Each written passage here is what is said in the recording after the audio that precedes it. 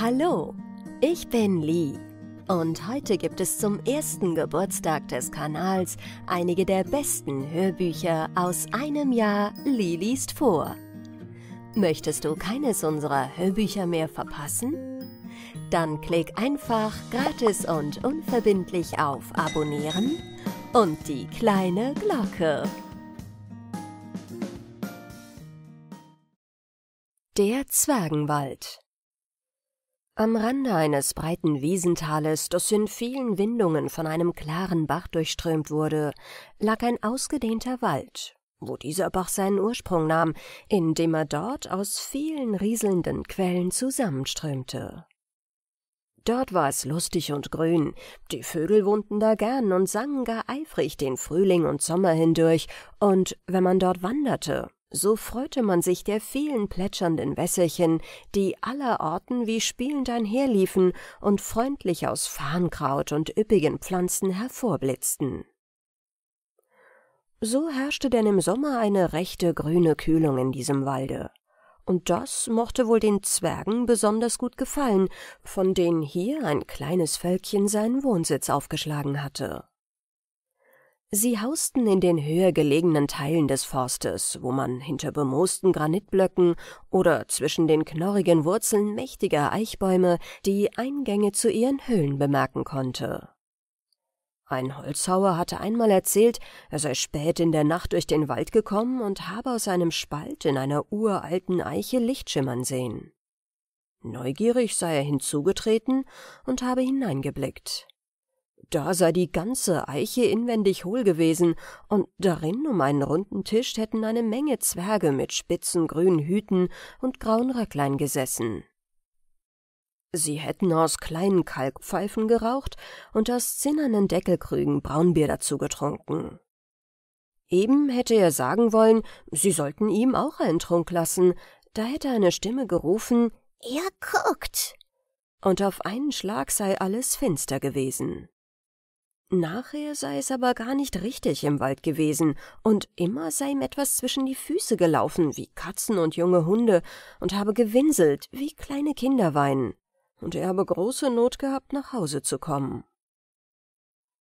Die kleinen Zwerge waren den Menschen sonst günstig gesinnt, und wenn man sie in Frieden ließ, taten sie niemandem etwas zuleide.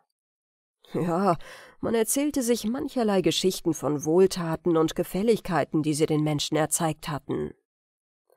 Auch beruhte nicht auf Wahrheit, was böswillige Menschen über sie ausgebreitet hatten, nämlich, dass sie Gänsefüße hätten und ängstlich bestrebt wären, dies zu verbergen.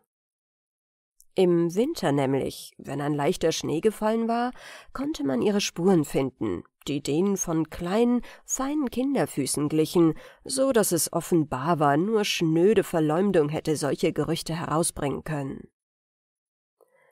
Wenn der Schnee jedoch höher lag, kamen sie nicht hervor, sondern saßen in der Tiefe in ihren warmen Höhlen, zehrten von ihren gesammelten Vorräten und arbeiteten fleißig allerlei künstliche Dinge von Gold und Silber und köstlichen Steinen.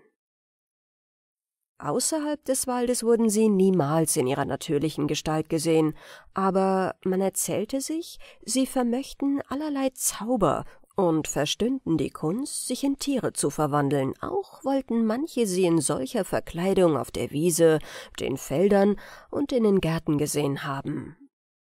Sie sollten sich als Hamster den geringen Kornvorrat einheimsen, den sie brauchten, und als Eichhörnchen in die Nussbäume kommen.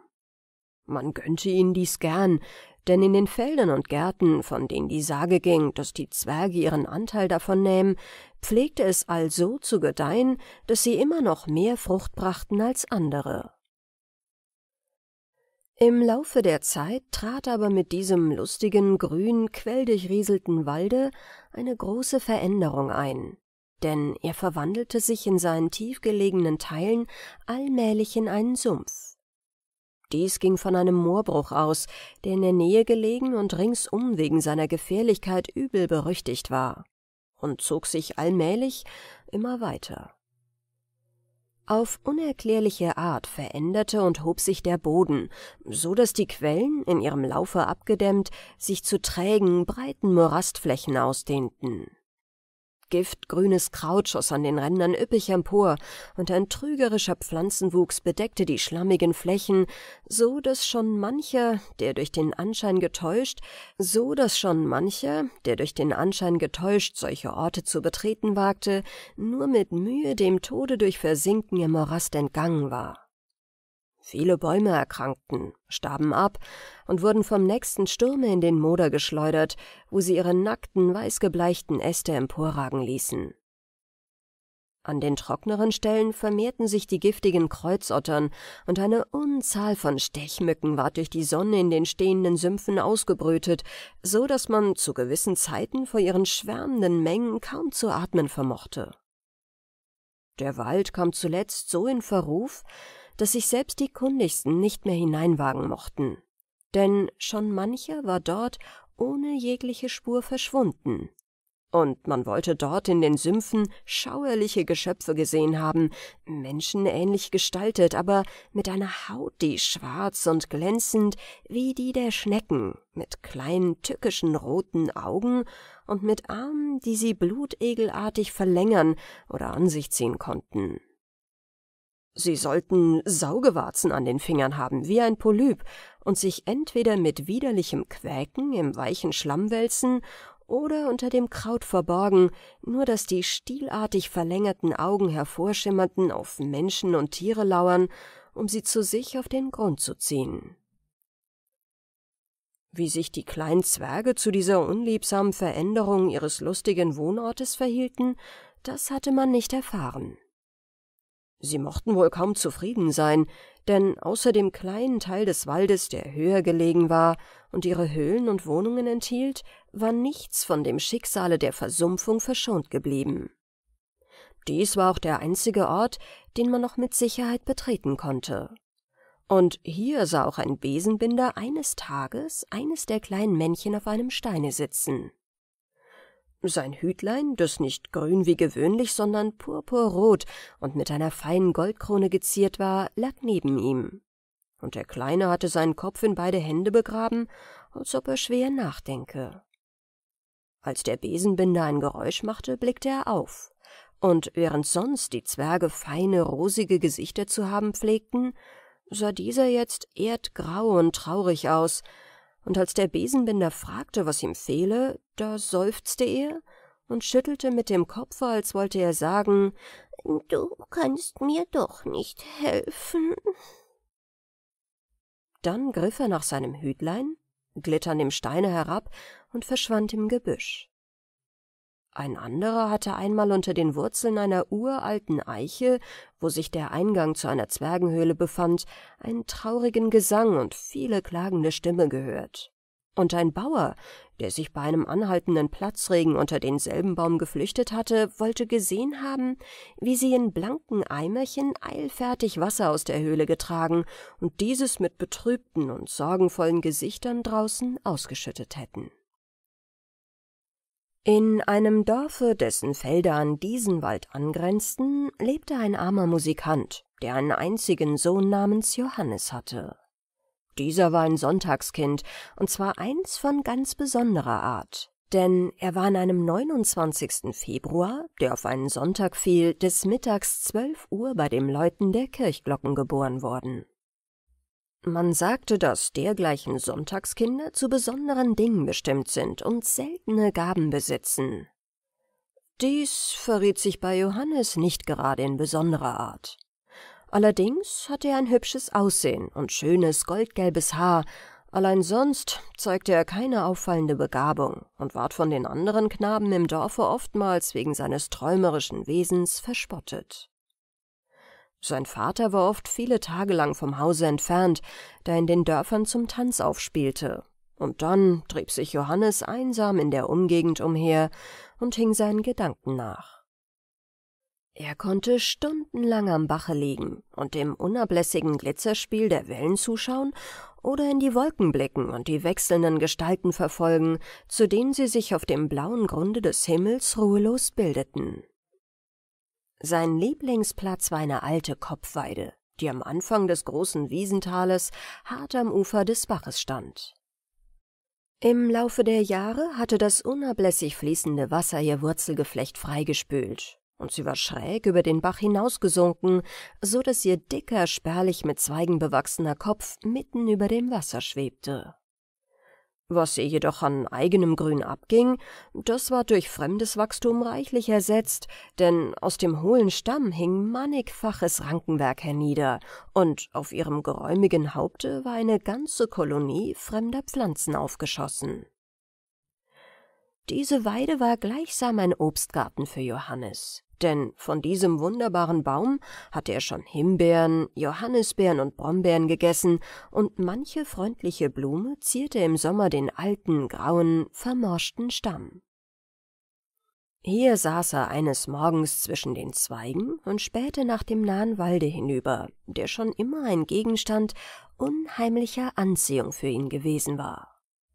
Heute bemerkte er dort ein merkwürdiges Treiben, das er sich nicht zu erklären vermochte. Unter den Büschen am Waldrand huschte und bewegte sich etwas, von dem er nicht ganz genau zu erkennen vermochte, ob es Zwerge oder Tiere waren. Als er so spähte und seine Augen umherschweifen ließ, bemerkte er, dass es auch auf der Wiese nicht richtig war, denn zwischen dem hohen, blumendurchwirkten Grase sah er hie und da etwas hervorschauen und dann schnell wieder verschwinden und an der Bewegung der Halme merkte er, dass sich ihm verschiedene lebende Geschöpfe nähern mussten. Zudem ging ein seltsames Schüttern und Beben durch die alte Weide, und an ihren Wurzeln knirschte es, als ob jemand daran eifrig nage. Auf einmal senkte sich der Baum sanft auf den Wasserspiegel nieder, und einige Hamster wurden sichtbar, die eifrig die letzten Wurzelfasern zerbissen und sich dann an die Stümpfe anklammerten. Zugleich ward die alte Weide mit dem Kopfe gegen den Strom gedreht und schwamm langsam bachaufwärts. Johannes sah nun, dass eine Anzahl Fischottern die Zweige mit den Zähnen erfasst hatten und den Baum schwimmend hinter sich herzogen. Der Bach war nicht breit, und das Ufer war mit einem tüchtigen Sprunge zu erreichen. Allein als sich der Knabe, dem das Ding unheimlich wurde, erheben wollte, um die Flucht zu ergreifen, fühlte er sich festgehalten. Eine Menge von Wieseln, die sich in den Höhlungen verborgen hatten, waren hervorgekommen, hatten sich in seine Kleidung verbissen und hielten ihn fest. Jetzt sprang aus der Wiese heraus nacheinander eine Reihe von Eichhörnchen mit mächtigen Sätzen auf den Baum, und darunter war ein schönes schneeweißes. Das setzte sich vor Johannes auf die Hinterbeine, hielt wie flehend seine Pfötchen zu ihm empor und sah ihn so ausdrucksvoll an, dass der Knabe wohl verstand, es bitte ihn zu bleiben, wo er sei. Seine Furcht minderte sich bei dem Anblick dieses schönen Tieres, das so sanft und freundlich aussah, und er wartete nun mit Verwunderung, wie die Dinge ablaufen würden. Kaum war dieses seltsame Fahrzeug in dem verrufenen Walde angelangt, als es die Fischottern an das Land führten und sich sämtliche Tiere eilfertig an das Ufer begaben, wo sie sich in demselben Augenblick in Zwerge verwandelten. Sie trugen graue Röcklein und spitze grüne Hüte. Nur der, der als weißes Eichhörnchen erschienen war, hatte ein purpurrotes Hütchen, das mit einer feinen Goldkrone geziert war. Dieser sprach zu Johannes Wir haben auf diese Weise versucht, dich in den Wald zu bringen, weil wir außerhalb dessen nur als Tiere erscheinen dürfen und äh, dann der Sprache nicht mächtig sind. Wir müssen dich aber um einen Dienst ersuchen, den nur ein Sonntagskind deiner Art vollbringen kann, äh, denn du vermagst uns aus großer Not zu befreien. Allein es muss freiwillig und ohne Hoffnung auf Lohn geschehen. Bist du deshalb gesonnen, uns zu helfen? So folge uns, wir flehen dich darum an. Alle die kleinen Zwerge machten so rührende Gesichter und hoben die Hände bittend empor, dass Johannes nicht widerstehen konnte und ans Land stieg. Seine kleinen Führer trippelten und liefen vor ihm her und so gingen sie auf einem schmalen und niedrigen Erdrücken entlang, der von der Versumpfung verschont geblieben war, zu dem höher gelegenen Orte, auf dem wie auf einer Insel die Wohnungen der Zwerge gelegen waren. Ängstlich schaute der Knabe unterwegs seitwärts auf die trügerisch begrünten Schlammflächen, zwischen denen an einzelnen Stellen schwarzes Wasser hervorblinkte. Denn ein seltsam unheimliches Gären und Rühren war darin bemerkbar, und widerliches Gurgeln und Schmatzen tönte daraus hervor. Einmal, als einer der kleinen Zwerge stolperte, ein wenig den Abhang hinabtaumelte und dabei dem Morast zu nahe kam, fuhr blitzschnell ein langer, glänzend schwarzer Arm daraus hervor, ergriff das Männchen am Fuß und wollte es mit sich ziehen. Allein dieses hatte zu seinem Glück einen Strauch erfasst, langte mit der anderen Hand in ein Täschchen an seinem Gürtel und streute ein rotes Salz auf den Arm, worauf dieser eiligst losließ und wieder untertauchte während an demselben Ort ein Prusten und Schnauben und Gewinsel ertönte und Wasser und Morast hoch aufspritzten. Zugleich rührte und regte es sich nah und fern in der schlammigen Fläche. Widerliche, flache Köpfe, wie von ungeheuren Fröschen tauchten hier und da auf und stierten mit gierigen roten Augen auf die Zwerge hin, während sie ein hässliches, bellendes Gequäk anstimmten und sich zuweilen schwarze, triefende Fäuste drohend aus dem Schlamm reckten. Unterdes hatte sich der Weg bereits verbreitert, und bald langte der kleine Zug auf dem ausgedehnten flachen Hügel an, wo sich die Wohnsitze der Zwerge befanden. Hier lagen zwischen uralten Eichen mächtige bemooste Steinblöcke neben und übereinander, und als der kleine Rothut an einen mit seinem Stäbchen klopfte, drehte sich dieser wie eine Tür zur Seite und legte den dunklen Eingang in eine unterirdische Höhle frei. Als Johannes eine Reihe von Stufen hinabgestiegen war, gelangte er mit dem Zwerge in eine niedrige Säulenhalle, deren Wände und Decke im Lichte der brennenden Lampen gar wunderbar schimmerten und blitzten, denn sie waren mit natürlichen Kristallbildungen in allen Farben und bunten, geschliffenen Steinen sehr zierlich und künstlich ausgelegt. An der Wand, die der Tür gegenüber lag, stand ein kleiner Thronsessel mit Purpursammet und Goldbrokat überzogen und davor im Halbkreis eine Reihe von geringeren Lehnstühlen. Johannes musste sich in der Mitte dieser Reihe auf eine Anzahl von Polstern setzen, dem Rothut, der den Thron bestieg und offenbar der König der Zwerge war, gerade gegenüber. Als nun alle saßen und eine Zeit lang feierliche Stille geherrscht hatte, begann der König wie folgt. Du hast soeben selbst gesehen, lieber Johannes, welchen Gefahren wir ausgesetzt sind und welche widerliche und hässliche Gesellschaft sich in unserem Walde angesiedelt hat. Statt des rieselnden Geplauders fröhlicher Quellen findet man jetzt nur das brodelnde Gären des ungezieferbrütenden Schlammes. Statt des lustigen Gesanges lieblicher Vögel das hässliche Quäken und Gurgeln greulicher Unholde. Statt der frischen, von Blumen und Kräutern würzig duftenden Luft, dumpfenden Modergeruch und schädliche Fieberdünste. Ich will dir erzählen, wie dies gekommen ist. In jenem seit alter Zeit verrufenen und gemiedenen Moorsumpf, den ihr das Teufelsmoor nennt, lebt schon lange ein Volk von Sumpfgnomen unter der Herrschaft ihres Königs Egelborst. Schon lange hatte dieser seine Begierde zur Ausdehnung seines widerlichen Reiches auf unseren grünen Quellwald gerichtet. Allein solange wir uns im Besitze des goldenen Handringes befanden, vermochte er keine Macht über diese Gegend zu gewinnen, da ihr Besitz an dieses Kleinod gebunden ist. Wir wussten, dass er bestrebt war, diesen Ring in seine Macht zu bringen, und waren auf unserer Hut. Wir hatten ihn in unserer Schatzkammer hinter sieben eisernen Türen, wie wir meinten sicher genug, verborgen.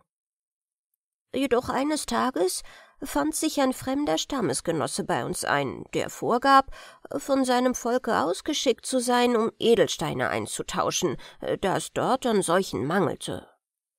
Er führte einen Sack voll kostbarer Perlen mit sich, dergleichen wir damals wenig in unserem Besitz hatten, während unser Schatz an Edelsteinen sehr reich war. Zwar hatte dieser Fremde ein finsteres und tückisches Aussehen und ein, eine äh, seltsam schwärzliche Gesichtsfarbe, auch auffallend glatte und schlangenhafte Bewegungen, allein Wir schrieben dies auf seines fremden Stammes Art und schenkten ihm dennoch Vertrauen. Zumal da seine Perlen ohne Tadel waren und er seine Worte gar gut und zierlich zu setzen verstand. Nachdem wir ihn also nach Gebühr bewirtet hatten, nahmen wir ihn mit in unsere Schatzkammer, wo er große Verwunderung über unsere Reichtümer bezeigte und nicht genug des Lobes finden konnte über die Zierlichkeit der goldenen und silbernen Geräte und die ausgesuchte Herrlichkeit der edlen Gesteine. Da wir keinen Argwohn hegten, so zeigten wir ihm alles, auch den kostbaren Handring, ohne ihm allerdings dessen Bedeutung mitzuteilen. Er schien ihm auch wenig Beachtung zu schenken, und dann begann der Handel, wodurch wir uns in den Besitz seiner Perlen setzten, während er eine Anzahl auserlesener Edelsteine dafür in Empfang nahm. Wir glaubten, einen guten Kauf gemacht zu haben und begaben uns darauf aus der Schatzkammer in unseren festlichen Speisesaal, um den Handel nach alter Sitte mit einem Trunk von unserem hundertjährigen Kometenwein zu beschließen. Doch als wir dort anlangten, vermißten wir plötzlich den Fremden. Niemand hatte gesehen, wo er hingekommen war, und alles Suchen und Rufen war vergebens. Eine düstere Ahnung bemächtigte sich meiner. Ich kehrte mit den meinen in die Schatzkammer zurück und fand meine Befürchtung nur zu sehr begründet, denn der goldene Handring, unser bestes Besitztum, war fort. Es war offenbar, dass der Fremde ein Abgesandter des Königs der Sumpfgnomen, wenn nicht dieser selbst gewesen war, der sich auf diese Art unter der Maske eines Zwerges unseres Schatzes bemächtigt hatte. Wir wussten ja, dass er im Besitze des Steines Mutabilis war, der ihn befähigte, jegliche beliebige Gestalt anzunehmen, wenn auch nicht in dem Maße, dass alles Gnomenhafte aus seinem Wesen verwischt wurde. So erklärte sich uns auch sein tückisches, schwärzliches Aussehen, die schlangenhafte Beweglichkeit und die kalte Feuchte seiner Glieder, die mich, als ich ihm die Hand reichte, äh, bis ins Innerste durchschauert hatte. Die schnellfüßigsten unserer Genossen waren ihm sofort in der Richtung des Moorsumpfes nachgesetzt, allein vergeblich, denn es gelang ihm nur, seiner ansichtig zu werden, als er bereits dort angelangt war und jauchzend, den blitzenden Ring über dem Haupte schwingend, in das schwarze Schlammwasser sprang während seine scheußlichen Untertanen überall die Plattenköpfe hervorgesteckt hatten und ein höhnisches Gezeter und quäkendes Triumphgeheul anstimmten. Als der König der Zwerge seine Geschichte so weit erzählt hatte, schwieg er eine Weile, und es entstand eine Stille, während derer die anderen Zwerge mit bedrückten Mienen vor sich hinsahen. Dann fuhr der König in seiner Erzählung fort.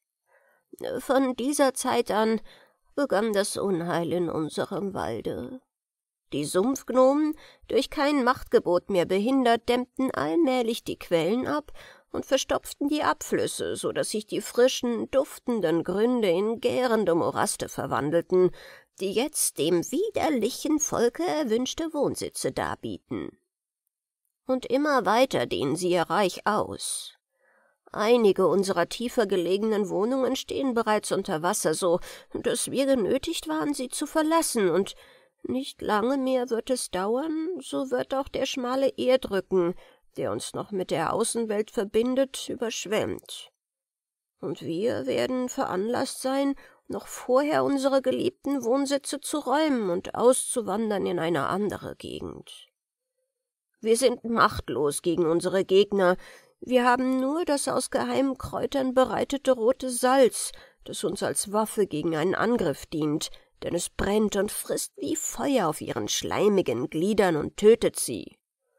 Allein trotzdem haben sie schon manchen unserer Genossen, der die Vorsicht nicht bewahrte und dies Mittel nicht mehr anzuwenden vermochte, hinabgezogen und umgebracht. Dies ist die große Not, in der wir uns befinden. Und dies ist der Grund, weshalb wir dich auf so besondere Weise veranlasst haben, unsere Klagen anzuhören, denn dir ist es gegeben, uns zu retten. Du vermagst es, uns den kostbaren Ring wiederzuschaffen, weil du ein Sonntagskind von ganz besonderer Art bist und Dämonenzauber über dich keine Macht hat. Wenn du den Mut hast, unsere Gegner in ihrem eigenen Reiche aufzusuchen, so wollen wir dir Mittel und Wege angeben, wie du es anfangen kannst, ihnen den Handring zu entreißen, der uns Frieden und Glück zurückbringt. Johannes dachte an die Erlebnisse auf dem Wege ins Zwergenreich und schauderte zusammen. Er hegte ein tiefes Grauen vor den entsetzlichen Geschöpfen, die er dort im Schlamm gesehen hatte. Als der Zwergenkönig dies bemerkte, lief er von seinem Throne zu Johannes hin, und indem er niederkniete, hob er flehend die Hände zu ihm empor, während alle anderen Zwerge eiligst dasselbe taten. Zugleich bat der König so beweglich und schilderte das Unglück seines Volkes in so ergreifender Weise, dass Johannes nicht widerstehen konnte und endlich beschloss, die Tat zu wagen. Als die Zwerge dies vernahmen, leuchteten ihre Gesichter vor Freuden, und nun gingen sie mit ihm in ihren Festsaal, wo ein prächtiges Mahl angerichtet war.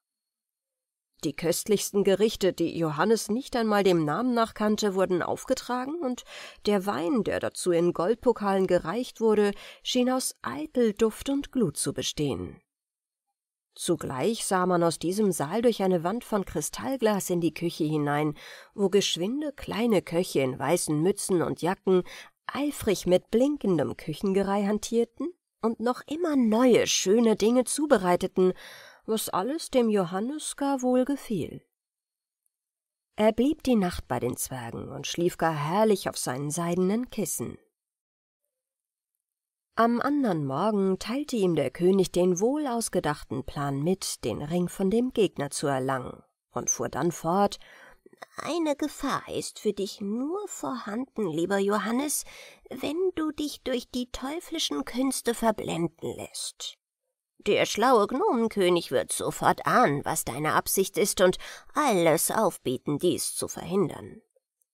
Damit du aber erkennen magst, was Wahrheit und was Gaukelspiel ist, so nimm dieses Augenglas und bewahre es wohl. Denn wenn du hindurchblickst, so wirst du sogleich das Echte vom Falschen zu unterscheiden wissen. Damit hängte er ihm ein rundes, in Gold gefasstes Glas um den Hals und sprach weiter. Ich werde dir jetzt eine Probe geben von der Macht dieses Zauberglases. Betrachte dadurch das Tier, das dir gleich vor Augen treten wird. Damit schrumpfte die Gestalt des Zwerges zusammen, und er verwandelte sich in ein weißes Eichhörnchen.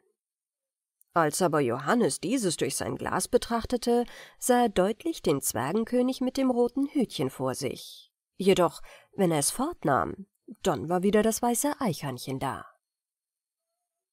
Nachdem der König sich in seine eigentliche Gestalt zurückverwandelt hatte, sagte er Du hast den Plan, den ich dir vorhin mitteilte, wohlgemerkt und behalten?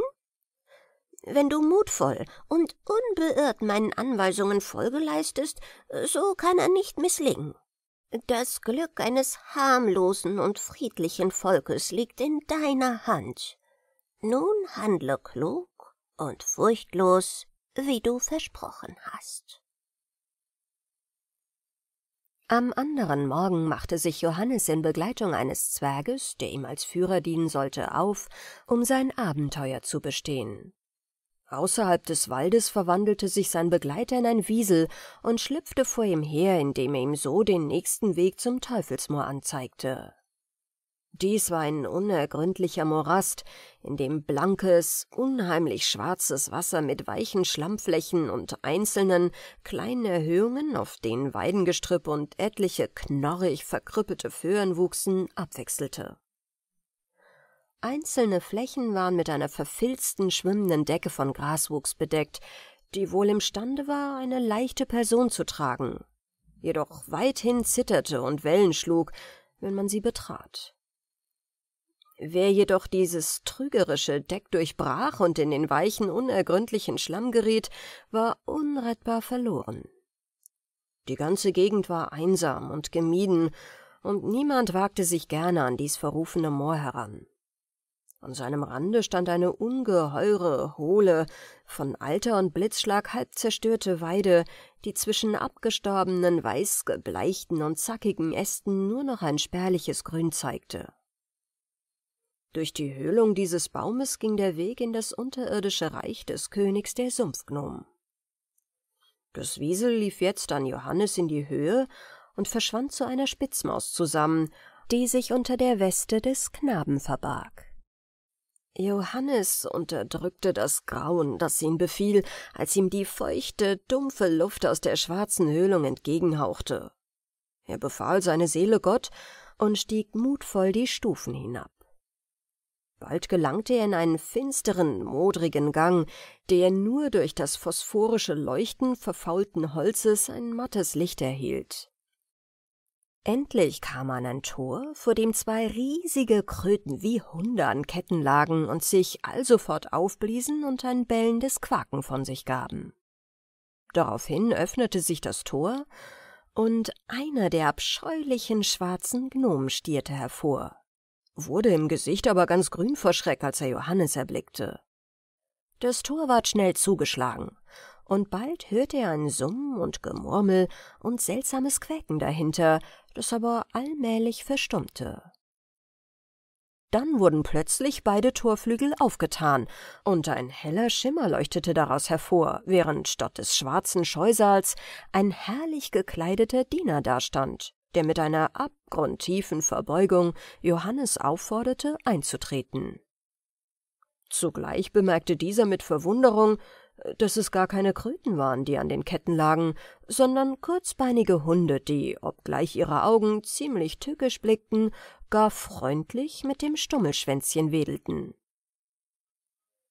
Johannes gelangte durch einen flimmernden und blitzenden Vorraum in einen runden Kuppelsaal, über dessen seltsame Pracht er ganz erstaunt war. Die Wände waren gebildet aus unzähligen Seerosenstängeln, die sich nach oben zusammenwölbten und dort mit ihren Blättern die Decke bildeten.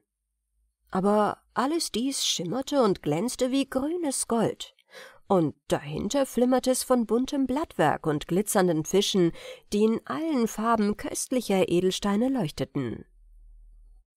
Diese Wände waren anzuschauen, als blicke man in ein von der Sonne durchschienenes, klares Wasser, das mit dem schönsten und seltensten Getier erfüllt war. Kaum hatte Johannes dies mit Verwunderung beobachtet, als der König der Sumpfgnomen, gar herrlich gekleidet und schön gestaltet, mit einem holdseligen Lächeln, das ihm jedoch gar übel zu seinem tückischen Blick stand, begleitet von einem glänzenden und schimmernden Gefolge eintrat und alle auf den bereitstehenden Stühlen und Thronsesseln Platz nahmen. Mit besonderer Sorgfalt trugen zwei Diener auf einer prachtvollen Tragbare den kleinen Sohn des Königs, der kostbar in Purpur und Gold gekleidet war. Dieser Kleine zeugte ein ganz hübsches Gesicht, nur trug er einen bösen, schwarzen Schatten um seine Augen. Nachdem der Kronprinz des Gnomenreiches neben seinem Vater auf einem kleinen Sesselchen Platz genommen hatte, erschallte ein Trompetenstoß, und der König sprach Ich weiß sehr wohl, dass du ein Abgesandter aus dem Zwergenwalde bist. Sprich, was ist dein Begehr? Ich komme, sagte Johannes, um den goldenen Handring zu holen, den du durch List in deinen Besitz gebracht hast. Der König Egelborst lächelte sehr freundlich und sprach Du hast dich betören lassen, Knabe, durch das Geschwätz der listigen Zwerge. Was weiß ich von dem Ringe und wozu könnte er mir nützen, der ich kostbare Perlen und Edelsteine genug besitze? Du bist jung und unerfahren und lässt dich gebrauchen zu Dingen, wozu die geizigen Zwerge selbst zu feige sind. Haben sie dir wohl das geringste zum Lohne geboten? Sie sitzen auf ihren Schätzen und trachten gierig, sie zu vermehren. Das ist alles. Ich will dir beweisen, dass König Egelborst minder niedrig denkt. Dann winkte er, und es traten zwei Pagen herein, die goldene Schüsseln trugen, auf denen die herrlichsten Perlen und Edelgesteine gehäuft lagen. Diese kostbaren Schätze will ich dir schenken, sagte Egelborst. Da du den Wert dieser Dinge vielleicht nicht kennst, so sage ich dir, dass du dadurch reicher wirst als irgendeiner im Lande und dir ein Herzogtum dafür kaufen kannst. Nimm diese Kleinigkeit und ziehe in Frieden. Unterdes war aber die Spitzmaus unter der Weste emporgekrochen und zupfte heftig an dem Augenglase, das Johannes auf seiner Brust trug. Dieser, der ganz verwirrt war von dieser unerwarteten Wendung der Dinge, merkte es endlich, zog es hervor und hielt es an seine Augen. Welche entsetzliche Veränderung ging nun mit dem vor, das ihm eben noch schön, kostbar und reizend erschienen war. Statt der glänzenden, schimmernden Gesellschaft sah er eine abscheuliche Versammlung von ekelhaften, schwarz glänzenden Ungetümen vor sich, die ihn mit roten, tückischen Augen und wutverzerrten Gesichtern anstierten, statt goldener Halsbänder züngelnde Kreuzottern trugen und statt auf kostbaren Stühlen auf modrigen, von schwarzen Schnecken bekrochenen Baumstümpfen saßen. Die Edelsteine und Perlen hatten sich in schmutzige Kiesel und leere Schneckenhäuser verwandelt und des Königs Söhnlein in ein kleines, widriges, warzenbedecktes Scheusal. Die flimmernde Pracht der Wände dieses Kuppelsaales war dahin, und stattdessen glaubte er in einen ekelhaften, von Blutegeln, Kröten, Molchen und anderen scheußlichen Tieren wimmelnden Sumpf zu schauen. Ih, Zugleich erhob sich ein Heulen, Quäken und Schreien, und mit wutverzerrten Gesichtern schossen die Gnomen auf ihn zu. Schwarze Arme streckten sich lang nach ihm aus, Schlangen zischten ihm wütend entgegen, allein als wenn ein Zauber sie bände, zuckten sie immer wieder zurück und wagten nicht anzugreifen. Jetzt war der Augenblick zum Handeln gekommen. Johannes ersah die Gelegenheit, stürzte sich auf den kleinen Sohn des Königs, und indem er ihn am Halse ergriff, langte er gleichzeitig mit der anderen Hand in eine Tasche, die die Zwerge mit dem roten Salz gefüllt hatten.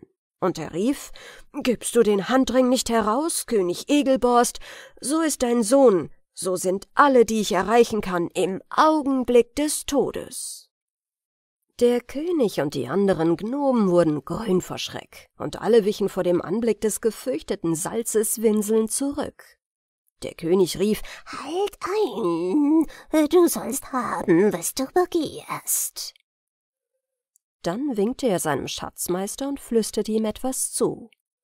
Dieser ging und kam nach einer Weile mit einem großen, herrlich verzierten goldenen Ringe zurück, den er Johannes überreichen wollte.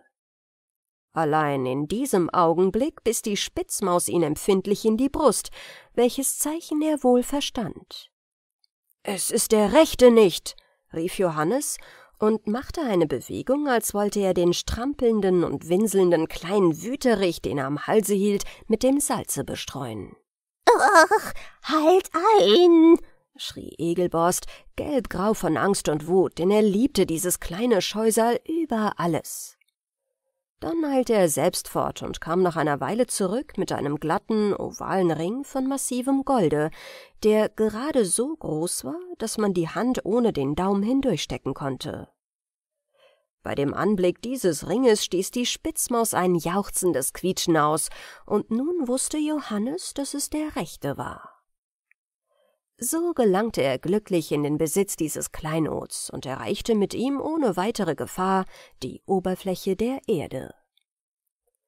In den Wohnungen der Zwerge herrschte eitel Jubel und Wonne, als Johannes mit dem erworbenen Ring glücklich zurückkehrte. Sie tanzten umher, schossen Kobold im grünen Grase und wussten sich vor Vergnügen gar nicht zu lassen. Zugleich ward in dem versumpften Walde ein Heulen und Gewinsel und klagendes Gequäk. Überall rührte es sich und wälzte es sich davon und wühlte durch den Schlamm und verlor sich allmählich in der Ferne. Ohne Aussicht auf Lohn hast du uns geholfen, sagte der Rothut zu Johannes, äh, wie es geschehen musste. Nun dürfen wir uns dankbar zeigen. Er belud ihn mit den köstlichsten Schätzen an Perlen und Edelgestein, und so kehrte Johannes zu seinem Dorfe zurück und zu seinem Vater. Dieser, der ihn schon verloren geglaubt hatte, staunte nicht wenig, als er durch den glücklich Zurückgekehrten plötzlich zu einem reichen Mann gemacht wurde. Er kaufte sich in der Folge ein herrliches Gut, das an den Zwergenwald angrenzte, und als er gestorben war, brachte Johannes, der unterdes erwachsen war, auch diesen Wald, der nun wieder grün und frisch von kristallklaren Quellen durchrieselt war, in seinen Besitz. Das Teufelsmoor aber ließ er durch Anlage eines mächtigen Grabens trockenlegen, so dass die Wohnstätte der Gnomen vernichtet ward und fröhlicher Wald dort ebenfalls aufschoss. Von den Gnomen hat man später nie etwas gehört, Sie mögen wohl verdorben und gestorben sein. Der Klabautermann Dort, wo die blauen Wogen der Ostsee die schneeweißen Kreideklippen der Insel Rügen umspülen, lag vor langer Zeit, zwischen Felsen eingezwängt, ein einsames, winziges Fischerhaus. Gleich dem Neste der Seeschwalbe war es hoch über dem Meeresspiegel erbaut. Keine noch so hohe Flut vermochte das Bauwerk zu erreichen, und darum konnten seine Bewohner ohne Sorge auf die entfesselten Wogen blicken, wenn der Sturm sie brandend gegen die Felsen schlenderte. Mochten sie sich noch so gierig recken und dehnen, so hoch reichte ihre Macht nicht. Lachend betrachtete Jan Klaassen, der Fischer, die vergeblichen Anstrengungen des Meeres sein Heim zu vernichten und die Wut, mit welcher die Wogen unverrichteter Sache schäumend und brausend wieder zurückstürzten. Ja, solch ein Unwetter vom sicheren Ort aus zu betrachten und der Gewalt der Fluten zu spotten, das war Jans größtes Vergnügen. Dann stand er vor seiner Hütte auf dem Felsenvorsprunge, drückte die Lederkappe fest auf den Kopf und stemmte die harten braunen Hände in die Seiten. Sein sonst so gleichgültiges Gesicht schien Leben zu bekommen. In den festen Zügen mit den unzähligen Falten und Runzeln zuckte es wie Wetterleuchten, und seine Augen funkelten vor heimlicher Lust.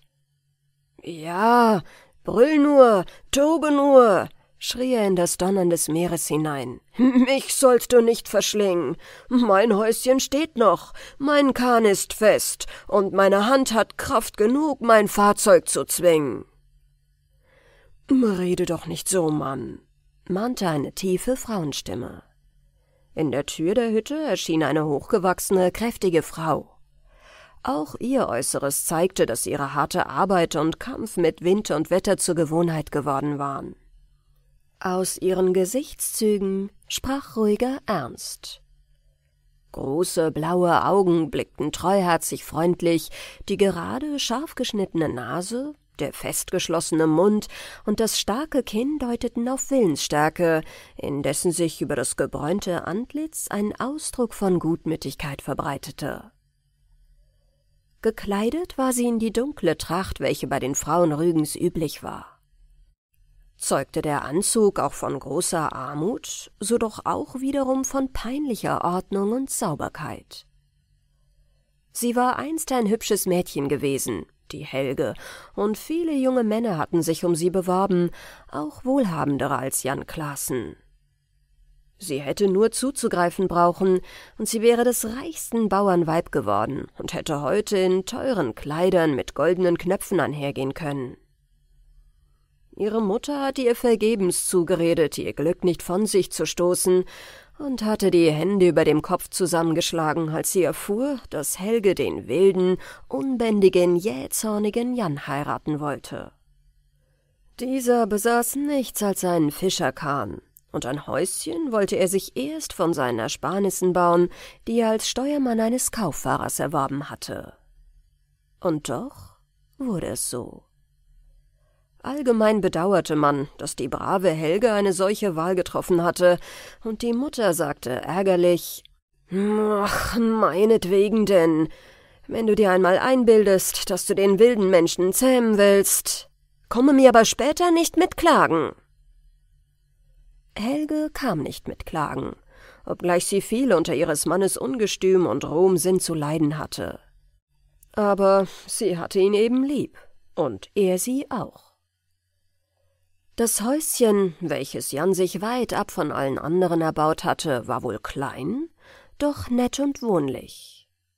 Helge wusste der sehr bescheidenen Einrichtung eine solche Behaglichkeit zu geben, dass es jedem wohltat, der in die kleine Stube trat. Aber nicht nur ihr kleines Hauswesen hielt sie in Ordnung, sie half ihrem Mann auch tüchtig bei der Arbeit. Sie fuhr hinaus mit zum Fischfang, trocknete und räucherte die Fische, strickte, pflegte und wusch die Netze, kurz, sie war eine richtige und echte Gefährtin ihres Mannes. Ja, und wenn er es auch nicht laut sagte, er empfand ihren Wert gut und ehrte und liebte sie in seiner eigenen barschen Weise. Er gab viel auf ihren Rat und ihre verständige Rede, wenn er ihr auch scheinbar niemals recht gab. Vielleicht hätte sich seine Rauheit noch gemildert, wenn die bunte Wiege, die ihm als Hochzeitsgabe verehrt worden war, nicht leer geblieben wäre. Doch Jahr um Jahr ging dahin, und das Paar blieb allein. Kein helles Kinderlachen unterbrach die Stille der Hütte, kein Kindesauge strahlte Jan und Helge an. Und sie hätten sich beide unendlich gefreut, wenn ihnen solches Glück beschert worden wäre. So schön das Häuschen gelegen war, es gewährte einen prächtigen Ausblick auf das weite Meer, so gab es doch einen Punkt, über den Helge mit ihrem Mann nie einig wurde und das war die Nachbarschaft einer wunderbaren Quelle. Unweit der Hütte quoll klares, reines Wasser aus dem Felsen. Es war von einer merkwürdig blaugrünen Farbe, genau wie Seewasser, jedoch von süßem Geschmack. Als munteres Bächlein stürzte es sich über die Felsen hinab in das Meer, mit dem es sich sofort verband. Jan hatte sein Haus mit gutem Bedacht in die Nähe dieser Quelle gebaut, da Trinkwasser sonst nur aus großer Entfernung herbeizuschaffen war. Es gab zwar den Herthersee in der Nähe, aber daraus mochte niemand Wasser für den Haushalt schöpfen. Kurze Zeit, nachdem Helga als junge Frau in ihr neues Heim gezogen war, fiel es ihr auf, dass sich in der Quelle jedes Mal ein sonderbares Brausen und Rauschen bemerkbar machte, wenn sie ihre Eimer dort füllte. Einige Mal war es ihr vorgekommen, als ob ein wunderliches Gesicht sie aus dem klaren Wasserspiegel drohend angeblickt hätte, so dass sie erschrocken zurückfuhr. Eines Tages wollte sie eben wieder zur Quelle gehen, da begegnete ihr der greise Knut, der Ziegenhirt, der wohl mehr als hundert Jahre alt sein mochte. Als er sah, dass die Frau in der Felsenquelle Wasser schöpfen wollte, fiel er ihr entsetzt in den Arm und rief Was beginnst du, törichtes Weib? Willst du mit aller Gewalt Unheil über dich und deinen Mann bringen? Weißt du nicht, dass diese Quelle der Eingang zur Wohnung des Klabautermanns ist? Was sagst du? stammelte Helge erschrocken. Hier wohnt der boshafte Wassergeist, der seine Freude daran hat, wenn die Schiffe ins Verderben stürzen? Ja, ja. Der Alte nickte. Dein Mann äh, weiß es recht gut, aber in seinem wilden Frevelmut hat er sich fern von allen Menschen trotzig hier angebaut. Helge überlief es eiskalt. Sie überlegte, dass sie ja ihren ganzen Bedarf an Wasser von jeher aus dieser Quelle geschöpft hatte und dass ihr auch in Zukunft nichts anderes zu tun übrig blieb. Wie, wenn dies nun den Zorn dieses unheimlichen Wasserzwerges erregte, der von den Seeleuten so gefürchtet war?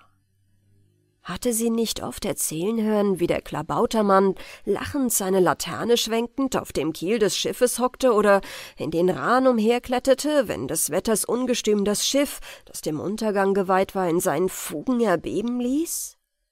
Wenn der Blitz den Mast zerschmetterte, wenn die wilden Wogen das Steuer entrissen, wenn das unglückselige Wrack dem Untergang nahe war und die Besatzung dem Wellentod entgegensah, dann jauchzte der Klabautermann, und bis zum letzten Augenblick verweilte er auf dem untergehenden Fahrzeug. Versank es endlich in den tosenden Fluten, so war der letzte Ton, der an die Ohren der Ertrinkenden schlug, das gellende Gelächter des Klabautermanns. Und aus seinem Bereich war Helge gezwungen, Wasser zu holen?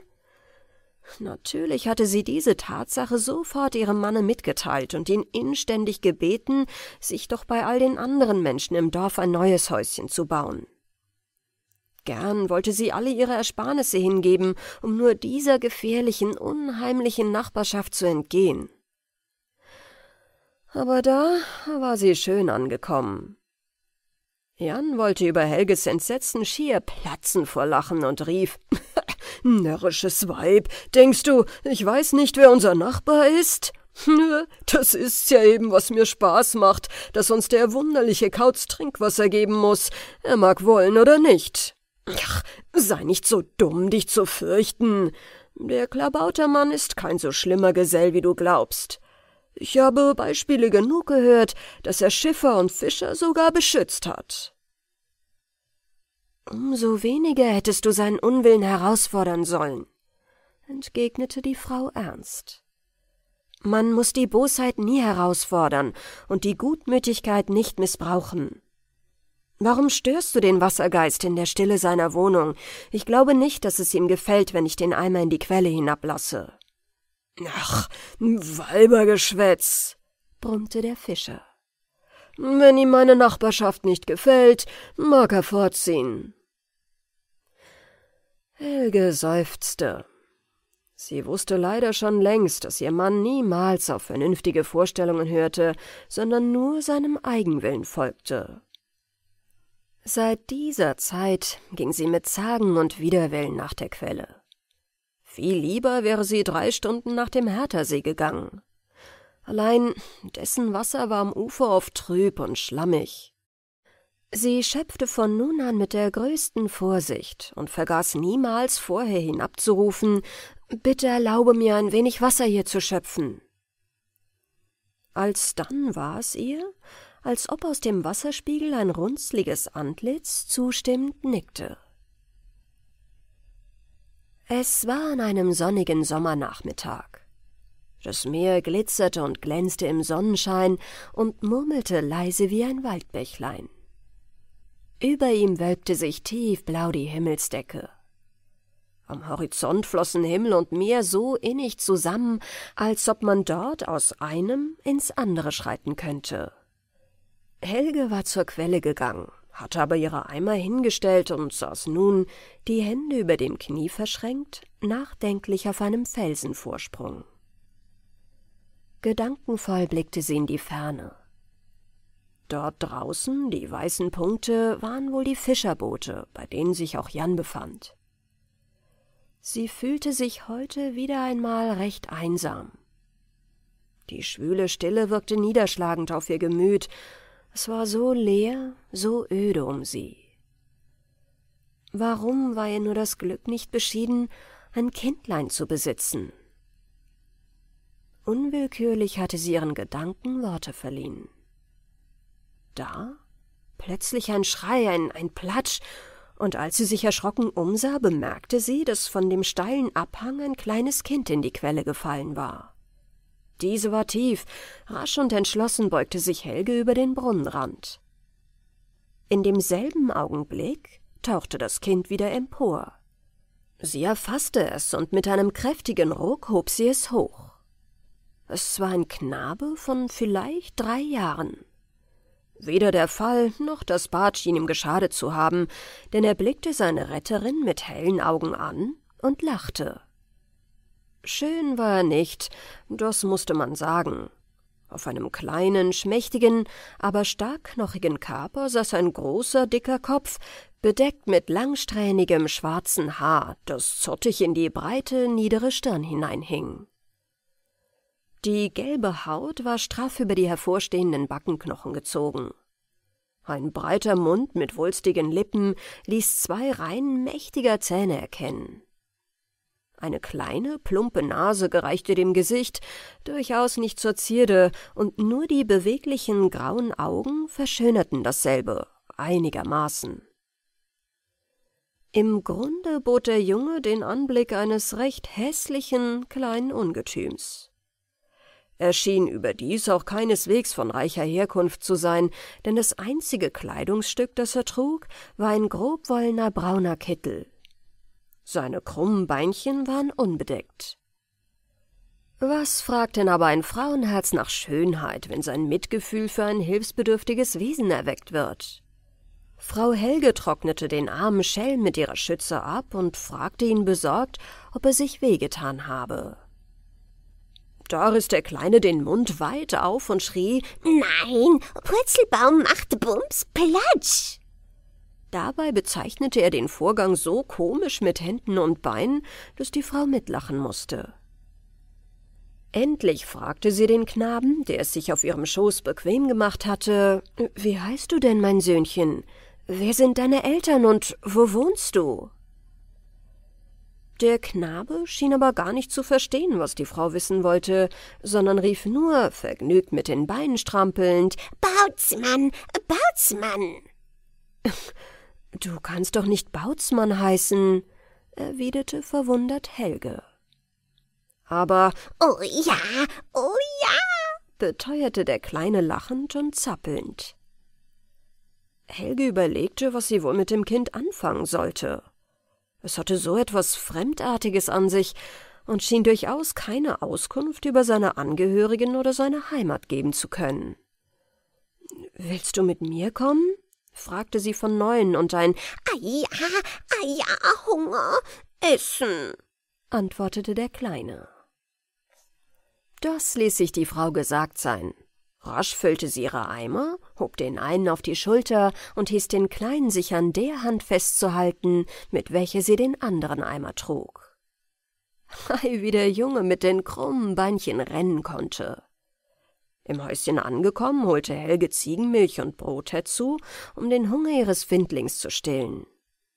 Dieser war auf die Bank geklettert und stemmte die Ärmchen auf den Tisch, als ob er von jeher hier daheim gewesen wäre. In unglaublich kurzer Zeit hatte er die Speisen verzehrt. Doch war nicht so unbescheiden, noch mehr zu fordern, obgleich sich Helge erbot, ihm noch Milch und Brot zu holen. Er machte es sich bald bequem, streckte sich auf die Bank, legte den Kopf auf den Arm und schlief ein. Kopfschüttelnd betrachtete die Frau den kleinen Schäfer. Er war doch ein gar zu wunderliches Geschöpf. Was würde wohl ihr Mann zu dem kleinen Gast sagen? Es wurde Abend. Helge war mit dem Zubereiten des Abendbrotes fertig und trat hinaus, um nach Jan auszuschauen. Da nahten die Boote schon. Flink lief sie zum Ufer hinab, um beim Landen zur Hand zu sein. Ihr Mann winkte ihr schon von weitem fröhlich zu und rief herüber Solchen Fang wie heute hab ich noch nie gemacht. Schau her, Weib, das Boot fasst die Fische kaum. Helge schlug die Hände vor Erstaunen zusammen. Da galt es sich zu rühren, um das Glück richtig zu nützen, damit die schöne Beute nicht verderbe. Vorläufig wurden die Fische in Fässer getan und für die Nacht an einen kühlen Ort gestellt. Morgen in aller Frühe sollte es an das Einsalzen oder Trocknen gehen. Die Sonne war bereits untergegangen, als Jan und Helge in die Stube traten, um sich das wohlverdiente Abendbrot schmecken zu lassen. Erst jetzt fiel es der Frau ein, dass sie ganz vergessen hatte, ihrem Mann von dem kleinen Ankömmling etwas zu sagen. Im Halbdunkel kollerte den Eintretenden ein sonderbares Etwas entgegen. Es war der kleine Junge, welcher ausgeschlafen hatte und nun zum Zeitvertreib Purzelbäume in der Stube schlug. Verwundert prallte Jan zurück, doch Helge erzählte kurz und bündig, während sie die Tranlampe anzündete, wie sie zu dem Kinde gekommen sei. Prüfend betrachtete der Fischer den wilden Knaben. Dann packte er ihn mit raschem Griffe beim Genick, stellte ihn auf die Beine und sagte, »Na, mal still, Knaps, musst doch sehen, was du eigentlich für ein Kerlchen bist.« Der guckte ihn von unten herauf mit einer so komisch ernsthaften Miene an, dass Jan in lautes Lachen ausbrach und rief, »Geldweib, gerade so hätte unser Söhnchen nicht ausschauen sollen. Ich werde morgen nach der Arbeit Umfrage halten, wohin der kleine Schelm gehört.« Sollte sich jedoch niemand zu ihm finden, nun, so mag er eben bei uns bleiben.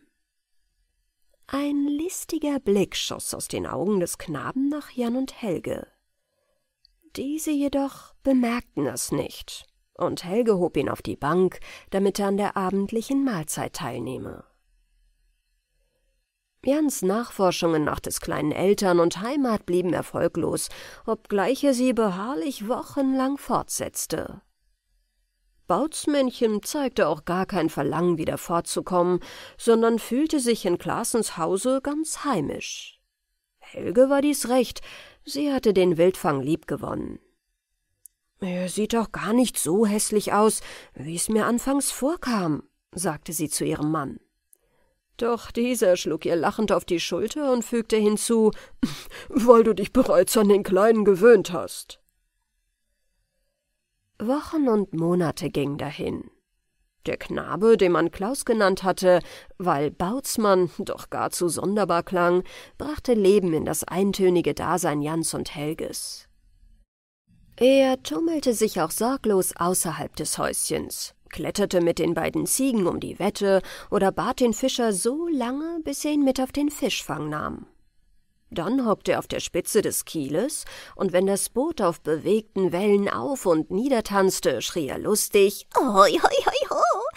Hoi, hoi, hoi, ho! Anfänglich war Jan ängstlich gewesen, das Kerlchen könne am Ende ins Meer fallen, aber diese Sorge schwand bald. Denn Klaus klebte wie eine Klette an dem Kahn. Und als er eines Morgens doch ins Wasser purzelte, sah Jan zu seinem höchsten Erstaunen, dass er schwimmen konnte wie eine Wassermaus. Das schien ihm doch nicht mit rechten Dingen zuzugehen, und bedenklich sah er den Jungen von der Seite an, als er wieder im Boot stand und wie ein nasser Pudel das Wasser abschüttelte. Bald aber beruhigte er sich. Er dachte, der Klaus ist jedenfalls älter, als wir gemeint haben. Er ist nur so klein und bei seinem hässlichen Gesicht lässt sich das Alter schwer bestimmen. Es ist schade, dass er darüber keine Auskunft geben kann. Einige Tage später begleitete Klaus seine Pflegemutter, die eine Bütte voll Fisch nach dem Markt trug. Unterwegs begegnete ihnen der alte Knut, der Ziegenhirt.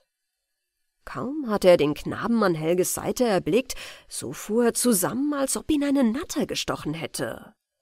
Starr sah ihn an und hob warnend die Hand in die Höhe. Äh, »Woher habt ihr den Jungen, Helge Klassen?« rief er aus.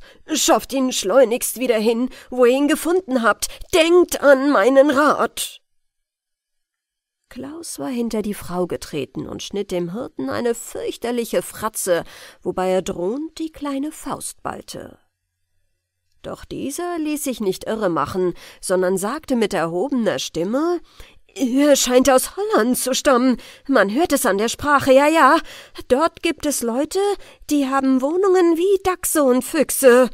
Nur, dass sie mit Wasser gefüllt sind und ihre Ausgänge an den Ufern aller Meere haben, damit sie bei der Hand sind, wenn Sturm und Wetter die Schiffe in Not bringen. Hätte jetzt Frau Helge Obdacht auf ihren Schützling gehabt, so würde sie mit Entsetzen die Veränderung bemerkt haben, die mit ihm vorging. Die Füße schienen vor Wut den Erdboden zerstampfen zu wollen, die Gesichtszüge waren verzerrt, aus dem Munde fletschten die Zähne wie bei einem Raubtier, und die Augen schienen Flammen zu sprühen. Von alledem nahm die gute Frau jedoch nichts wahr. Sanft antwortete sie Wir haben das hilflose Kind aufgenommen, weil niemand es haben mochte, und bis jetzt haben wir keine Ursache, den armen Schelm wieder fortzujagen. Uns ist endlich ein Kind geschenkt worden, das wir lieb haben können. Nicht wahr, Klaus? Du hast uns auch lieb. Bei den freundlichen Worten Helges hatten sich die Mienen des Knaben wieder aufgehellt, und jetzt antwortete er freundlich, nicht ohne einen Seitenblick auf Knut, der mit vorgestrecktem Kopf aufhorchte Ja, hab euch lieb, Bautzmann will bei euch bleiben. Bei dem Namen Bautzmann zuckte Knut erneut zusammen, fuchtelte nochmals warnend mit seinem Stock in der Luft herum, sagte aber nichts mehr, sondern hinkte davon. So war der Spätherbst gekommen. Das Wetter wurde von Tag zu Tag stürmischer und für die Fischer gefährlicher. Mit Sorge sah Helge oftmals ihren Mann hinausfahren auf die stürmische See. Sein alter Trotz und Übermut, die eine Zeit lang geruht hatten, brachen plötzlich mit Gewalt wieder hervor, und er achtete weder auf Bitten noch auf Warnungen. Seine Lust an der Gefahr überwog alle vernünftigen Vorstellungen. Auch den kleinen Klaus befiel eine merkwürdige Unruhe. Er kam oft den ganzen Tag nicht heim, und Helge lebte in fortwährender Angst, dass ihm ein Unglück widerfahren sei. Seit die schlimme Witterung eingetreten war, durfte er Jan nicht mehr bei dem Fischfang begleiten. Seine Bitten wurden rau zurückgewiesen. Das fehlte mir noch, auf einen unnützigen Bengel aufpassen zu müssen, wenn man alle Hände voll zu tun hat, um mit Wind und Wasser fertig zu werden. Warte, bis du groß bist, dann kannst du mir helfen. Eines Tages rüstete sich Jan wieder zum Fischfang. Der Sturm heulte um die Hütte, als ob alle bösen Geister losgelassen wären. Dichte Nebel verhüllten das Meer. Die Sonne glich einem schwefelgelben Ball, der sich mühsam im Firmament fortwälzte. Als Jan das Boot klarmachte, war Helge ihm gefolgt. Sie war zum Mitfahren fest entschlossen, damit ihr Mann wenigstens jemanden in der Nähe habe, der ihm beistehen könne. Aber barsch und ungestüm hatte dieser ihre Hilfe zurückgewiesen. Ich bin Manns genug, schrie er ihr zu, und ich brauche keinen Weiberbeistand. Du willst mich wohl gar retten, wenn es an Hals und Kragen geht, hä? Pff, da müsste ich mich ja schämen und auslachen lassen. Nein, du bleibst daheim. Punkt um. Als Jans Boot in den wallenden Nebelmassen verschwunden war, kehrte Helge tief betrübt ins Häuschen zurück. Eben schlüpfte Klaus mit einem listigen Lächeln zur Hintertür hinaus, als die Frau in die Stube trat und sich nach dem Knaben umsah. Es war ihr gar nicht lieb, dass auch er sich bei dem bösen Wetter herumtrieb. Wollte er es ihrem Manne nachtun? Der Tag schlich dahin. Gegen Abend hellte sich der Himmel etwas auf, und heute war Vollmond. In Helges geängstigtem Herzen stieg die Hoffnung auf, dass ihr Mann beim Mondenschein zurückkehren werde, wenn nur das Meer sich etwas beruhigte. Auch Klaus war den ganzen Tag nicht heimgekommen. Wo trieb sich der Bub nur umher? Die Frau trat vor die Tür, um nach ihm auszuschauen. Siehe, da nahte der alte Knut. Er winkte und machte schon von weitem allerhand Zeichen, dass Frau Helge mit ihm kommen solle. Ein Schrecken durchfuhr sie. War ein Unglück geschehen? Knut ging eilenden Schrittes den steilen Weg hinab, der in das Tal führte, wo der Herthersee lag. Immer winkend rief er Helge halblaut zu, Geschwind, geschwind, dass wir unten sind, wenn der Mond aufgeht. Da werdet ihr sehen, was ihr mir nicht glauben wolltet. Der Frau klopfte das Herz. Was sollte sie nur erfahren? Jetzt waren sie angekommen. Knut fasste sie bei der Hand und zog sie hinter einen Felsvorsprung, von dem man aus ungesehen das Tal beobachten konnte. Alles lag still.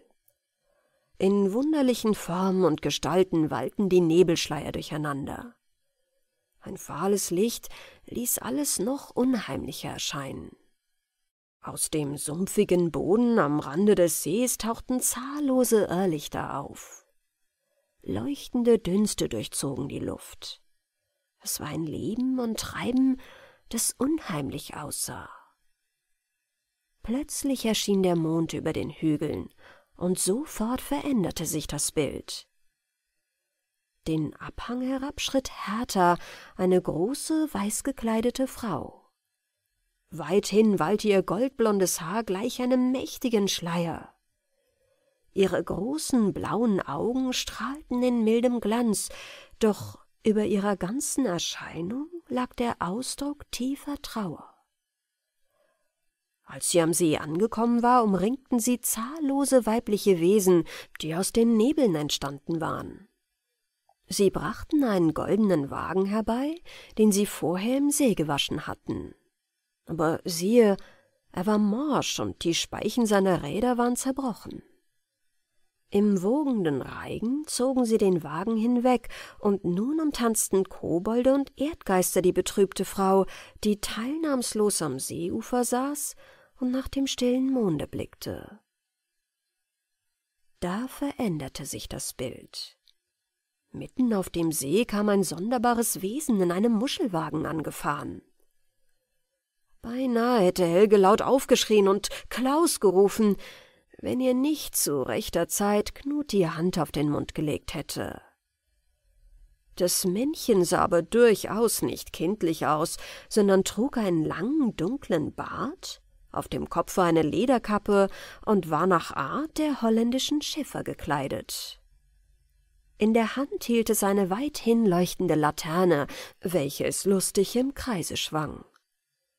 Vor der weiß gekleideten Frau machte es Halt verneigte sich und schien ihr leise etwas mitzuteilen, wobei es mehrmals nach der Richtung deutete, in der Klassens Hütte lag. Ein Schimmer von Heiterkeit überflog Herthas Gesicht, als sie den kleinen Abschied nehmend freundlich grüßte. Dieser lenkte alsbald seine Muschel nach der Mitte des Sees, wo er versank. In diesem Augenblick kamen düstere Wolken und verhüllten den Mond. Im Nu verschwanden auch die übrigen Gestalten auf dem Herthersee sowie Hertha selbst.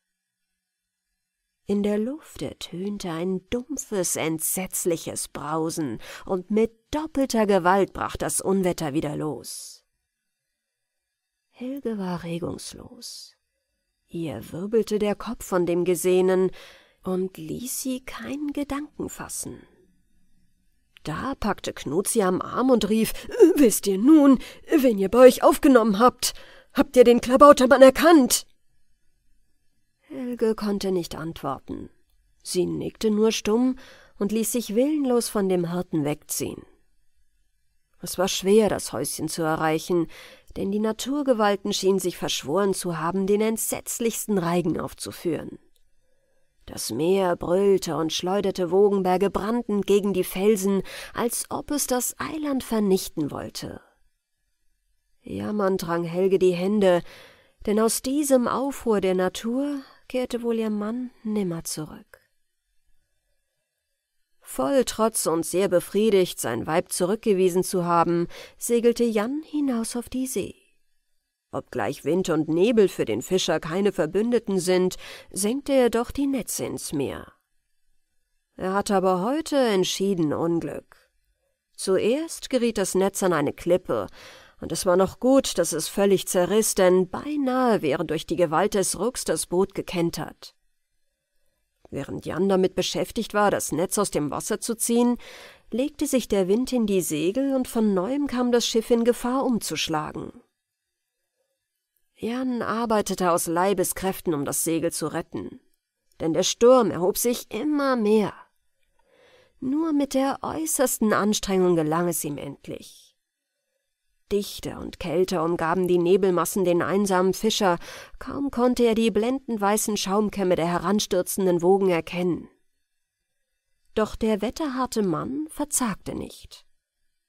Mit eiserner Faust hielt er das Steuer und lugte scharf aus, dass er vor dem Winde blieb. Allerdings sagte er sich, dass er auf diese Weise keine Aussicht hätte, wieder in die Nähe der Heimatinsel zu gelangen, sondern vielmehr auf das weite Meer hinaustrieb. Mittag war vorbei, als sich der Wind einigermaßen legte und hier und da ein Riss in der Nebelwand entstand. Eiligst hisste Jan das Segel auf, und durch Kreuz und Querfahrt hoffte er, die Rückkehr noch vor dem Dunkelwerden bewerkstelligen zu können. Es sollte ihm nicht gelingen. Der Sturm schien nur Atem geholt zu haben, denn als der Abend nahte, erhob er sich mit erneuter Gewalt. Gleichzeitig brach eine dichte Finsternis herein, und der unglückliche Fischer sah sich rettungslos dem empörten Meere preisgegeben. Vergebens kämpfte er mit Aufbetung seiner letzten Kräfte in Todesangst um sein Leben. Längst waren ihm das Spotten und das Trotzen vergangen. Noch einmal durchbrach der Vollmond die Wolken und den Nebel, und dann wurde es wieder tiefe Nacht. Stumpf und starr, nur noch krampfhaft das Steuer umklammernd, hockte Jan in seinem Boot. Da plötzlich, was war das? Welch sonderbarer Lichtschein! Was kauerte denn da vorn auf dem Kiel? Dem Fischer lief es eiskalt über den Rücken, als er erkannte, dass es ein zwerghaftes Männchen mit einem langen Bart war, welcher eine Laterne im Kreise schwang und gellend dazu lachte. Der Klabautermann, murmelte der blassende Jan. Ja, der Klabautermann, kreischte der Kleine. Erkennst du mich nicht? Klaus Bautzmann, rief entsetzt der Fischer. So ist's, entgegnete der. Ich bin Helges und dein Pflegesohn. Euch zu prüfen kam ich in euer Haus. Jetzt siehst du nun, eigenwilliger, hochmütiger Mensch, wohin dich dein wilder Trotz geführt hat. Jan vermochte nicht zu antworten. Seine Zähne schlugen klappernd gegeneinander, und die helle Verzweiflung malte sich auf seinen Zügen. Seine schlotternden Beine trugen ihn nicht mehr. Kraftlos sank er in sich zusammen, und seinen Händen entglitt das Steuer. Hei, wie das befreite Schifflein nun auf den turmhohen Wogen tanzte. Ein lustiges Spiel, wenn es nur nicht so verderblich gewesen wäre. Des Fischers Übermut war gebrochen. Er gab sich in sein Schicksal und erwartete den Tod, den er selbst heraufbeschworen hatte. Klaus, bat er mit leiser, demütiger Stimme, ich habe mein Los verdient. Wenn es aber noch eine Gnade für mich gibt, so bitte ich dich, grüße mein armes Weib, tröste sie und verlasse sie nicht. Der Kleine hob seine Laterne empor und leuchtete dem Mann ins Gesicht. Nachdem er ihn durchdringend angesehen hatte, rief er Will sehen, was sich für dich tun lässt. Und für sich setzte er hinzu Diese Lehre wird er nicht vergessen. In demselben Augenblick raste eine Riesenwelle heran, und verschwunden war das kleine Fahrzeug mit seinen Insassen. Am andern Morgen ging die Sonne fröhlich und heiter auf, gerade als ob niemals ein Unwetter sie verdunkelt hätte. Das Meer murrte noch ein wenig, die Wellen schlugen noch unruhig gegen den Strand. Aber die unendliche Wasserfläche machte einen friedlichen Eindruck. In Klaasens Hütte war es still. Helge saß vor dem großen Bett, dessen buntgeblümte Vorhänge zurückgeschlagen waren, und blickte besorgt auf ihren Mann, der mit verbundenem Kopf in den Kissen lag und im Fieber irre redete.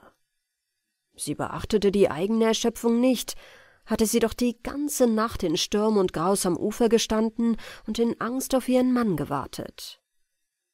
Beim Morgengrauen hatte sie auf einmal ein kreischendes Hoioho vernommen. Gleich darauf spülte eine Welle mit dumpfem Krach ein Boot ans Ufer, in dem sich, mit einem Seil an die Ruderbank festgeschnürt, Jan befand. Voll Schreck und doch voll Jubel hatte Helge ihren Mann losgeknüpft, und freilich gab er nur schwache Lebenszeichen von sich und blutete aus einer Kopfwunde, aber die brave Helge hob ihn auf und trug ihn in die Hütte. So befand sich nun der Fischer in treuer Pflege, und nach wenigen Tagen hatte das gute Weib die Freude, ihren Mann genesen zu sehen. War dies aber noch ihr wilder Jan? Er war wie ausgewechselt. Ernst und sanft, ruhig in seinem ganzen Benehmen, konnte sie ihn kaum wiedererkennen. Er bemerkte das freudige Erstaunen seiner Frau und benützte die erste Gelegenheit, als sie abends bei der Lampe behaglich beisammen saßen, ihr die Erlebnisse seiner letzten Schreckensfahrt zu erzählen. Am Schlusse reichte er ihr die Hand und sagte, von nun an will ich ein anderer werden. Nie wieder werde ich mich mutwillig in Gefahr begeben, wir wollen uns im Dorf bei all den anderen Menschen anbauen, dann werden wir auch den Klabautermann in Zukunft nicht mehr belästigen. Wie froh war Helge über diesen Entschluss. Sie erzählte, was sie mit Knut gesehen hatte, und Jan hörte ihr voll Staunen zu. Im nächsten Frühjahr wurde im Dorf ein neues Häuschen erbaut. Es gehörte Jan Klaassen. Schon im Spätsommer konnte das glückliche Paar einziehen. Hier sollte ihnen auch eine Freude zuteil werden, die ihnen bisher versagt geblieben war, denn im Herbst lag ein prächtiger Junge in der bunten Wiege. Von nun an wurde ihr Glück durch nichts gestört. Den Klabautermann sahen sie nie wieder. Sein Andenken aber hielten sie in Ehren und litten nicht, dass man ihnen einen boshaften Wassergeist schalt. Das alte Haus. Mitten in einem behaglichen Sommeraufenthalt auf dem Lande traf mich plötzlich die Nachricht, dass meine Tante Dorothea gestorben sei. Und wieder alles erwarten nicht anderweitig über ihr sehr bedeutendes Vermögen verfügt habe. Das Haus, das meiner Tante gehörte, liegt in Berlin am Karlsbade Wer diese Gegend kennt, dem wird längst zwischen den reizvollen und wohlgepflegten Gärten, den prächtigen Villen und palastartigen Häusern dieser Straße ein Gebäude aufgefallen sein, das morsch und verfallen in einem gänzlich verwilderten Garten daliegt, wie ein vergessenes Überbleibsel aus alter Zeit. Hier hatte die alte Tante ein einsames Sonderlingsleben geführt, dessen Kernpunkt ein unbesiegliches Misstrauen gegen alle Menschen und insbesondere gegen alle Verwandten bildete. Weshalb ich kaum in meinem Leben Gelegenheit hatte, sie zu sehen und noch weniger sie kennenzulernen. Ich langte am Nachmittag in Berlin an, und nachdem ich mein Gepäck in Friedrichs kleines, freundliches Hotel in der Potsdamer Straße gebracht hatte, machte ich mich sofort auf, das Haus am Karlsbad aufzusuchen. Die mürrische alte Haushälterin empfing mich und führte mich in das Zimmer, wo die Verstorbene in ihrem letzten Ruhebette lag. Die Vorhänge waren niedergelassen, und auf einem schwarzbehangenen Postament zwischen brennenden Lichtern stand der offene Sarg. Die Alte schlürfte wieder hinaus und ließ mich allein. Ich sah die harten, scharfen Züge, in denen doch noch die Spuren früherer Schönheit bemerklich waren, nun zum letzten Mal. Es war mir, als wäre ein Zug des Friedens und der Milde darin, den ich im Leben nie bemerkt hatte. Über dem Sarg, auf die Totenkleider und auf das schwarze Postament waren Blumen gestreut und zwar von einer milden Hand, die Verständnis für dergleichen hatte. Ich wusste mit Gewissheit, dass die Haushälterin das nicht getan haben konnte. Die Bestattung fand nach letztwilliger Bestimmung am Abend statt und verzögerte sich so lange, dass schon die Dämmerung eintrat, als der schwarzbehangene Wagen mit dem Sarge fortfuhr. Es war ein ödes Begräbnis. Sie hatte keinen Faden ins Leben gesponnen, und sich keine Herzen verknüpft. Keine Teilnahme folgte ihr nach. Einsam rumpelte das schwarze Gefährt durch die Straßen, und nebenher wandelten sechs von den schwarzen Lohndienern des Todes, deren Beruf diese Beschäftigung mit sich bringt. Sie gingen zu beiden Seiten des Wagens, und in ihren rötlichen Gesichtern trugen sie einen Ausdruck bezahlter Trauer, gemischt mit einem wehmütigen Zug ewig unstillbarer Sehnsucht nach geistigen Getränken. Hinterher folgte ich in einer schwarzen Trauerkutsche. Es war ein dunkler, wolkenverhangener Sommerabend. Unterwegs fing es an, leise zu regnen, und als wir am Kirchhofe anlangten, war die Dunkelheit ganz hereingebrochen. Der Totengräber kam mit einer Laterne, die in die Kronen der Bäume gar seltsame Lichter warf und sich in dem vor Nässe glänzenden eisernen Kirchhofstor spiegelte. Und knarrend taten sich die Torflügel auf. Der Totengräber ging mit der Laterne voran. Die sechs Träger folgten mit dem Sarge. Ein langer Weg durch Gräber, Grabkreuze und Monumente, die vom Lichte der Laterne in nassem Glanz hervorleuchteten und wieder verschwanden. Endlich aus seiner weißen Kapelle gähnte uns eine dunkle Toröffnung entgegen. Der Totengräber stellte seine Laterne auf den Sarg des verstorbenen Gatten und ging fort. Die Träger setzten ihre Bürde ab und verschwanden ebenfalls, während ich die Kränze, die ich mitgebracht hatte, niederlegte und noch einen Augenblick verweilte. Es war ganz still ringsum, denn der Kirchhof lag ziemlich weit von der Stadt. Nur das unablässige Rieseln des Regens war vernehmlich. Vor meinem Geiste sah ich es fließen und gleiten wie einen stillen, dunklen Strom, unablässig. Und wir alle treiben mit ihm, weiter und weiter hinaus, bis in das große, unbekannte Meer, von dessen Ufern keine Wiederkehr ist. Ich schickte den Wagen fort und wanderte zu Fuß langsam durch den rieselnden Regen in mein Hotel zurück. Geschäftliche Angelegenheiten, die Ordnung des Nachlasses betreffend, füllten die nächste Zeit aus. Dabei war es Sommer, glühender, regenloser, stauberfüllter Sommer, und wer solche Jahreszeit in Berlin kennengelernt hat, der weiß, dass diese Stadt dann als ein klimatischer Kurort für Leute, die an zu großer Lebenslust leiden, von unschätzbarem Werte ist. Zuweilen rettete ich mich des Abends ins Freie, und einmal sah ich das große Häuserwesen vom Kreuzberger aus vor mir liegen, eingehüllt in einen graublauen Dunst, aus dem nur die Türme wie luftschnappend hervorsahen. Das Rollen und Rauschen der Großstadt, das mir durch die Nachmittagsstille herüberdrang, erschien mir wie das leise Brodeln und Schmoren eines Gerichtes, das man in seinem eigenen Dunste gar werden lässt.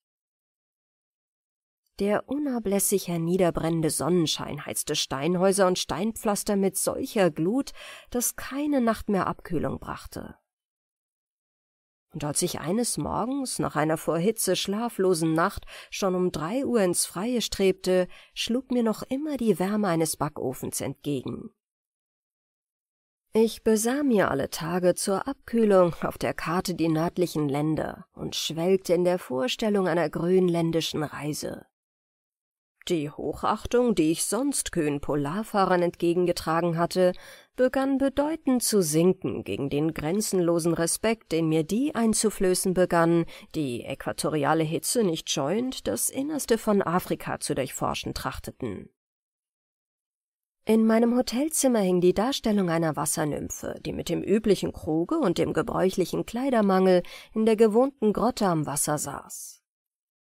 Ich betrachtete sie Tag für Tag mit brennendem Neide darüber, dass ihre gesellschaftliche Sonderstellung sowie ihr wässeriger Beruf es ihr gestatteten, so wenig anzuhaben. Die unzähligen Mengen von kühlenden Getränken, die ich in mich hineingoss und die in meinem Inneren spurlos verzischten, spotteten jeglicher Beschreibung.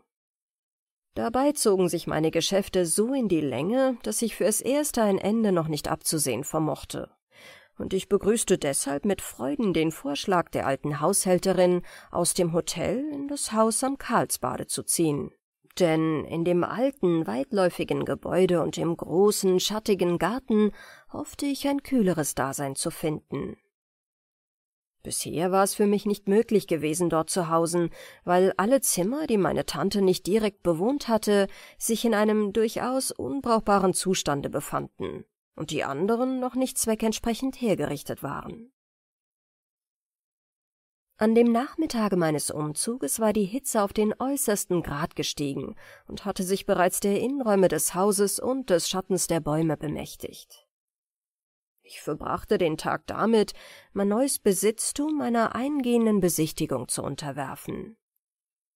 In den Räumen, die meine Tante bewohnt hatte, war alles in gutem Stande, und ein frischer Strauß Blumen aus dem verwilderten Garten zierte den Teetisch im Wohnzimmer. Wieder fiel mir die reizende und sinnvolle Anordnung der Blumen auf. Die übrigen Räume waren in dem Zustand des Verfalles geblieben, den meine Tante augenscheinlich begünstigt oder jedenfalls nicht gehindert hatte. Ich durchwanderte die verstaubten und mit Spinnweben bedeckten Räume. Bis auf das Knirschen der fleißigen Holzwürmer in den alten, verschnörkelten, krummbeinigen Möbeln war alles totenstill dort, und alle die zahlreichen Uhren, für die meine Tante eine besondere Liebhaberei gezeigt hatte, waren abgelaufen, mit starrem Zeiger jeder auf eine andere Stunde deutend. Ich öffnete die Fenster, um Luft und Licht einzulassen. Allein es kam nur eine drückende Glut, und die Ströme des Sonnenlichtes erflimmten von unzähligen Stäubchen. Überall lagerte jene dumpfe Schwüle unbewohnter Räume, überall war Moder und Staub. Alte, künstliche Blumensträuße, die in chinesischen Vasen auf den Schränken standen, zerfielen bei der Berührung zu Pulver und aus den Teppichen und Vorhängen erhoben sich Scharen aufgescheuchter Motten, die dort bereits in unzähligen Generationen ungestört gehaust hatten. Ich schaute hinaus in den schweigenden, verwilderten Garten, der im Druck der Sonnenglut schmachtend dalag. Die Steige waren mit Gras bewachsen, auf früheren Blumenbeeten stand hohes Unkraut. Wilder Wein und Efeu waren, von keiner Menschenhand mehr gezügelt, ihre eigenen Wege gegangen und hatten sonderbare Girlanden und Bodengänge gesponnen. Die Obstbäume waren ohne Pflege ins Holz geschossen, und Hecken und Sträucher, die früher unter der Schere des Gärtners gewesen waren, hatten wilde Triebe und Äste in die Höhe gesendet und triumphierten in trotziger Ungebundenheit über die einstige Sklaverei. Die brütende, unheimliche Stille des bröckelnden Verfalls ward mir unbehaglich. Ich begann, alle Uhren im ganzen Hause aufzuziehen, nur um eine Art Leben um mich zu haben. Als ich hinaufging, um den Boden zu besichtigen, fand ich die Türe zur Bodentreppe verschlossen. Da mir auch zugleich einleuchtete, dass unter dem Ziegeldach die Glut unerträglich sein müsste, beschloss ich, einstweilen das Extrem zu tun und mich in den Keller zu begeben. Hier ward mir eine fröhliche Überraschung zuteil. Aus den früheren Tagen meiner Tante lagen hier noch sehr ansehnliche Weinvorräte.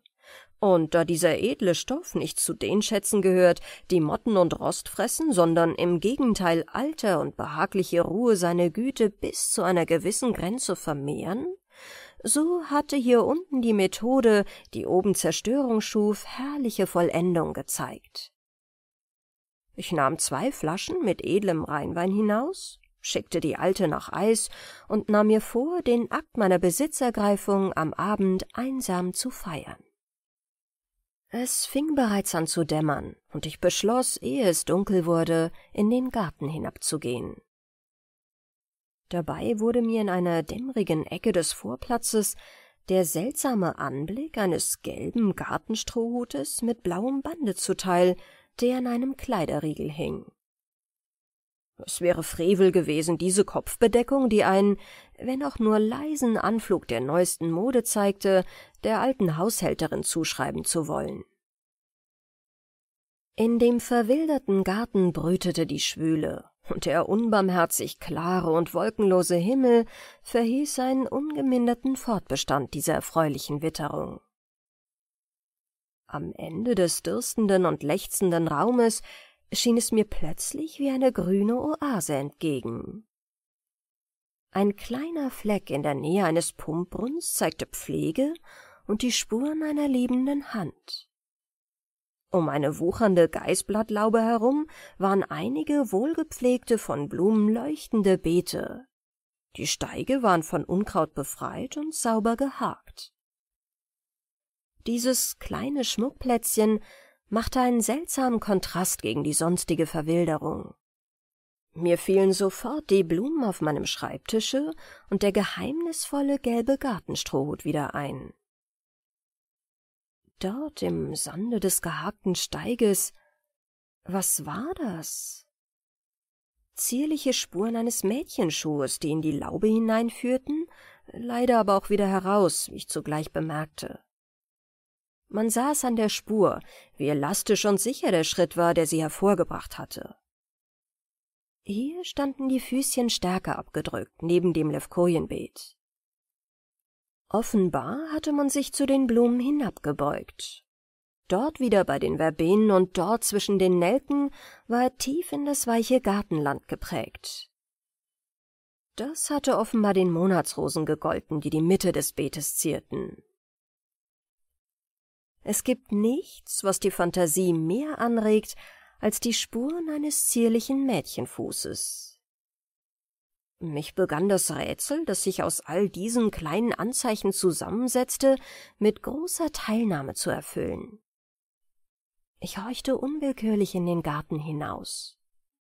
Mir war, als müsse ich ein feines, silbernes Lachen oder das Rauschen eines Kleides in den Gebüschen vernehmen, allein nur das unablässige Geschwätz der Sperlinge, die in den Pappeln zur Ruhe gingen, und das Schrillen der Turmschwalben aus der hohen Luft drang an mein Ohr. Unterdes war es dunkel geworden, und ich kehrte in das Haus zurück. Ich fand mein Zimmer bereits erleuchtet und einen gedeckten Tisch meiner wartend. Wieder berührte mich anmutig die freundliche Art der Anordnung, mir war, als schwebe noch ein Hauch dieses geheimnisvollen und anmutigen Wesens in dem Zimmer. Ich stellte die Flaschen in Eis und harrte des Weiteren. Mir war, als müsse sich nun das Rätsel lösen. Endlich war draußen ein Schritt vernehmlich, leider nur der wohlbekannte Schlürfende der Alten. Sie trug das Abendessen auf. Dabei keuchte sie so ausnehmend, dass ich ihr den freundschaftlichen Rat gab, sich doch eine jüngere Stütze beizulegen, da sie in ihrem Alter der Ruhe bedürftig sei. Das ist nur mein Asthma, sagte sie. Es geht vorüber. Frau Geheimrätin habe ich zwanzig Jahre bedient und keine Hilfe nötig gehabt. Die Frau Geheimrätin litten auch an Asthma. Dabei sah sie mich lauernd seitwärts an. Mein guter Rat schien ihr Verdacht zu erregen. Sie pflegen so hübsche Blumen hinten im Garten, Brigitte, sagte ich mit veränderter Taktik. Sie warf mir wieder einen lauernden Blick zu. Ein paar Blumen fürs Haus und für die Vasen, das muss schon sein, brummte sie. Damit schlürfte sie wieder hinaus. Ich entkorkte eine Flasche und bemerkte dann, dass die Alte vergessen hatte, ein Glas hinzusetzen.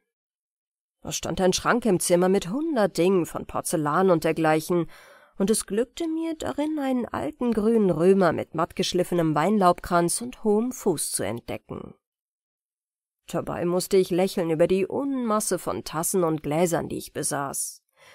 Dies bewegliche Eigentum stand allerdings in einem hervorragenden Kontrast zu dem Bierseidel mit Zinndeckel und der gemalten Tasse ohne Henkel, die früher meine einzigen Besitztümer dieser Art ausmachten. Als ich nach dem Essen behaglich auf dem Sofa lag und eine Zigarre rauchte, spannen sich diese Gedanken weiter aus. Mir fehlte jetzt eigentlich weiter nichts als eine Frau. Alle sonstigen Dinge waren vorhanden, und wenn Motten und Holzwürmer im Laufe der Zeit etwas weniger im Gebiete des Stoffwechsels gearbeitet hätten, brauchte sie nicht einmal eine Aussteuer. Aber in der großen Eisenkiste lagen ja unzählige Papiere, die besten Pflaster auf alle diese Wunden. Ich sah das Haus neu entstehen und freundlich und glänzend im wohlgepflegten Garten liegen. Ich sah eine anmutige Gestalt sich darin umtun. Ich sah sie mit einem gelben Strohhut in den Garten gehen, wo in den frisch gehackten Steigen kleine zierliche Spuren hinter ihr zurückblieben. Ich sah sie zwischen den leuchtenden Blumen stehen, den Kopf voll Anmut mir zugewendet. Ich spürte den Levkojenduft, ja, ich spürte ihn wirklich. Er kam aus dem Blumenstrauße, der in dem zierlichen venezianischen Glase auf dem Tische vor mir stand. Unterdes war es spät geworden. Ich sah nach der Uhr, es war bereits elf Uhr vorüber. In der unbelebten Straße war es längst still. Zuweilen fuhr mit fernem, leisen Donner ein Zug der Potsdamer Eisenbahn über die Kanalbrücke, oder einsame Schritte tönten hallend auf dem Steinpflaster vorüber. Ich beschloss, zu Bette zu gehen. Ein seltsames und ehrwürdiges Gebäude sollte mich diese Nacht aufnehmen. Ich hatte noch nie in einer solchen Pagode geschlafen, es bedrückte mich förmlich. Ein pyramidales Gerüst mit einer großen goldenen Kugel an der Spitze. Vier Löwenklauen hielten dort eine Flut von Gardinen, die sich bis auf den Boden ergossen und mit einem bunten Arabaskenwerk geziert waren, das von einer jegliche Naturwahrheit selbstschöpferisch verachtenden Fantasie des Künstlers Zeugnis ablegte. Ich schlug die Gardine zurück und er schaute über mir auf einem Gebirge von Kissen das Hochplateau, das mir zum Nachtlager dienen sollte. Nun ward mir auch die Bedeutung einer kleinen Trittleiter klar, die in der Nähe des Bettes stand und deren Stufen mit Teppichstreifen beschlagen waren.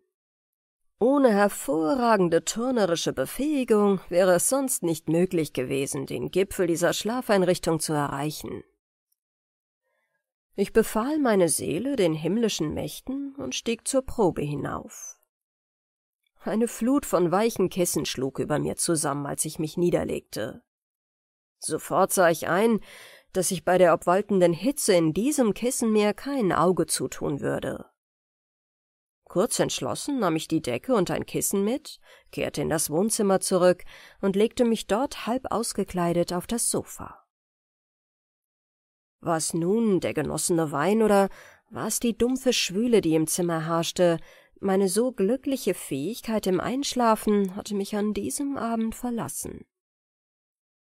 In der Stille der Nacht wurden alle die Töne hörbar, die das Geräusch des Tages sonst übertönt. Und es bemächtigte sich meiner bald jene nervöse Spannung, die auf jeden Laut achtet, der sich hervortut. Wer da weiß, über welche Fülle von knackenden und polternden, rieselnden und raschenden Tönen ein altes, vernachlässigtes Haus gebietet, der wird es begreiflich finden, dass ich bald vollauf zu tun hatte. Ein Knacken und Dehnen ging zuweilen durch die alten Möbel, als reckten sie die von langem Stehen versteiften Glieder. Und wenn ich in dem ungewissen Dämmerdunkel des Zimmers auf die Schränke und Lehnstühle starrte, so schien sie sich zu regen und die alten vermorschten Kugel- und Löwenbeine zu heben. Dann wieder kam ein Geraschel die Tapeten herab und ein leises Geriesel hinterher, und dann knisterte es in den Ecken mit Papier. Dann tappte es im Schlafzimmer auf dem Fußboden. Dann war wieder ein Gepolter in den Räumen über mir oder ein Geräusch wie von leise schlürfenden Schritten. Ich versuchte zu schlafen, allein kaum hatte sich ein leichter Nebel um meine Sinne gebreitet, so riß mich ein neues, seltsames Geräusch wieder zum Lauschen empor. Manchmal war es mir, als hörte ich draußen leise Schritte im Gartenkies und flüsternde Stimmen. Mir fiel meine große eiserne Kiste ein mit den unzähligen Papieren, die vielen Wertgegenstände, die in den Zimmern zerstreut waren, und zugleich die einsame Lage des Hauses. Einmal stand ich auf und sah in den Garten hinaus, der im dunstigen Mondlichte dalag. Es war nichts zu sehen als der einsame Mondschein und die tiefschwarzen Schatten der Bäume. Wenn ich sonst nichts vernahm, so war immer das unablässige Ticken der unzähligen Uhren da. Ich bereute jetzt, dass ich sie alle aufgezogen hatte. Von der Diele tönte der kräftige Pendelschlag der Wanduhr, und im Zimmer tickte es unentwirrbar durcheinander, wie ein Geschwätz von vielen Stimmen. Es schien mir, als habe ich schon eine ewige Zeit schlaflos gelegen, und ich ließ meine Uhr repetieren. Sie schlug zwölf. Kaum waren die feinen Klänge verhallt, so fing eine alte, ehrwürdige Uhr mit Alabastersäulen, die auf dem Sekretärstand an zu knorren und zu murren, als halte sie dies in einer Eingriff ihre Rechte. Der Perpendikelschlag wurde ganz lautlos, als hielte sie den Atem an. Dann schnurrte etwas in ihr, und sie fing an, heiser und bedächtig ebenfalls zwölf zu schlagen aber eine andere kleine cholerische Uhr fuhr dazwischen mit hellem, klingenden Schlage und ward noch eher fertig als das alte, würdevolle Gestell. Nun rief es dumpf wie aus weiter Ferne Kuckuck, Kuckuck, zwölfmal. Dann fingen im Schlafzimmer zwei gleichzeitig an und liefen um die Wette, und als der Kampf noch nicht entschieden war, holte die alte Dielenuhr brummend aus und übertönte sie. Nach einer kleinen Pause kam noch eine hinterher, mit scharfem, schnellen Schlage, als habe sie versäumt, es einzuholen. Und dann blieb es still. So oft ich auch früher die Geister- und Gespensterfurcht mancher Menschen belächelt hatte, in diesem Augenblicke fing ich an einzusehen, dass es Momente gibt, in denen der Mensch für das Übernatürliche besonders empfänglich ist. Mit einem gewissen Schauder empfanden meine aufgeregten Sinne den Beginn der Geisterstunde. Ich ruhte zur Nachtzeit in den Räumen, die meine Tante täglich bewohnt hatte, und plötzlich nahmen alle Geräusche und Töne, die ich hörte, eine andere Deutung an. Im Schlafzimmer war es manchmal wie das leise Atmen eines Schlafenden. Zuweilen fuhr ich im plötzlichen Schreck zusammen, denn es streichte mich ein Hauch wie von einer wandelnden Gestalt. Mir kam wieder in die Erinnerung, was ich in diesen Tagen schon öfter empfunden hatte, nämlich die außerordentliche Gleichartigkeit meiner Lage mit der Alexanders in der vortrefflichen Erzählung des alten E. T. W. Hoffmann. Ein Fragment aus dem Leben dreier Freunde. Wahrlich, es fehlte nichts, als dass die alte Tante des Nachts umginge und an ihrem Medizinschrank mit Gläsern klapperte, um die Ähnlichkeit vollständig zu machen. Endlich machte doch die Übermüdung ihre Rechte geltend, und ich verfiel in einen Halbschlaf aus Traum und Wachen gemischt, der vielleicht eben zum wirklichen Schlaf werden wollte, als das leise Knarren einer Tür und ein Lichtschein, der an die Wand fiel, mich jäh wieder weckte. Mein Herz, wie von einer eisigen Kralle gepackt, zog sich krampfhaft zusammen, als ich sah, wie die Tür nach der Diele leise und vorsichtig sich öffnete und der hereinfallende Lichtschein sich verstärkte. Dann kam eine helle weibliche Gestalt in einem Nachtgewande zum Vorschein, die eine Blendlaterne in der Hand trug. Sie lehnte vorsichtig die Tür wieder an und ging mit lautlosen Schritten quer durch das Zimmer zu einem kleinen Wandschrank, der unverschlossen war. Sie stellte die Laterne auf ein Pult, öffnete den Schrank, und dann hörte ich ein leises Klingen und Klappern wie von Glas. Plötzlich rutschte der Stuhl, auf den ich meine Hand gestützt hatte, aus, und gab ein lautes Geräusch. Ich sah die Gestalt, ein junges, schönes Mädchenantlitz, von der Laterne scharf beleuchtet, mir zuwenden, dann ein Schrei, ein dumpfer Fall, ein Gepolter der stürzenden Laterne, ein unterdrückter Seufzer hinterher, und alles war dunkel und still. Ich sprang eilend vom Sofa und machte Licht. Das junge Mädchen lag lautlos da und regte sich nicht. Ich beugte mich über sie und glaubte ein leises Atem zu verspüren. Es war also nur eine Ohnmacht. Anfangs war ich ganz ratlos und wusste nur, dass etwas geschehen musste, aber die Verwirrung ließ mich zu nichts kommen. Endlich verfiel ich auf das Einfachste, nahm die junge Gestalt auf meine Arme und trug sie auf einen Lehnstuhl. Dann holte ich Wasser und spritzte es ihr ins Gesicht. In den Zwischenpausen riss ich so stark an der Klingel, dass der ganze Glockenzug mit Gepolter herabfiel. Die alte Haushälterin kam scheltend und hustend über die Diele. Mit verzerrtem Angesicht sah sie, was vor sich ging. Was ist das? keifte sie. Was haben Sie ihr getan? Sehen Sie denn nicht, dass das Fräulein ohnmächtig ist? rief ich. Hier heißt es helfen und nicht schwatzen. Die Alte ging zu dem Wandschrank und fingerte zwischen den Gläsern. Dann brachte sie ein kleines Fläschchen herbei und rieb mit dem Inhalt die Stirn der Ohnmächtigen. Wie kommt das Mädchen hierher? fragte ich. Zur Nachtzeit. Es ist meine Nichte, sagte die Haushälterin. Heute Nacht kam ein altes Asthma und die Frau Geheimrätin hat ein Mittel dagegen in diesem Schrank. Und als ich so in der Angst lag, da erbot sich das junge Ding hinzugehen und das Mittel zu holen. Wenn ich's doch nicht gelitten hätte, was haben Sie mit ihr gemacht? Was haben Sie ihr getan? Sie muss geglaubt haben, meinen Geist zu sehen, sagte ich. Sie schrie auf und fiel hin in einem Moment. Ja, ja, sagte die Alte, fortwährend reibend mit einem unheimlichen Ernste. Die Frau Geheimrätin gehen um. Sie haben keine Ruhe in der alten Kapelle. Ich höre sie oft des Nachts leise einhergehen, wie früher, wenn sie nicht schlafen konnte. Ich habe sie auch schon oft gesehen. Sie nickten mir zu mit dem blassen Gesicht dort aus der Ecke vorgestern Abend. Aber ich fürchte mich nicht. Ich habe die Frau Geheimrätin so lange gekannt. Das arme Ding, wie sie sich erschrocken hat. Margarete, mein Kind, wach auf, komm zu dir, es ist ja niemand mehr da. Die Wangen des Mädchens röteten sich langsam. Die Atemzüge verstärkten sich, und da ich fürchtete, dass mein Anblick ihr in dieser Lage peinlich sein würde, ging ich in das Schlafzimmer. Bald hörte ich die sanfte Stimme der Erwachenden, aber ohne zu verstehen, was sie sagte, und dann zogen sich beide wieder in ihre Räume zurück. Das Geheimnis des Hauses war auf eine seltsame Weise gelöst, und zwar nicht zugunsten meiner Nachtruhe. Erst am frühen Morgen fiel ich aus einem unruhigen, oft unterbrochenen Traumschlaf in festen Schlummer.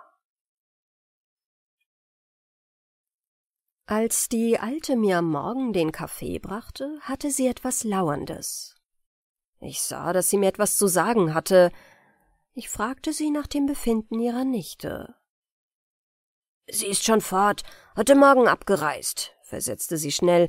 Es war schon vorher so bestimmt, und da ihr der Schreck nichts geschadet hat, so ließ ich sie reisen. Dabei spielte ein befriedigtes Lächeln um ihren alten, welken Mund, und sie schielte mich von der Seite an, als wolle sie die Wirkung dieser Nachricht auf mich beobachten. Ich tat ihr nicht den Gefallen, mich verwundert zu zeigen. So, sagte ich gleichgültig und vertiefte mich scheinbar eifrig in meine Zeitung. Diese Nachricht berührte mich peinlich, denn ich muss gestehen, ich brachte das Bild dieses Mädchens nicht aus meiner Fantasie.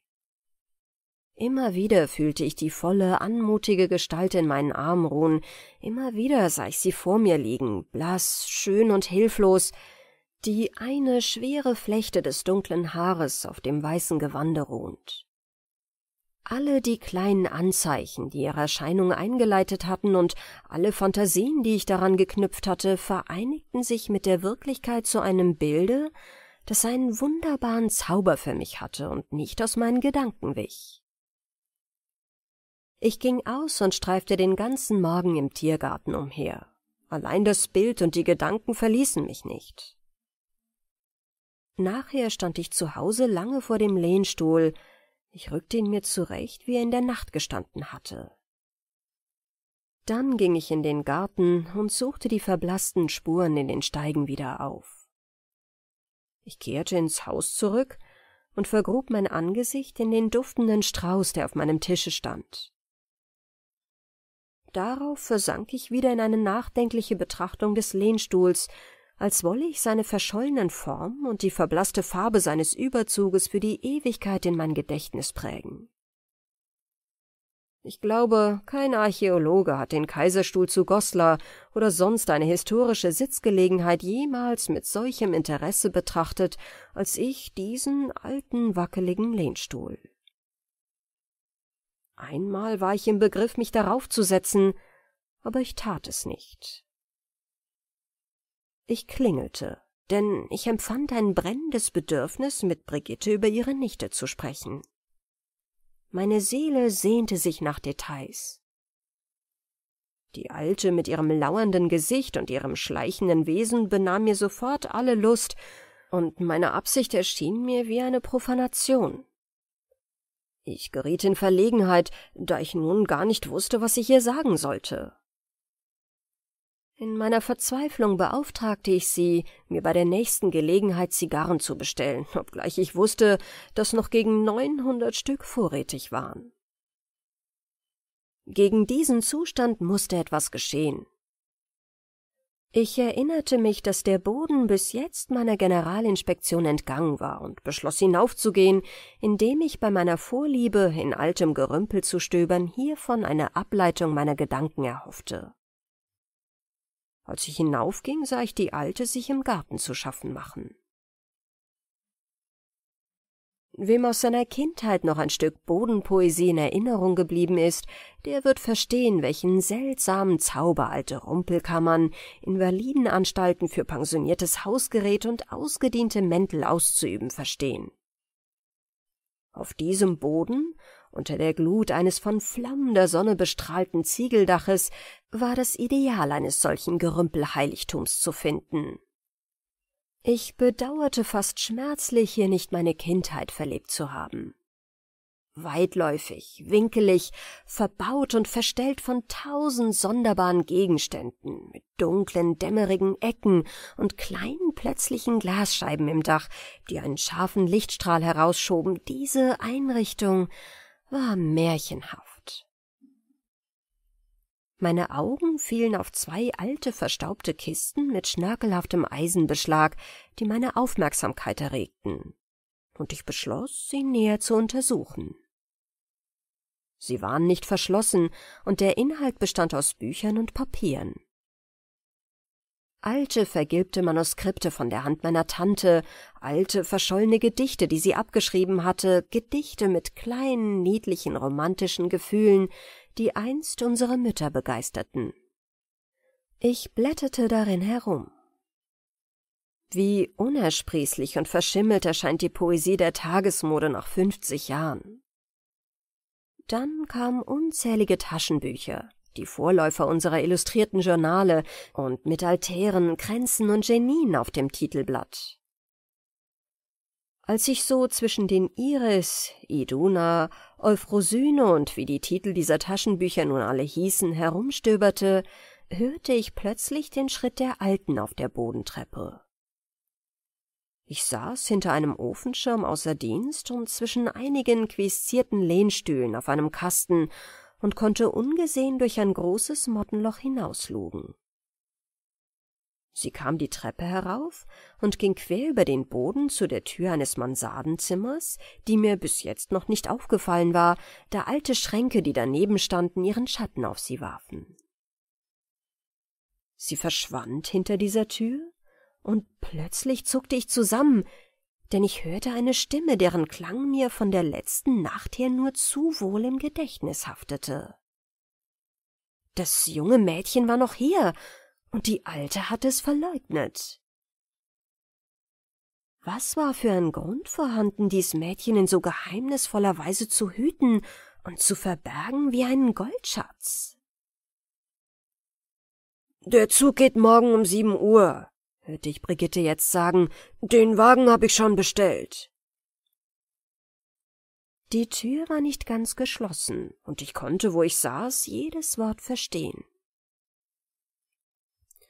Warum soll ich denn nun aber so plötzlich fort? sagte das Mädchen, und warum muss ich heute hier oben eingesperrt sitzen und darf nicht hinunter? Ich bin jetzt wieder ganz wohl, und es ist öde hier. Ich mag nicht immer den alten Giebel vom Nebengebäude ansehen. Kind, du verstehst das nicht, und dann hab ich ihm gesagt, du seist schon fort. Wenn er nun dich doch sieht, was soll er dann von mir denken? Aber ich verstehe es gar nicht. Ich verstehe es durchaus nicht, weshalb er mich nie sehen sollte. Er hat doch so ein gutes Gesicht und so freundliche Augen. Wirklich, das sagte sie. Was sollte er mir wohl anhaben? Ich glaube, der kann keinem Kinde etwas zuleide tun. Und kennst du ihn denn? Du denkst dir doch nur, dass er so schlecht ist. Du bist ein junges, unerfahrenes Ding, schalt die Alte, und du kennst die Männer nicht. Selbst den Guten soll ein junges Mädchen nicht trauen, wenn es arm ist und er reich, und wenn es umgekehrt ist, erst recht nicht. Die Armen angeln nach Gold und die Reichen nach Schönheit und Unschuld. Ich habe es gestern wohl gesehen, wie er mit den Augen dich nicht losließ, als du auf dem Lehnstuhl lagst. Heute Morgen tat er so gleichgültig, als er nach dir fragte. Hat er nach mir gefragt? Natürlich hat er, und tat so gleichgültig. Allein, mir macht er nichts vor. Ich habe ihm gesagt, du wärest abgereist. Ich wäre so gern noch hier geblieben. Es wird dir ja alles schon so schwer in deinem Alter. Und meine kleine liebe Ecke im Garten, lass mich doch bleiben. Ich will mich auch nie sehen lassen, wenn er im Hause ist. Nun geht es doch nicht mehr, da ich ihm heute das gesagt habe. Und wenn es auch ginge, ich leide es doch nicht. Warum hat die Frau Geheimrätin so ein verlassenes Leben geführt und ist einsam gestorben? Die Männer sind daran schuld. Wenn du die gesehen hättest, die im Hause aus und einging, als sie eine blutjunge Witwe war, du würdest nicht mehr zweifeln.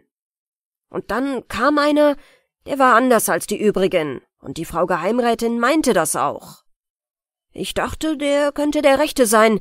Er hatte so etwas Gerades und Ehrliches und passte auch von Größe. Es hätte ein schmuckes Paar gegeben. Der war aber gerade der Schlimmste. Er verstand nur sein Handwerk besser als die anderen. Als es herauskam, hat die Frau Geheimrätin sich's zu Herzen genommen, und so ist es gekommen, dass sie von den Menschen nichts mehr wissen wollte. Es kann ja mal einer gut sein, wie dein Vater zum Beispiel, aber sicherer ist, man traut gar keinem. Ich kann es nun einmal nicht verstehen und kann nicht denken, dass du recht hast, sagte Margarete. Es mag wohl solche Menschen geben, aber dass er so ist, das kann ich nicht glauben. Wie traurig wäre es auf der Welt, wenn es nicht anders wäre, als du sagst. Mein Leben lang habe ich nicht geglaubt, dass es so viel Schlechtigkeit geben könnte, und du weißt von ihm nicht ein Beispiel zu sagen. Ich habe lange genug in der Welt gelebt, um die Menschen zu kennen, und ich habe meine Augen offen gehabt. Er ist auch nicht anders als sie alle. Vor einigen Tagen stand er am Fenster, als er hier gerade im Hause war, und sah auf die Straße. Da kam so ein leichtfüßiges Ding gegangen mit einer Musikmappe und mit langen rotblonden Haaren, die so den Nacken herunterhingen, wie es jetzt die unordentliche Mode ist. So eine, die nach allen Männern sieht und die Augen vor und hinter sich hat. Die sah ihn am Fenster stehen und lachte ihn an, denn ein schmucker Mensch ist er, das muss man ihm lassen. Danke, alter Drache und er nickte ihr zu und lachte wieder, und sie sah sich fortwährend nach ihm um, und so nickten und lachten die beiden, solange sie sich sehen konnten. Ah, ich sah alles recht gut, denn ich stand hinter dem großen Fliederbusch im Garten. Und den Tag darauf sah ich ihn mit dem hochbeinigen Ding gehen, und sie waren so laut miteinander, dass die Leute auf der Straße sich wunderten und ihnen nachschauten. Hiernach entstand eine kleine Pause, in der ich Zeit hatte, nach passenden Ausdrücken der Verwünschung für die alte Brigitte mich umzusehen, die eine unschuldige Begebenheit mit meiner kleinen rotblonden Cousine Hedwig, mit der ich auf dem harmlosen Neckfuße der Welt lebte, also zu meinen Ungunsten ausnutzte. Wann geht doch der Zug? fragte endlich Margarete mit gedrückter Stimme. Morgen früh um sieben Uhr, sagte die Alte, ich habe an deinen Vater telegrafiert, dass er dich von Waldenburg abholen lässt, denn allein darfst du mir nicht gehen. Dann öffnete sich die Tür wieder, die Alte schlurrte über den Boden und ging keuchend die Treppe wieder hinab. Meine erste Regung war hineinzugehen zu dem jungen Mädchen und mich zu verteidigen gegen die Vorwürfe, die man mir gemacht hatte. Aber die Scham über die Lauscherrolle, welche ich soeben gespielt hatte, und die Furcht, Margarete zum zweiten Mal tödlich zu erschrecken, hielt mich davon ab. Ein anderer Gedanke ging mir durch den Sinn. Ich stieg eilig und leise hinab in mein Wohnzimmer, indem ich unterwegs eine Tür im zweiten Stock mit Geräusch öffnete und schloss, um der Alten die Meinung beizubringen, ich habe mich dort aufgehalten.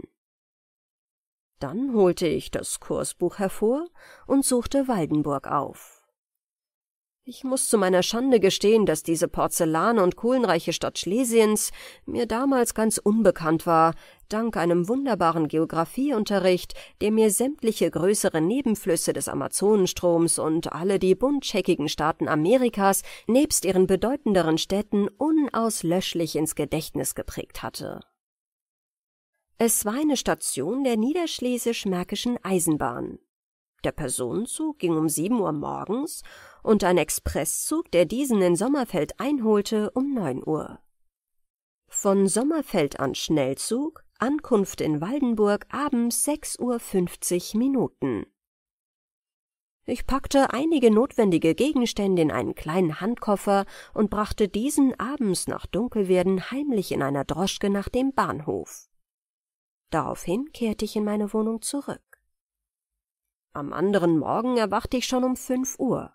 Ich stand auf und vertrieb mir die Zeit so gut als möglich. Es war bereits lebendig im Hause. Ich hörte Türen schlagen und die Alte auf der Vortreppe husten. Um sechs Uhr kam eine Droschke mit einem verschlafenen Kutscher und einem morösen Pferd angerollt und hielt vor dem Hause. Auf der Treppe ward ein leichter Schritt vernehmlich. Eine wohlbekannte, anmutige Stimme schlug an mein Ohr. Und dann trat die leichte Gestalt in einem grauen Sommermantel vor die Tür. Während der Kutscher verdrossen vom Bock kletterte und einen großen Reisekorb aus dem Hause holte, stand sie in dem verwilderten Vorgarten und ließ die Blicke wie abschiednehmend über das Haus und die alten, morschen, mit Efeu besponnenen Mauern gleiten. Dann stieg sie ein, die Alte klappte den Schlag zu, der Kutscher schwenkte aufmunternd seine Peitsche, und das alte, würdige Pferd setzte sich in jenen Heucheltrab, durch den die Berliner Droschkengäulin geschickterweise einen mäßigen Schritt zu maskieren wissen. Die Alte schaute dem Fuhrwerk befriedigt unter sanftem Reiben ihrer knöchernen Hände nach und kehrte in das Haus zurück. Um sieben Uhr brachte sie mir wie gewöhnlich den Kaffee. Ich lag auf dem Sofa, rauchte eine Zigarre und las eine Zeitung, scheinbar ohne mich weiter um sie zu bekümmern. Die alte Brigitte hatte heute etwas Wohlwollendes in ihrem Wesen, etwas übertrieben Freundliches, das ihrem Gesicht einen Ausdruck gab, als wenn die Sonne auf altes Gemäuer scheint. Sie erkundigte sich nach meiner nächtlichen Ruhe, Sie zeigte ein so unnatürliches Interesse für mein Wohlbefinden und legte in ihre Worte eine so unglaubwürdige Sanftmut, dass ich wohl bemerken konnte, wie befriedigt ihre Seele von dem Ereignis des heutigen Morgens war. Ich schmunzelte innerlich und schwieg. Als sie fort war, schrieb ich eine Karte an sie des Inhalts, dass mich Verhältnisse zu einer plötzlichen Reise nach Mecklenburg bewogen hätten und ich wohl in den nächsten Tagen nicht zurückkehren würde. Dann gegen acht Uhr zündete ich mir eine Zigarre an und ging, harmlos ein Liedchen pfeifend, wie zu meinem gewohnten Morgenspaziergang aus dem Hause. Ich steckte die Karte in den nächsten Briefkasten an der Ecke der Potsdamer Straße nahm eine Droschke und fuhr nach dem niederschlesisch-märkischen Bahnhof. Eine Stunde später saß ich in dem Expresszuge auf dem Weg nach Schlesien. Man mag Berlin verlassen, von welcher Seite man will. Immer wird man die Entsagungskraft und die landschaftliche Bedürfnislosigkeit des Volkes bewundern müssen, das verstand, in einer solchen Gegend seine Hauptstadt zur Größe und machtvollen Blüte zu bringen. Aus Ursache dieses Mangels an anziehenden Außendingen ward ich umso weniger abgelenkt von den Gedanken, die mein Inneres erfüllten. Ich war allein in meinem Coupé und konnte ihn ungestört nachhängen. Was nun werden sollte, hatte ich mir noch wenig überlegt. Das Abenteuerliche der Sache, der Reiz, der in der Befolgung eines plötzlichen Entschlusses liegt, hatten mich bis jetzt gefangen gehalten. In der Untätigkeit der Eisenbahnfahrt erwachten andere Gedanken. Was bewog mich diesem Mädchen, das ich nur zweimal flüchtig gesehen, das ich weiter gar nicht kannte, nachzureisen in die weite Welt? Warum war ihre ganze Gestalt für mich in einen so anmutigen Schein gehüllt, dass es beseligend war, nur an sie zu denken? Es war etwas wie eine sanfte Musik in der Erinnerung an sie, und diese zauberischen Töne wichen nicht von mir. Nichts von Leidenschaft, von feuriger Glut fühlte ich, es war mehr eine sanfte, eindringliche Wärme des Herzens, und wenn dies Liebe war, so war sie gekommen wie der Mond in der stillen Sommernacht. Mir fiel ein Lied ein, das ich früher oft hatte singen hören, und unaufhaltsam gingen mir die Strophen durch den Kopf. Nimmer weiß ich, wie's gekommen, war's doch, als müßt es sein, dass mein Herz du hingenommen, gar so heimlich schlich es ein. So wie Blumensteller blühen, wie im Lenz ergrünt die Au, wie nach heißen Tagesglühen, hold und labend singt der Tau. Nicht bestürmt mich wild Verlangen, glutenvoller Sehnsuchtsmacht, wie der Mond kam es gegangen in der stillen Sommernacht. Immerfort zu dem Takte der Räder bis zur Selbstqual wiederholte ich diese Verse. Ich habe dies Gedicht nie für ein besonderes Kunstwerk gehalten, allein heute war mein Geist in der Verfassung, eine Fülle von poetischem Honig daraus zu saugen. Trotz alledem musste ich mich fragen, was nun werden sollte. Ich konnte die Antwort nicht finden. Jedenfalls wollte ich Margarete nicht aus den Augen verlieren. Wusste ich nur ihren Wohnort, dann konnte ich alles der historischen Entwicklung überlassen. Unter solchen Gedanken und Überlegungen verging die Zeit.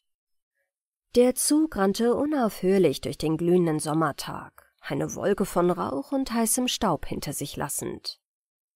Zuweilen eine Station mit kurzem Aufenthalt und einigen gelangweilten Müßiggängern, die auf dem Perron der Ankunft des Zuges entgegenbrieten. Endlich, nachdem mir die Zeit schon etwas lang geworden war, kamen wir in Sommerfeld an. Ich vermied es auszusteigen und bekam deshalb meine schöne Verfolgte nicht zu Gesicht. Die Weiterreise nach Waldenburg verlief ohne besonderen Zwischenfall. Mir pochte das Herz und eine eigene Beklommenheit bemächtigte sich meiner, als ich in den Bahnhof von Waldenburg einfuhr.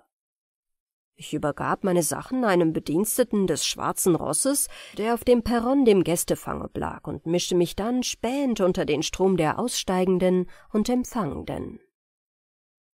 Es war ein ausfallendes Gedränge auf dem Bahnhof. Es musste ein Sängerfest in Waldenburg stattfinden, denn bunt beschleifte Männer stiegen in Mengen aus und wurden herzlich empfangen.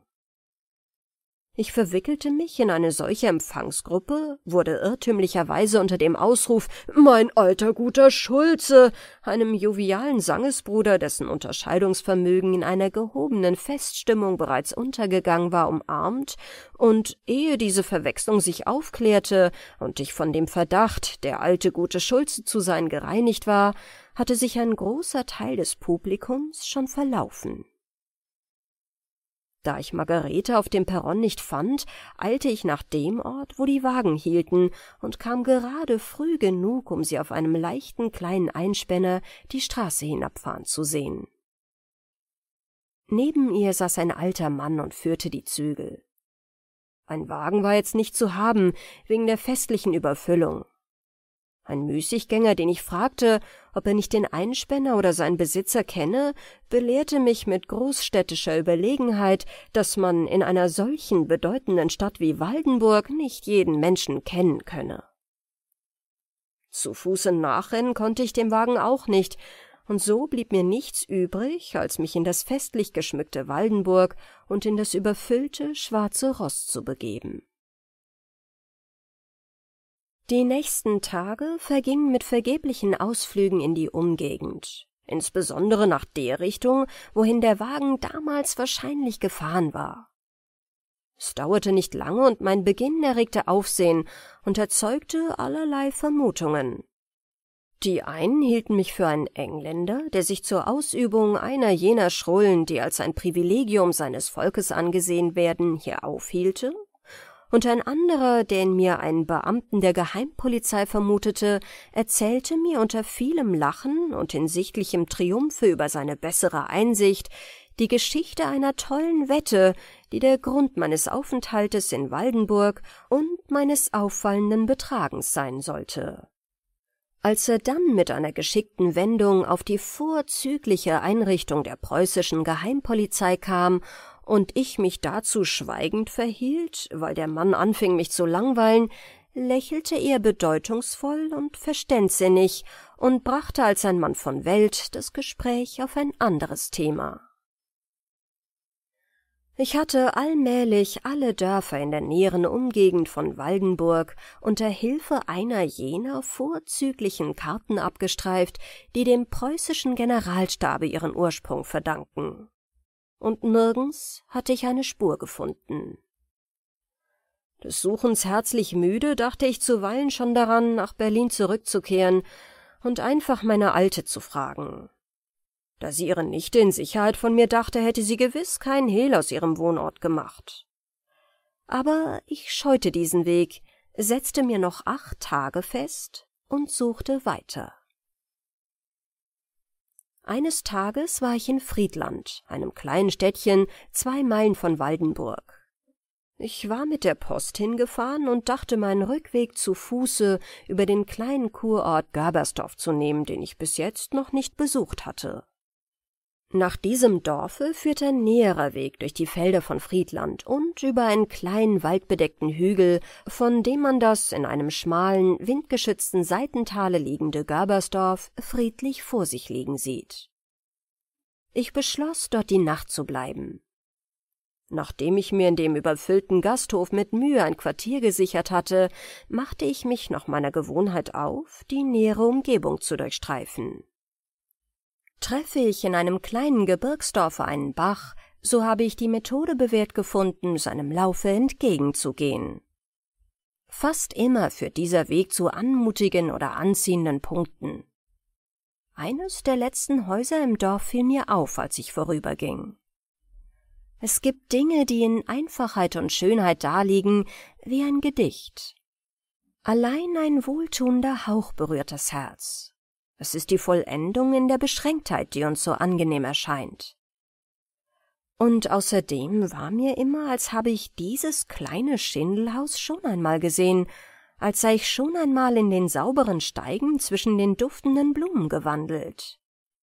Selbst der alte Mann, der behaglich auf einem kleinen Bänkchen vor der Tür saß und sein Pfeifchen rauchte, erschien mir so bekannt, dass ich mich noch einige Male nach ihm umsah. Ich kam in die Felder und schritt den sanft ansteigenden, gewundenen Weg entlang. Der Lauf des Baches war mir wie ein spielendes Hündchen zur Seite. Zuerst ging er rieselnd und plätschernd zu meiner Rechten über steinigen Grund neben dem Wege her, dann schwang er sich in einem großen Bogen zur Seite, und nur an der gewundenen Erlenreihe im fernen Wiesengrund konnte ich seinen Lauf verfolgen.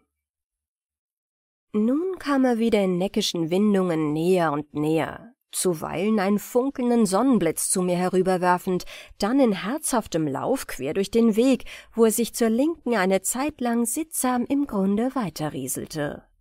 Dann verlor er sich seitwärts an den Fluss der allmählich sich verengenden Talwand, durch dunkleres Grün seinen heimlichen Lauf bezeichnend.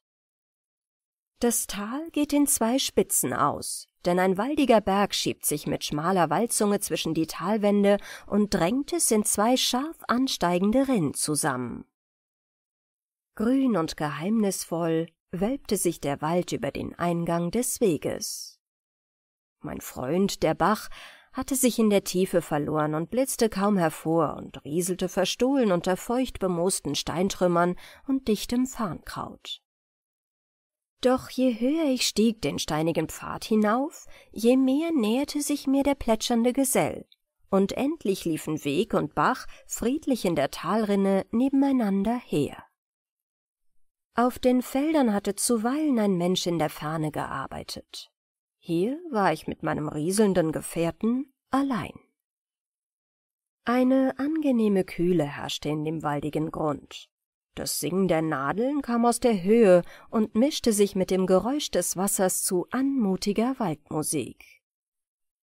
Wo die schmale Talrinne eine kleine Biegung um einen vorgeschobenen Felsen machte und vor mir ein sonniges Plätzchen war, ruhte ich eine Weile. Der Bach, des einförmigen Laufes müde, sprudelte hier über den Weg und blitzte zwischen den zerklüfteten Steinen in vielen rieselnden Fäden hervor. Ich stand an den Felsen gelehnt und lauschte in die Einsamkeit hinaus. Nachmittagsstille war ringsum.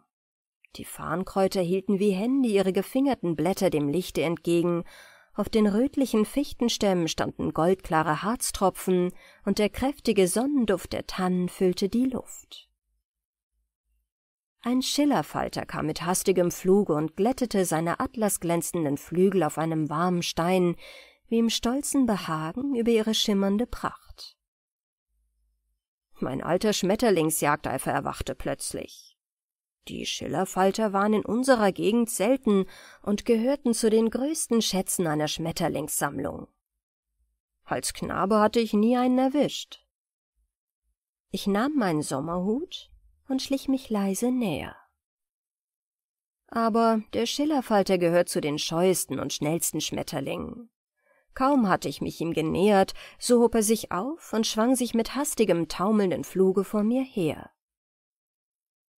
Doch dort saß er wieder auf einem sonnigen Stein mitten im Bach, der hier in breiterer Fläche langsam einherzog.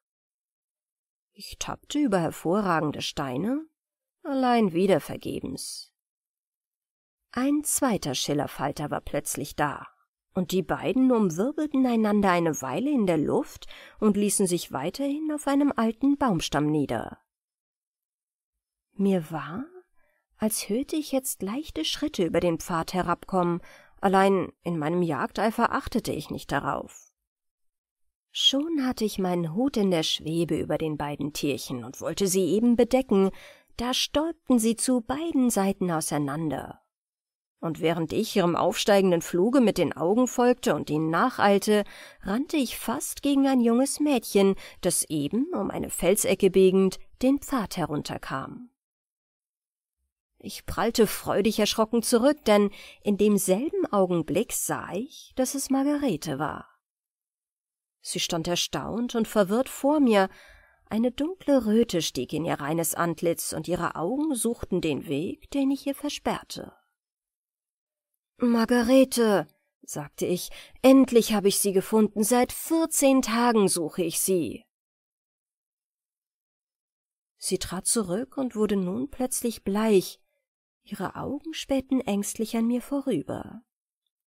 Ich habe sie nun gefunden, fuhr ich fort, und lasse sie nicht eher, als bis ich weiß, ob ich vergebens gesucht und gefunden habe oder nicht. Tag für Tag habe ich diese Gegenden durchstreift mit dem Gedanken an den Augenblick, der nun vor mir liegt. Nun entfliehen Sie mir nicht, ich habe nur wenig zu sagen. Was wollen Sie von mir? sagte sie zitternd. Ach, Lassen Sie mich gehen, ich muss nach Hause. Sie meinen es nicht gut mit mir. Warum sind Sie mir heimlich gefolgt? Meine Tante schrieb mir, Sie seien nach Mecklenburg gereist. Ich habe nur eine kurze Frage an Sie, Margarete. Sie wissen, ich habe in Berlin ein großes, altes, einsames Haus, und ich bin ganz allein darin. Mäuse, Motten und Rost verzehren es. Der Garten ist eine Wildnis, und Anmut und Ordnung sind längst entschwunden. Margarete, ich möchte, dass es anders würde, dass Leben und Freude wieder einzögen, dass Ordnung und Frohsinn darin walten. Doch ich allein kann das nicht vollbringen, und könnte ich manches auch, so würde die Einsamkeit doch bleiben. Ich habe Sie nun gesucht, liebe Margarete, um Sie zu fragen, ob Sie mir dabei helfen wollen, ob Sie es versuchen wollen, mit mir vereint dies zu erreichen. Ein Leuchten wie im Frühling, wenn Sonnenschein und Wolkenschatten wechselnd über das Feld ziehen, zeigte sich in ihrem Antlitz. Wie soll denn das geschehen? fragte sie zaghaft. Werde mein, Margarete, werde mein, rief ich und ergriff ihre Hand und zog sie sanft an mich. Mit dir vereint soll es gelingen, und dein Leben soll es werden schön wie die junge Morgenröte und heiter wie ein Frühlingstag. Ich hatte sie allmählich an meine Brust gezogen, und sie lag dort, und ein heftiges Weinen erschütterte den jungen Leib. Plötzlich schlang sie beide Arme um meinen Hals und sah mir unter Tränen lächelnd ins Gesicht. Nicht wahr? rief sie, du bist gut und edel, und deine Augen können nicht lügen. Sage es mir, und ich will es glauben, und ich will dein sein, dein, dein. Ich beugte mich zu ihr nieder. Meine Lippen fanden die ihren und gaben die Antwort. Noch liegt das Haus am Karlsbade öde und verfallen in seinem verwilderten Garten. Aber nun kommt die Zeit, wo es erstehen soll zu neuem Glanze und neuer Schönheit. Und so Gott will, soll ein neues Geschlecht aus ihm hervorgehen, das den Fluch nehmen wird von dem alten Hause und ausbreiten wird von ihm neuen Segen und neues Leben. Die Urgroßmutter Es gilt bekanntlich für ein Abzeichen und Standesvorrecht altadliger Geschlechter, einen Hausgeist zu besitzen der in einem Gewölbe des Stammschlosses verborgen liegt und bei feierlichen Gelegenheiten um Mitternacht seine grausige Runde macht, um wichtige Änderungen anzukündigen. In bürgerlichen Geschlechtern ist man auf die Ehre eines Familiengespenstes nicht sonderlich erpicht und bildet sich auch nichts darauf ein. Denn während adlige Geister nur das Hochwild der Verbrechen, Mord, Totschlag, Hochverrat und dergleichen erjagt haben, so sind die bürgerlichen Gespenster dagegen betrügerische Kaufleute, ungerechte Richter, wenn nicht gar gemeine Diebe. Drum gilt es bis in die alleruntersten Schichten der Gesellschaft für etwas Entsetzliches, wenn eins aus der Familie geistweis gehen muss. Eine andere Art von stillen, vergessenen Hausgeistern aber liegt fast in jedem Hause, in irgendeinem staubigen Winkel der Rumpelkammer. Geister, die nur erlöst werden, wenn es eine große Katastrophe, einen Sterbefall, einen Auszug in der Familie gibt, und die man gar häufig unbesehen verbrennt. Diese stillen Hausgeister sind die verjährten Familienbriefe, die in alten Kisten und Schachteln, den bescheidenen Archiven bürgerlicher Häuser aus Pietät aufbewahrt werden, bis man sie am Ende aus Verzweiflung über den wachsenden Grust ins Feuer wirft. Hinter solch ein Familienarchiv bin ich denn auch einmal geraten und habe die armen Briefe vom Feuertode errettet und schade würde es gewesen sein, wenn sie untergegangen wären. Freilich habe ich keine wichtigen Geheimnisse und dunklen Taten darin entdeckt, aber viel lang vergessene Vergissmeinnichte, getrocknete Rosen, die einen Teil ihres Dufts Jahrzehnte durch bewahrt haben. Liebesbriefe mit Zöpfchen aus der Zeit, als der Großvater die Großmutter nahm, schön gedruckte Hochzeits- und Leichenkamina, worin gar rührende Stellen zu finden, zum Beispiel Oh, wie schön war sie an jenem Tage, wie errötete ihr Angesicht, als sie auf des Freiers Frage, sie sind allzu gütig spricht. Da fand ich denn auch den Lebenslauf der Urgroßmutter, von ihr selbst beschrieben.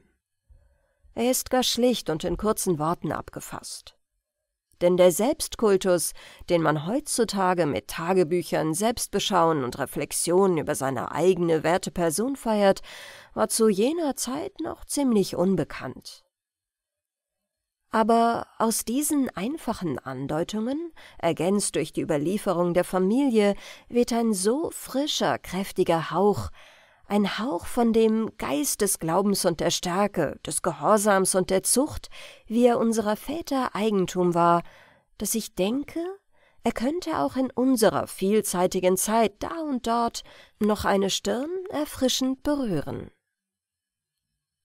Sie war, um diesmal recht gründlich mit der Genealogie zu beginnen, eine Urenkeltochter der Frau Anna Rumpelin, von welcher der Familienschmuck kommt.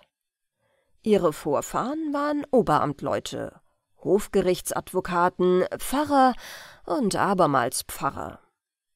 Die Mama war eine Pfarrertochter, der Papa eines Pfarrers Sohn und selbst ein Pfarrer, und weil der so brav gewesen ist, so hat die Mama nach seinem Tode noch einmal ein Pfarrer geheiratet. In diesem Pfarrkonglomerat war es denn auch kein Wunder, dass einer ihrer Brüder, als schüchterner Student um seine Familie befragt, verlegen antwortete äh, Bitte um Verzeihung, meine Mutter erster Ehe war eine geborene Pfarrerswitwe. So war es denn natürlich, dass auch sie einen Pfarrer nehmen musste. Aus ihren Jugendtagen sind keine Briefe mehr vorhanden, und ihre Herzensgeheimnisse, wenn sie welche gehabt, ruhen mit ihr im Grabe. So aber, wie sie in ihrem Leben und aus ihren Briefen sich darstellt, war sie von den klaren, lebenskräftigen Gemütern, die in Traum und Wachen der höheren Führung nicht vorgreifen und darum auch keine schweren Herzenskämpfe zu bestehen haben. Ein junger Geistlicher der Gegend, Herr Magister Trutz, hatte sein Auge auf sie geworfen, als sie noch ein sehr junges, blühendes Mädchen war. sie aber die ihrigen just nicht auf ihn. Ihre selige Schwester hat oft mit Lachen erzählt, wie sie einmal zusammen Flädlein gebacken. Der Urgroßmutter war eins verbrannt. Sie hob es lachend in die Höhe und meinte, da sieh, das ist so schwarz wie der Magister Trutz. An selbigem Tage aber kam der Magister Trutz in einem nagelneuen schwarzen Rock und hielt um die Jungfer Regina feierlichst an. Gehorsam der Eltern willen ist sie seine Gattin geworden und hat alsbald ihre Aufgabe mit der Freudigkeit eines frommen Gemüts, mit der Kraft und Frische ihrer klaren Seele begriffen und gelöst. Der Pfarrer Trutz war ein frommer, friedsamer und tiefgelehrter Mann, aber gar stille und in sich gekehrt. Er beschäftigte sich mit mechanischen Künsten und chiliastischen Berechnungen und konnte sich darin so vertiefen, dass er gar oft der praktischen Amtspflichten darüber vergaß. Da verstand es nun die junge Frau zu sorgen, dass seine träumerischen Abwesenheiten niemand störend auffielen. Sie wusste mit ihrem hellen, praktischen Blick, ihm einen Teil der Seelsorge abzunehmen, ohne dass es so aussah. Sie wusste sein Interesse fürs wirkliche Leben anzuregen und hielt den häuslichen Herd warm und hell für ihn, wenn er nach langen, einsamen Stunden wieder dahin zurückkehrte. So hatte sie hoch und wert gehalten als den Freude und Friede bringenden Engel seines Lebens, und sie hat aus der Tiefe seines Wesens den Ernst und die Kraft des Glaubens geschöpft, auf die sich erst mit Sicherheit ein frisches und fröhliches Leben und Wirken erbauen lässt. Einmal hat ihre Fassung eine schwere Probe durchgemacht. Sie war mit ihrem Mann auf eine neue Stelle gezogen und ging am ersten Sonntag nach seiner Antrittsrede, wie es einer christlichen Pfarrfrau geziemt, in die Kirche, ehrbar und feierlich in Schwarz gekleidet. Den Pfarrer musste man auch auf Berufswegen seinen eigenen Gang gehen lassen. Oft saß er mit Tagesanbruch schon in der Sakristei und bereitete hier im Stillen seine Predigt vor. Oft kam er erst, wenn der Gesang schon begonnen hatte, in die Kirche. Die neue Gemeinde hatte von diesen Seltsamkeiten noch nichts gehört, nur der Schullehrer, ein alter Bekannter, wusste davon. Es wurde ein langes Lied vor dem Gottesdienst gesungen. Von dem vierten Vers an schaute die Frau Pfarrerin nach der Sakristeitür, aber der Pfarrer kam nicht. Man sang das Lied zu Ende, der Schullehrer fügte hinten noch gar einen schönen Schnakel hinzu, aber der Pfarrer kam nicht. Die Gemeinde wurde unruhig. Die Buben hinten im Chor, die man ex officio zur Kirche getrieben und die bis jetzt mechanisch das Lied hergebrüllt, hofften nun mit innerem Jubel auf irgendein Ereignis. Aller Augen hefteten sich auf den Stand, hinter dessen Gittern die Pfarrfrau saß, ruhig, würdig, das offene Gesangbuch in der Hand. Auf welchen Nadeln, ja, das fühlte nur sie. Der Pfarrer kam nicht. Sie winkte dem Schullehrer mit den Augen. Der ging in die Sakristei, um nachzusehen, und da stand der Pfarrer auf dem Tisch mit gefalteten Händen, augenscheinlich in heftiger Bewegung. Aber um Gottes willen, Herr Pfarrer, wo bleiben Sie? Die Gemeinde wartet. Ohne ein Wort zu sagen, stieg der Pfarrer von seinem Tisch herab, dem Schulmeister voran in die Kirche und auf die Kanzel. Seine Predigt, die er mit zitternder Stimme begann, wurde bald so kräftig und salbungsvoll, dass die Gemeinde sein Zögern vergaß, bis sie auf dem Nachhauseweg die Köpfe wieder darüber zusammensteckte. Die Frau Pfarrerin ging wie immer mit gemessenem Anstande nach Hause, sorgte ihrem Mann für frisches Weißzeug, das er jedes Mal nach der Predigt brauchte, und erst beim Mittagessen begann sie mit teilnehmender Frage Ist dir unwohl geworden? Das nicht, Frau, aber schließ die Tür, so will ich dir sagen, was mir begegnet ist. Ich stand in der Sakristei und sang der Gemeinde das Lied nach, als ich aus einer Ecke ein klägliches Weinen wie von einem kleinen Kinde hörte. Ich öffnete die Tür nach der Straße, um zu sehen, ob draußen vielleicht ein Kind allein geblieben sei. Die Straße aber war leer und ganz still. Sobald ich die Tür geschlossen, hörte ich dasselbe Geschrei wieder aus derselben Ecke. Ich sah scharf hin. Da stieg aus dieser Ecke eine lange, große Schlange und wand sich langsam auf mich zu. Ich stieg auf den Stuhl, sie schlang sich darum. Da stieg ich auf den Tisch und begann zu beten. Sie zog sich langsam zurück, und so hat mich der Schulmeister gefunden. Nun war die Urgroßmutter zwar eine starke Seele, aber durchaus kein starker Geist und weit entfernt die Möglichkeit übernatürlicher Erscheinungen zu leugnen. Da sie jedoch die seltsamen Stimmungen ihres Mannes kannte, dachte sie, es könne eine seiner Einbildungen sein und suchte ihn zu beruhigen. Am nächsten Sonntag trat er schon während des ersten Liederverses hastig auf die Kanzel und erklärte nachher seiner Frau, dass er dieselbe Erscheinung wiedergehabt und die Sakristei nimmer betreten könne. Die Urgroßmutter rief am folgenden Tage einen vertrauten Maurer, mit dem sie vor Tagesanbruch in die Sakristei ging. Sie ließ ihn in der unheimlichen Ecke das Wandgetäfer abreißen und nachgraben.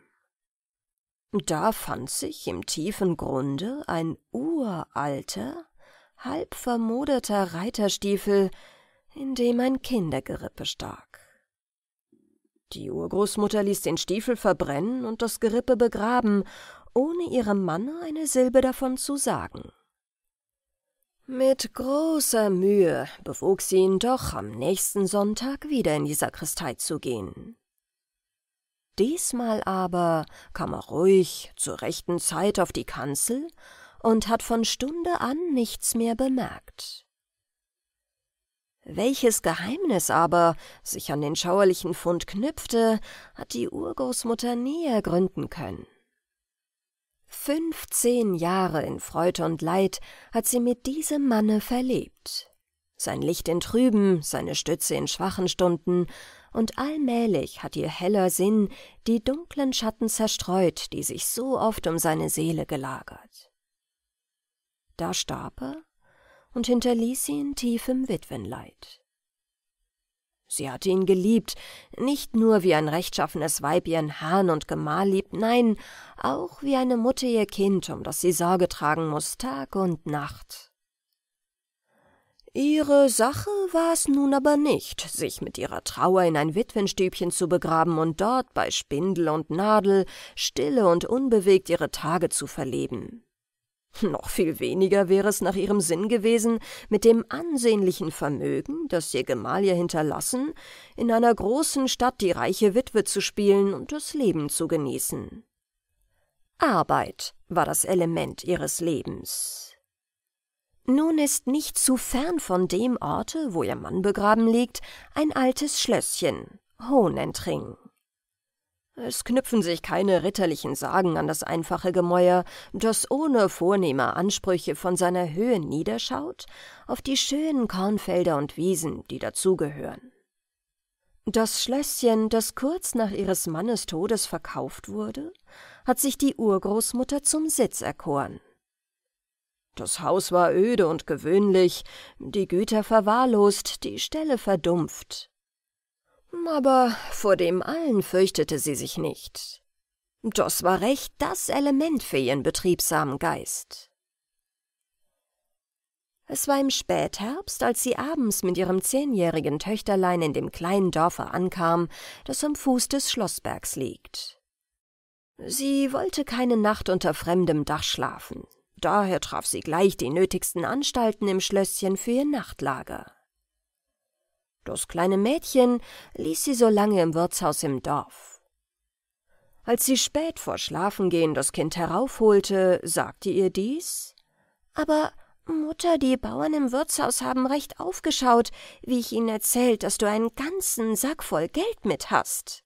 Ach, einfältiges Ding, rief die Mutter ärgerlich, indem sie ihr für die unzeitige Prahlerei ein paar Ohrfeigen verabfolgte. Konntest du nichts Dümmeres sagen? Es ist ja gar kein Geld.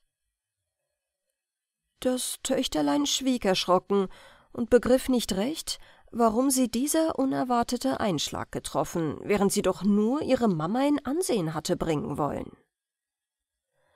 Ah, der Urgroßmutter war es bedenklich. Sie schlief die erste Nacht mit einer jungen Magd ganz allein im Schlösschen, da sie sich die übrige Dienerschaft aus dem Orte selbst herziehen wollte, und war so ganz schutzlos. Viel Lärm zum Voraus wollte sie nicht machen, und als die Magd und das Kind schon im Schlaf lagen, suchte sie im Stillen nach einer Waffe. Sie fand nichts Taugliches für ihren Zweck als das Küchenbeil. Das nahm sie dann an ihr Bett, welches sie im großen Saal des Schlösschens, der nach vorn ging, hatte aufmachen lassen, und legte sich angekleidet schlafen, nachdem sie sich und ihr Kind in Gottes Hut befohlen. Nach Mitternacht erwachte sie an einem leisen Geräusch. Sie setzte sich auf und lauschte. Am Fenster wurde von außen ein Stück aus dem Laden geschnitten. Durch die Öffnung kam eine Hand, der es gelang, das schlecht verwahrte Fenster von außen sachte aufzudrücken. Inzwischen hatte sich die Urgroßmutter leise erhoben, ging ans Fenster und führte mit ihrem Beil einen kräftigen Streich auf die besagte Hand. Mit einem heftigen Schrei war diese schnell zurückgezogen. Sie hörte einiges Geräusch, wie von einer fallenden Leiter, und dann ward's still. Nach einer Weile öffnete sie das Fenster, um hinabzusehen, ob kein Verwundeter darunter liege, aber sie hörte und sah nichts mehr. So machte sie denn Licht, setzte sich aufs Bett und las in ihrer Bibel, bis der Morgen anbrach. Sie sprach kein Wort von dem nächtlichen Abenteuer schickte aber bei Zeiten die Magd zu dem Wirt im Dorf, dass sie einen Taglöhner sende zum Abpacken ihres Hausrates. Die Magd brachte einen. Der Thomas aber, meldete sie, zu dem sie der Wirt zuerst geschickt, der liege krank im Bett, er habe sich beim Holzhacken gestern Abend spät in die Hand gehauen. Ah, die Urgroßmutter wusste nun, woran sie mit dem Thomas war. Sie schwieg über die Sache. Der Thomas wahrscheinlich auch. Von Stund an aber blieb sie unangefochten auf ihrer kleinen Burg. Da begann sie nun zu schalten und zu walten, recht nach ihres Herzens Lust. Ihre Äcker waren bald die schönsten, ihr Vieh das stattlichste, ihre Dienstboten die bestbezogenen in der ganzen Gegend. Im Sommer hatte sie die Hände voll zu tun, bis sie die Runde machte auf Feld und Wiesen und ein scharfes Auge hielt auf Knechte und Mägde. Im Winter wurde ihr die Zeit auch nicht lang, da holte sie nach, was die damalige überpraktische Zeit an ihrer Erziehung versäumt hatte schrieb ihre eigenen Betrachtungen über Zeit und Leben in sehr ungekünstelter Sprache zwar und mit vielen Schreibfehlern, aber aus der Tiefe eines klaren, frommen Gemüts, das seines Weges sicher war. Über alle Ereignisse ihrer inhaltreichen Zeit führte sie genaue Tagebücher, und es ist ergötzlich zu sehen, wie in ihren Hauskalendern Weltbegebenheiten und häusliche Ereignisse friedlich Seite an Seite stehen. 1. Oktober hat der Estreichisch General Laudon die Stadt Schweidnitz überfallen. Die Schweizer Kuh gekalbet, es wiegte 60 Pfund. 28. November hat der Herzog den General Rieger auf den Aschberg geschickt. Wer da steht, der sehe zu, dass er nicht falle vier Scheffel Denkel an den Müller-Schwarzen verkauft. Am 25. Januar die Kaiserin Elisabeth von Russland gestorben. Die große Sau gemetzget hat drei und einen halben Zentner gewogen. Ihr Töchterlein bildete sie mit Liebe und Fleiß heran und lehrte sie tüchtig die Hände rühren und den Kopf brauchen. Der Weg vom Schlösslein in das Dorf und in die Nachbarschaft war zu Zeiten oft unzugänglich, und doch gab es für die große Ökonomie gar vieles zu besorgen. Daher war die Urgroßmutter zu häufigen Ausflügen genötigt, so wenig sie Zeit und Lust zu Vergnügungsreisen hatte. Da schulte sie sich denn ein zahmes Ackerpferdlein ein, auf dem sie ihre Güter bei schlimmem Wetter besuchte und ihre Geschäftsreisen machte. Und sie hat als sehr alte Frau noch mit einigem Vergnügen erzählt, wie sie in ihrem Federhütchen einmal durchs Feld geritten sei und ein Bauer sie gefragt habe, wo will denn die schöne Jungfer hin? Und meine Sophie war doch schon zwölf Jahre alt, fügte sie bei. So lebte sie auf ihrem Schlösschen in großem Frieden, wenn auch nicht in Ruhe. Aber zu lange sollte die Herrlichkeit nicht dauern. Es konnte nicht fehlen, dass die schöne, stattliche Frau, deren häusliche Tugenden weit umher bekannt wurden, die Augen gar manchen Witwers und Ledigen auf sich zog. Aber sie entschloss sich gar schwer zu einer zweiten Heirat, sei es aus Treue für den ersten Gatten, sei es, dass sie sich der goldenen Freiheit in ihrem bewegten Wirkungskreis freute. Endlich aber gelang es doch dem Herrn Pfarrer Wettler, einem ehrbaren Witwer, die schöne Witwe von ihrem Schloss herab in sein freundliches Dorf Rebenbach zu führen, wie des Langen und Breiten in einem anmutigen Hochzeitskamen erzählt ist, das also beginnt. Geehrteste Frau Braut, hier kommt ein Hochzeitsstrauß vom Weilenberger Markt aus wohlbekanntem Haus. Ganz kürzlich war ich erst nach Weilenberg gekommen, da hab ich also bald die Neuigkeit vernommen, Frau Pfarrer Trutzin ist Herrn Pfarrer Wettlers Braut, und Dienstag werden sie zu Rebenbach getraut. Ja, und so weiter. Der Pfarrer Wettler war nun ein Mann ganz anderer Art als der erste Gemahl. Groß und stattlich, wie er jetzt noch in der schön gepuderten Lockenperücke aus seinem Bilde herabschaut, ein Mann, der als Hofmeister die Welt gesehen, von frischem, lebenskräftigen Sinn, voll Salbung und Selbstgefühl. Da galt es denn zunächst nicht, zu trösten und aufzuheitern, die Bürde des Mannes zu tragen, um ihn in Würde zu erhalten, es galt sich aufzurichten in aller Kraft und Lebensfülle des Geistes und Körpers, um als Gefährtin, die ihm entsprechend sei, dem Mann zur Seite zu stehen.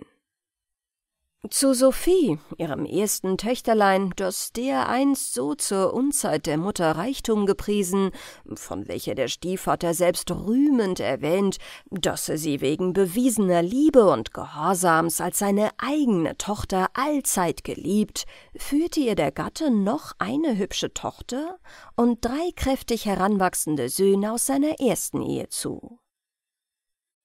Die neue Mutter ward mit Freude und Liebe aufgenommen. Der älteste Sohn, schon Alumnus, der Poet des Hauses, verfertigte im allerhochfliegendsten Stile ein Gedicht, in dem er sie willkommen hieß.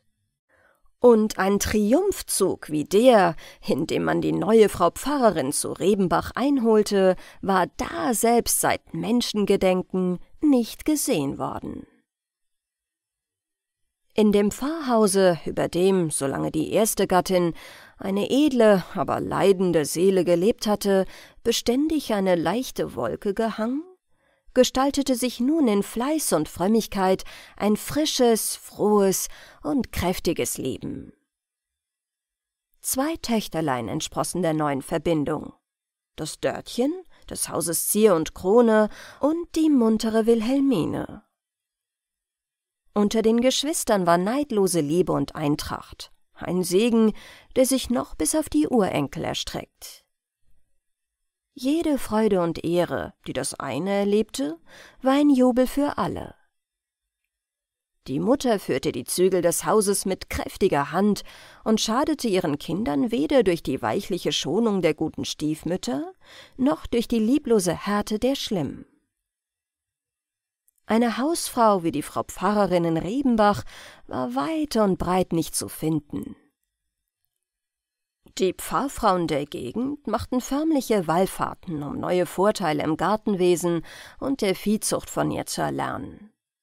Sogar auf den neuen Wein, so höchst einfach und fast unglaublich mäßig sie selbst war, verstand sie sich von Grund aus so, dass sie fast für alle Bekannten im Herbst die Einkäufe zu besorgen hatte. Man schickte ihr junge Töchter von Verwandten und Freunde aus dem halben Vaterlande, um unter ihrer Zucht und Leitung sich zu guten Hausfrauen auszubilden. Oder heimatlose, verwaiste Mädchen, die aus dieser Schule gewiss waren, nachher gute Stellen zu finden. Auf Zucht und Sitte hatte die Frau Urgroßmama streng gehalten und keinen Sinn für die Freiheiten der damaligen Poesie gezeigt. Einmal war ein munteres, leichtfertiges Bäschen aus der Residenz zum Besuch da. Nicht, um sich bilden zu lassen, sondern, wie sie dachte, um zu bilden und um den landpomeranzigen Basen in ihrem neuen Aufsatz mit Pumpelrosen und ihrer neumodischen Kontusche zu imponieren. Das Bäschen war auch musikalisch und trug ein nagelneues Lied vor, das eben erst in der Residenz in die Mode gekommen war. Es fing an so etwas wie äh, Komm, Herr Heinrich, komm herein, äh, komm, wir sind alleine und so weiter. Hm, ja, ja, die Urgroßmutter hörte den ersten Vers. Wie, Philippine, zeig mir das Lied her. Wohlgefällig brachte es das Bäschen, äh, verwundert, dass die alte Tante doch noch Geschmack an sowas finde. Die Tante nimmt es ruhig in die Hand und sagt So, jetzt bring einen irdenen Teller und ein Licht herein. Das Bäschen guckt sie verblüfft an. Man weiß aber kein Beispiel, dass jemand versucht hätte zu widersprechen, wenn die Urahne etwas ernstlich befahl. So, und nun legst du sogleich den Wischter auf den Teller und verbrennst ihn vor meinen Augen. Meinst du, so dummes Zeug dürfe vor die Ohren meiner Mädchen kommen? Schäm du dich dein Lebtag, dass du's gesungen hast. Das Bäschen hat ohne Widerspruch das Autodafé vollzogen und später keine Versuche mehr gemacht, das Pfarrhaus zu modernisieren. Überhaupt hatte die Urahne, deren Herz selbst ruhig geblieben oder wenigstens gar bald ruhig geworden war, wenig Nachsicht für junge Herzensträume. Und die Stieftochter, die sonst mit voller kindlicher Ehrfurcht an ihr hing, hat davon mit einiger Bitterkeit ein Beispiel erzählt. Unter den durchziehenden Truppen, die im Pfarrhause Quartier genommen, ist einmal ein Herr von Strahlenau gewesen. Sogar ein schöner junger Mann und so fein gebildet, so ernst und so gefühlvoll wie gar kein anderer. Er hat mit niemand im Haus so viel gesprochen wie mit mir, und als er uns eines Abends ankündigte, dass er am anderen Morgen abmarschieren müsse mit seinem Regiment, da war es mir wie ein Donnerschlag. Ich wusste wohl, dass ich ihn nie mehr sehe in diesem Leben. Ich habe die ganze Nacht nicht geschlafen und bin vor Tag aufgestanden, dass ich den Abschied nicht verfehlen soll. Der Strahlenau war noch nicht auf, aber die Eltern und die Schwestern und allen tat der Abschied leid, und jedes wusste was an ihm zu loben. Aber ich konnte fast gar nichts sagen. Da schaute mich die Mutter sehr scharf an und sagte Christiane, ich glaub, du bist ganz begeistert. Geh lieber auf den Acker, die Erdbeeren müssen gefällt sein. Da nahm ich meinen Spaten und ging. Wie mir's aber ums Herz war, das kann ich keinem Menschen sagen. Draußen auf dem Acker hörte ich von weitem die Trompetermusik, mit der sie abgezogen. Da hab ich mich auf einen Stein gesetzt und geweint und geweint. Ich hätte mein ganzes Herz ausweinen mögen. Den Strahlenau hab ich nimmer gesehen.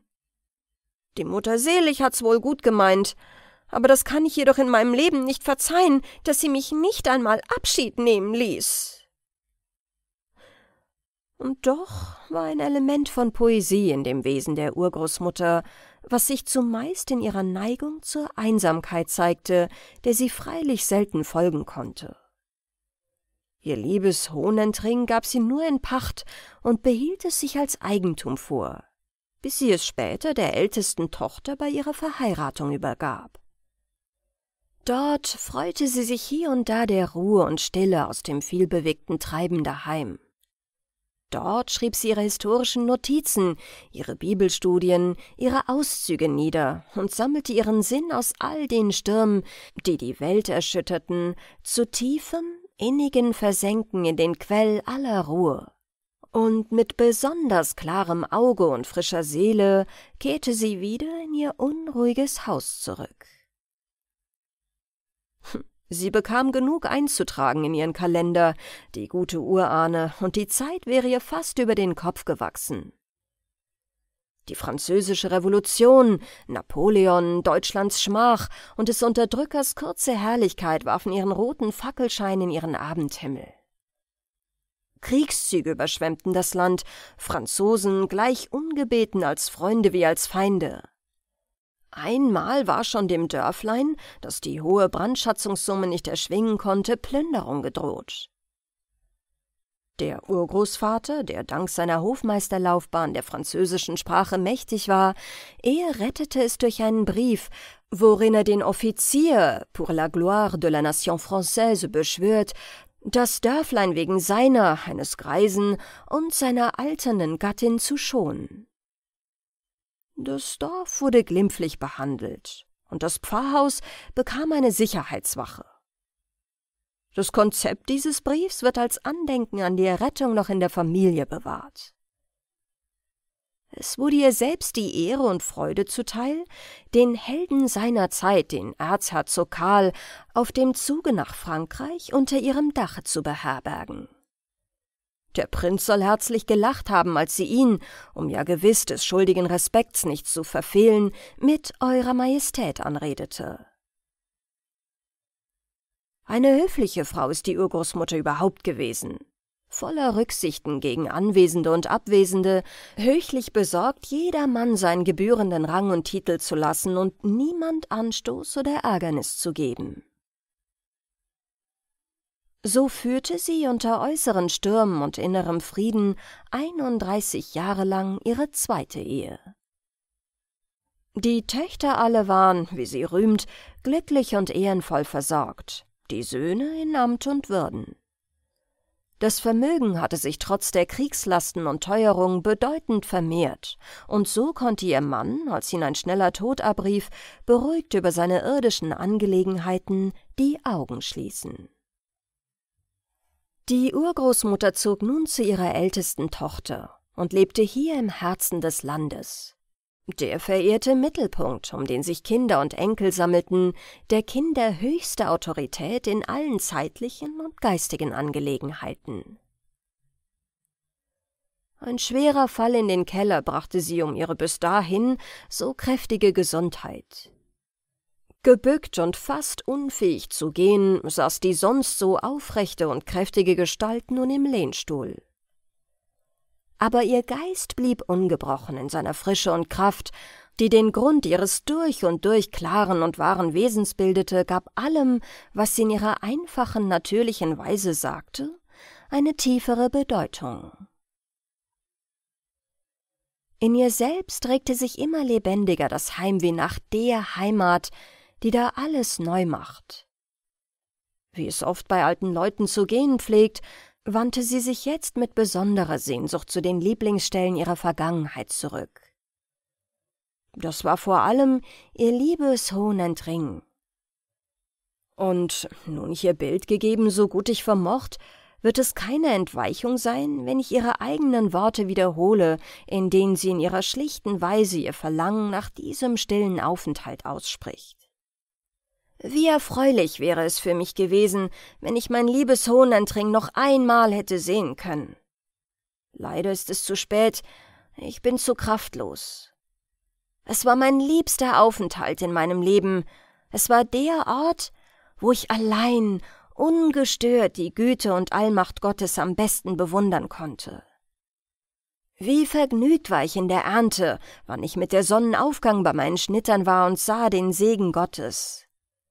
Wie vergnügt machte mich der Spruch, in dem es heißt, vor dir wird man sich freuen, wie man sich freut in der Ernte.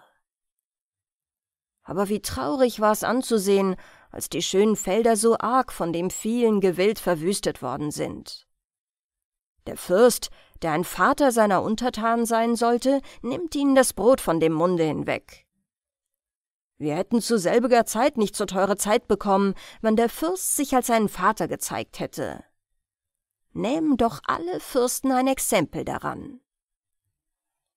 Balsam war es in meinen Wunden, wenn ich an den Sonntagen, wo ich nicht in die Kirche konnte, an meinem Saalfenster das Gesang, das man in der Kirche im Dorf singte, nachsingen konnte. Wie freute es mich, wenn ich bei hellem Mondschein auf den Feldern und Dörfern so eine Stille sah. Da fühlte ich den Wert des Gesanges. Nun ruhen alle Wälder. Bei Tag so viel Rennen, Laufen und Schaffen, bei Nacht lauter Stille. In meinem Bett hörte ich den Wächter im Dorf den Tag anschreien mit den Worten Wach auf, o oh Mensch, vom Sündenschlaf, ermuntere dich, verlornes Schaf. Diese Worte rührten mich sehr. Tausend, tausend Dank dem heiligen, dreieinigen Gott, der mir in so viel Trübsal beigestanden, aus so vieler Gefahr errettet und mir mehr Gutes getan, als ich aussprechen kann. Dort, in jener Welt will ich's nachholen. Herr, ich bin viel zu gering aller Barmherzigkeit und Treue, die du an mir getan hast. Das waren die letzten Worte ihrer Feder. Es blieb das letzte Bekenntnis ihrer Lippen. Bis zum Ende floss ihr Herz und ihr Mund über von Dank und Freude. Man findet manchmal, dass ein großes Familienfest eine besondere Freudenfeier der Wendepunkt eines Glückes oder das Ziel eines Lebens wird. Es macht dies manche ängstlich und scheu vor solchen Festen, aber mit Unrecht.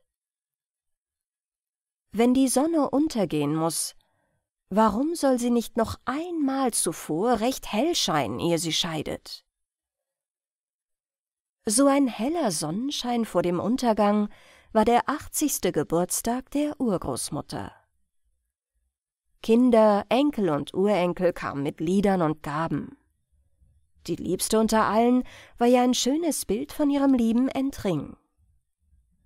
Darauf ließ sie so recht die alten Augen ausruhen, und indem sie den Kreis der ihrigen all ihre liebsten Geschichten aus der Vergangenheit erzählte, lebte sie ihr ganzes Leben in seinen Lichtpunkten noch einmal durch. Das blieb ihre letzte Geburtstagsfeier auf Erden. Nicht lange stand es an, so folgte ihr der ganze damals so fröhliche Zug nach ihrer letzten Ruhestadt. Und ein seligeres Geburtsfest hat ihrer wohl droben gewartet. Das schwarze Häuschen auf dem Moor Mein Vater war ein Steinhauer. Sein Häuschen stand einsam in einem Moor, eine und eine halbe Meile weit von der nächsten Wohnung entfernt. Da wir sehr arm waren, hatte diese Wohnung trotz ihrer einsamen Lage doch eine große Anziehungskraft für uns, weil wir keinen Mietzins dafür zu bezahlen hatten. Hierzu kam noch, dass die Steine, durch deren Behauen mein Vater seinen Unterhalt gewann, alle um ihn herum so bequem vor seiner Türe lagen, dass er seine Lage, so einsam sie war, fast für beneidenswert hielt. Ich kann nicht sagen, dass ich darin mit ihm übereinstimmte, obschon ich mich niemals beklagte. Ich liebte meinen Vater, und der Gedanke, ihm nützlich zu sein, machte mir die Einsamkeit erträglich. Mrs. Knifton, unsere Gutsherrin, wünschte mich, als sie heiratete, in ihren Dienst zu nehmen. Aber ich lehnte es, ungern genug, um meines Vaters willen ab. Wenn ich fortgegangen wäre, so hätte er niemand bei sich gehabt, und meine Mutter hatte mir auf ihrem Todesbette das Versprechen abgenommen, dass ich ihn mitten auf dem traurigen Moor nicht allein lassen sollte. Unser Haus war trotz seiner Kleinheit aus Steinen des Moors fest gebaut und wohl verwahrt. Die Wände waren außen und innen mit Holz verkleidet, das Mrs. Kniftons Vater meinem Vater zum Geschenk gemacht hatte. Die Wände waren außen und innen mit Holz verkleidet, das Mrs. Kniftons Vater meinem Vater zum Geschenk gemacht hatte. Dieser doppelte Schutz war in unserer ausgesetzten Lage zur Abhaltung der kalten Winde, welche das ganze Jahr über mit Ausnahme der Sommermonate über das Moor hinstrichen, ein unerlässliches Bedürfnis. Die äußere Verschalung, welche die rauen Steinmauern bedeckte, schützte mein Vater gegen die Nässe durch einen Teeranstrich. Dies gab unserem kleinen Hause ein schwarzes, düsteres Aussehen, besonders wenn man es von der Ferne sah. Und so hatte es man in der Umgegend Schwarzes Häuschen genannt. An einem wolkigen Herbsttag zur Zeit, wo ich nicht mehr als achtzehn Jahre alt war, zwang mein Vater eine größere Arbeit für eine Nacht unsere Hütte zu verlassen. Doch wollte er mich vorher nach der Moorfarm bringen. Ich lehnte jedoch den Vorschlag ab. Diebe hatten sich bei uns noch nie sehen lassen, unsere Armut war ein hinlänglicher Schutz gegen dieselben, und andere Gefahren gab es nicht. So überließ denn der Vater mir und meiner Katze Polly für das Haus Sorge zu tragen.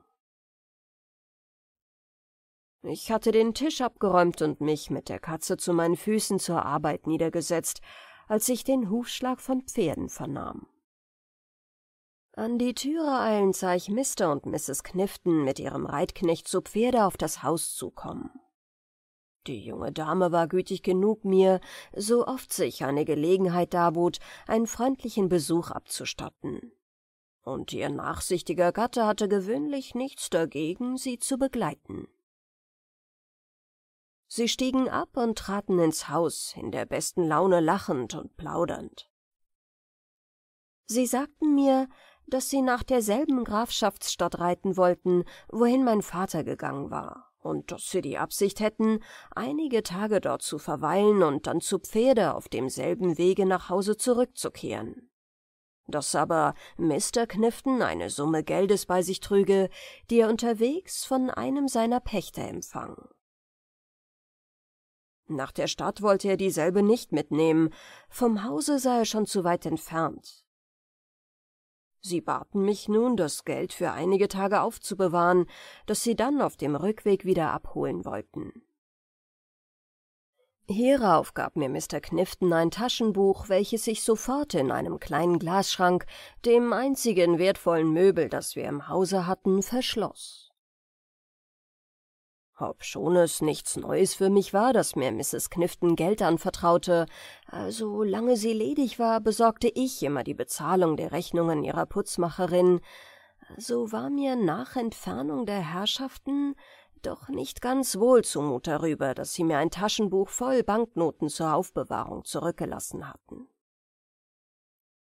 Sobald ich allein war, begann der Anblick desselben in dem Glasschrank mich zu ängstigen, und statt zu meiner Arbeit zurückzukehren, quälte ich mich mit dem Gedanken ab, einen Platz zu finden, wo ich es aufheben konnte, ohne dass es den Blicken jedes Fremden, der zufällig ins Haus kommen würde, ausgesetzt wäre. Das auszuführen war keine leichte Sache in einer ärmlichen Wohnung wie der unsrigen, wo es nichts Wertvolles unter Schloss und Riegel zu bringen gab. Nachdem ich im Geiste die verschiedenen Verstecke durchgegangen hatte, fiel mir eine Teebüchse, ein Geschenk von Mr. Knifton ein, die ich immer in meinem Schlafzimmer aufbewahrte. Statt aber das Taschenbuch zu der Teebüchse zu bringen, ging ich unglücklicherweise, wie sich später auswies, in mein Zimmer, um die Teebüchse zum Taschenbuch zu bringen. Ich tat dies aus bloßer Gedankenlosigkeit, und ich wurde, wie es sich später ausweisen wird, schwer genug dafür bestraft. Ich war gerade im Begriff, die unglückliche Teebüchse aus meinem Schrank zu nehmen, als ich draußen auf dem Gang Schritte vernahm. Ich eilte hinaus und sah zwei Männer in das Wohnzimmer treten, wo ich Mr. und Mrs. Knifton empfangen hatte. Ich fragte, scharf genug, was sie wollten, und einer von ihnen antwortete, dass sie zu meinem Vater wollten. Er wendete sich natürlich, während er sprach, mir zu, und ich erkannte in ihm einen Steinhauer, der unter seinen Kameraden den Namen Shifty Dick, schlauer Dick führte und in der Gegend in sehr üblem Rufe stand. Er war ein großer, starker Mann mit finsterem, blatternarbigem Gesicht und großen, haarigen Händen. Der letzte Besucher in der ganzen Welt, den ich unter irgendeinem Umstande gern gesehen hätte. Sein Begleiter, den er mit dem Namen Jerry anredete, war ein Fremder. Ein gewandter, schurkisch aussehender Mann, der mit spöttischer Höflichkeit seine Kappe vor mir abnahm und dabei einen sehr kahlen Kopf mit einigen hässlichen Höckern daraus zeigte. Ich misstraute ihm mehr als Shifty Dick, und stellte mich zwischen seine lauernden Augen und den Glasschrank, als ich den beiden sagte, dass mein Vater ausgegangen sei und dass ich ihn vor dem folgenden Tag nicht zurückerwarte. Kaum waren diese Worte aus meinem Munde, als ich auch schon bereute, dass ich sie gesprochen hatte. Mein Eifer, mich der unwillkommenen Gäste zu entledigen, hatte mich unvorsichtig genug gemacht einzugestehen, dass mein Vater die ganze Nacht ausbleiben werde. Shifty Dick und sein Begleiter sahen einander an, als ich so unklugerweise die Wahrheit verriet. Sie machten aber keine Bemerkung, sondern fragten bloß, ob ich ihnen nicht einen Tropfen Cider geben wollte. Ich antwortete scharf, dass ich keinen Cider im Hause habe. Ich hatte keine Furcht, ihn ihr Verlangen abzuschlagen, da ich wusste, dass Leute genug in einem Steinbruch beschäftigt waren, der in der Hörweite von unserem Hause lag. Die beiden Männer sahen mich wieder an, als ich in Abrede stellte, dass ich ihnen Cider geben könne, und Jerry, wie ich ihn nennen muss, da ich keinen Namen für den Burschen kenne, nahm wieder seine Kappe vor mir ab und sagte mit einer gewissen schurkischen Höflichkeit, Sie würden das Vergnügen haben, am folgenden Tage, wenn mein Vater zu Hause sei, wieder vorzusprechen. Ich sagte ihnen so mürrisch als möglich guten Abend, und zu meiner großen Erleichterung verließen beide gleich darauf das Haus. Sobald sie sich etwas entfernt hatten, beobachtete ich sie von der Tür aus. Sie schlugen den Weg in der Richtung der Moorfarm ein, und da es dunkel zu werden begann, verlor ich sie bald aus dem Gesichte. Eine halbe Stunde später blickte ich wieder hinaus. Der Wind hatte sich mit Sonnenuntergang gelegt, aber es erhob sich ein Nebel und ein heftiger Regen begann zu fallen. Niemals war mir das einsame Moor so düster und traurig vorgekommen, als an diesem Abend. Niemals hatte ich eine Sache von so untergeordneter Bedeutung so bedauert, als die Zurücklassung des Taschenbuchs von Mr. Knifton unter meiner Obhut.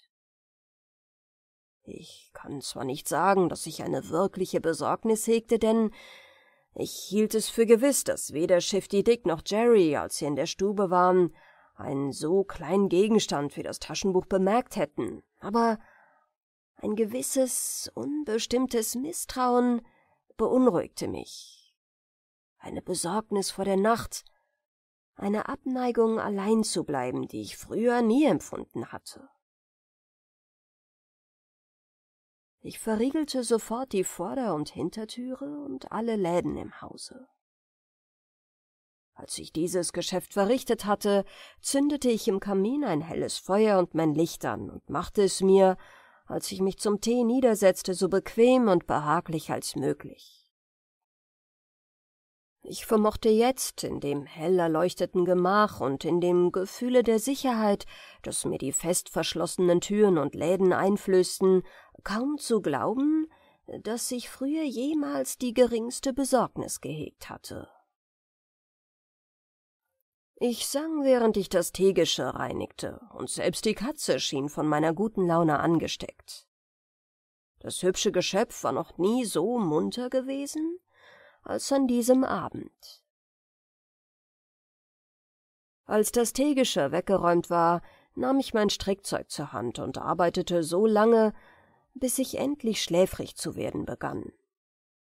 Das Feuer brannte so hell und warm, dass ich mich nicht entschließen konnte, es zu verlassen und zu Bett zu gehen. Ich blickte müßig in die Flamme, bis der plätschernde Regen draußen und das dumpfe Stöhnen des Windes immer schwächer in meinem Ohre wurde.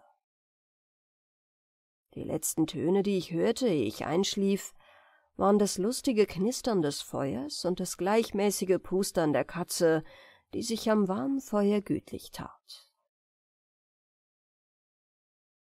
Der Ton, der mich aufweckte, war ein lautes Klopfen an der vorderen Haustüre.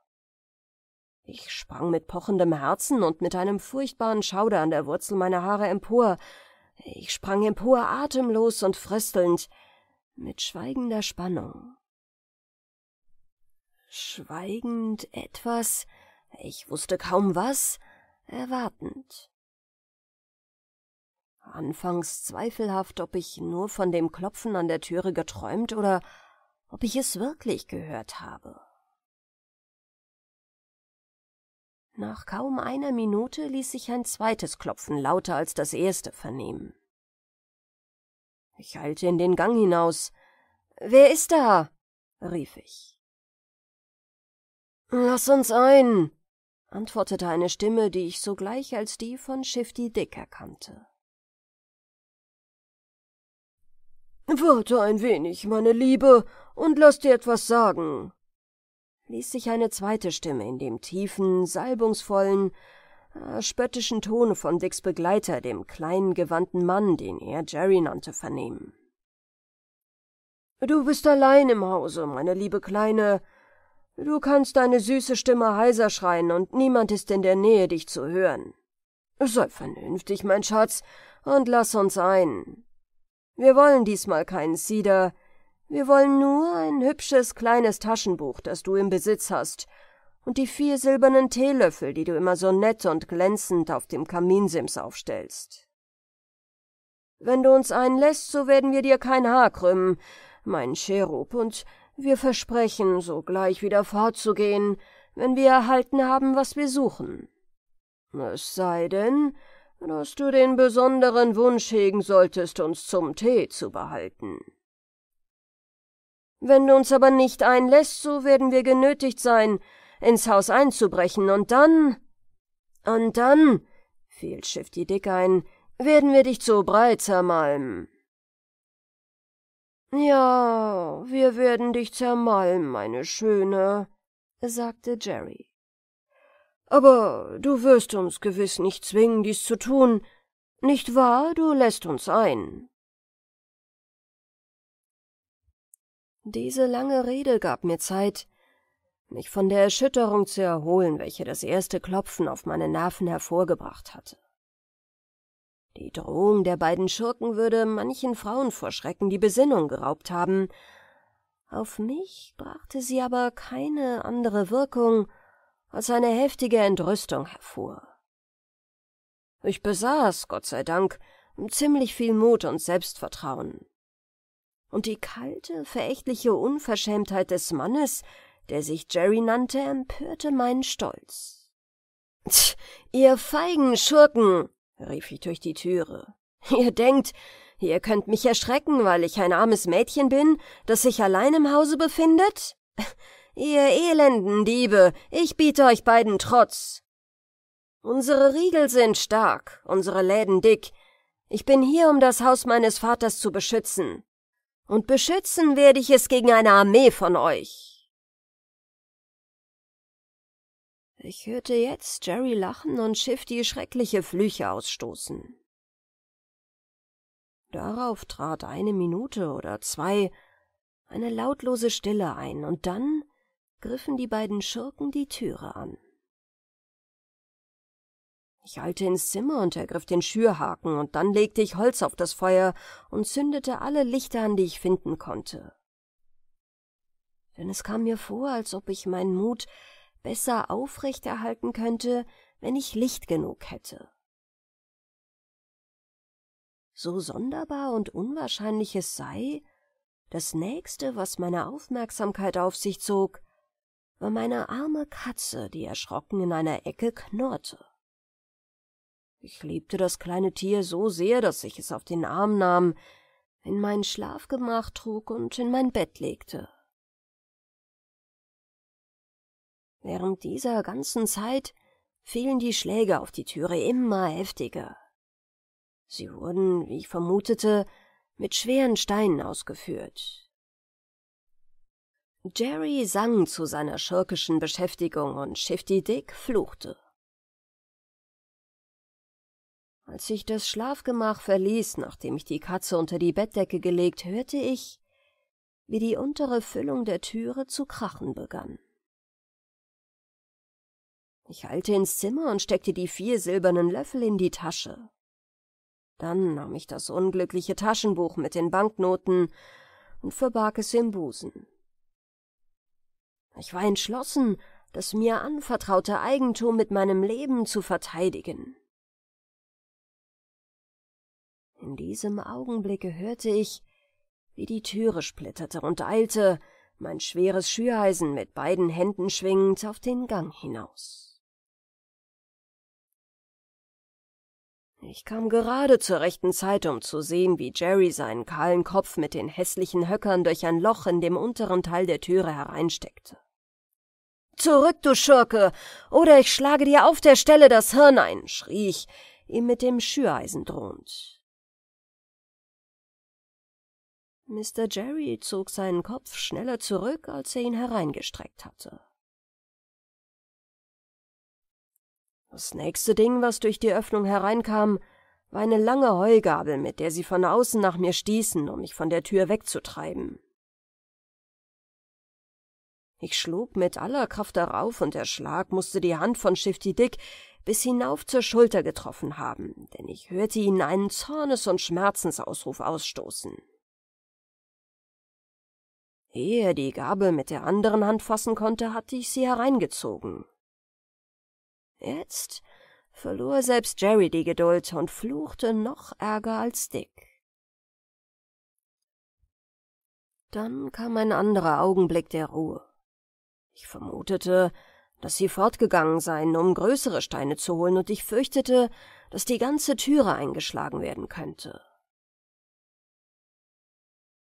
Als diese Besorgnis mich ergriff, eilte ich in mein Schlafgemach, schleifte die kleine Kommode auf den Gang hinaus und lehnte sie vor die Öffnung der Türe.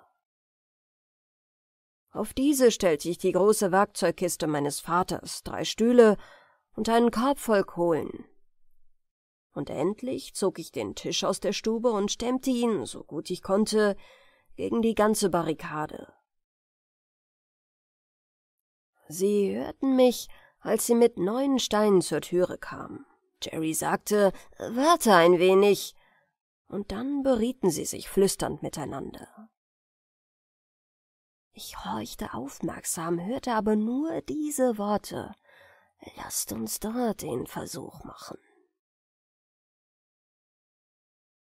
Gleich darauf vernahm ich, wie sich ihre Fußtritte von der Türe entfernten. Wollten sie jetzt einen Angriff auf die hintere Türe machen?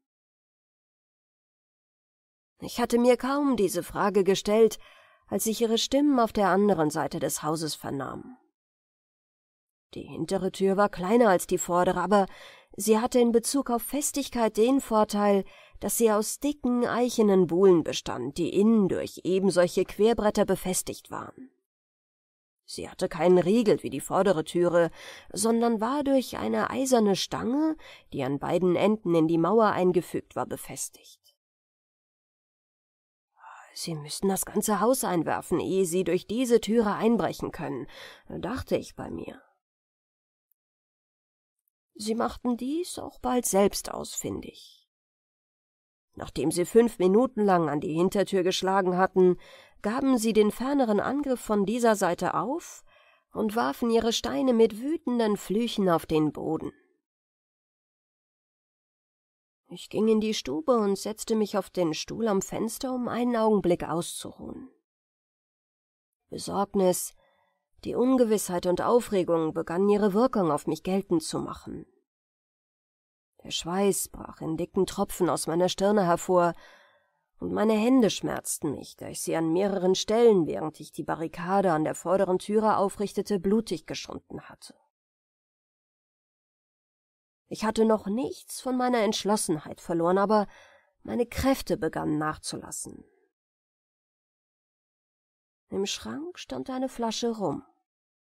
Ich trank einen Tropfen davon. Niemals, weder vorher noch nachher, habe ich etwas über meine Zunge gebracht, das mir halb so gut tat, als dieser kostbare Mund voll Rum. Ich saß noch immer auf dem Fenstersitz, als ich plötzlich ihre Stimmen hart neben mir hörte. Sie tasteten am Fenster herum, es war gleich allen anderen Fenstern im Hause durch eiserne Gitter und innen durch Läden geschützt. Ich horchte in schrecklicher Spannung auf den Ton von Pfeilen, aber nichts derartiges ließ sich vernehmen. Sie hatten offenbar darauf gerechnet, mich so erschrecken zu können, dass ich sie gutwillig einlassen würde und sich deshalb nicht mit Werkzeugen zum Einbrechen versehen. Ein neuer Ausbruch von Flüchen belehrte mich, dass sie sich von dem Hindernis der eisernen Gitter überzeugt hatten. Ich lauschte atemlos auf irgendein Zeichen, was sie zunächst zu tun gedächten, aber ihre Stimmen schienen in der Entfernung zu verhallen. Sie zogen sich von dem Fenster zurück.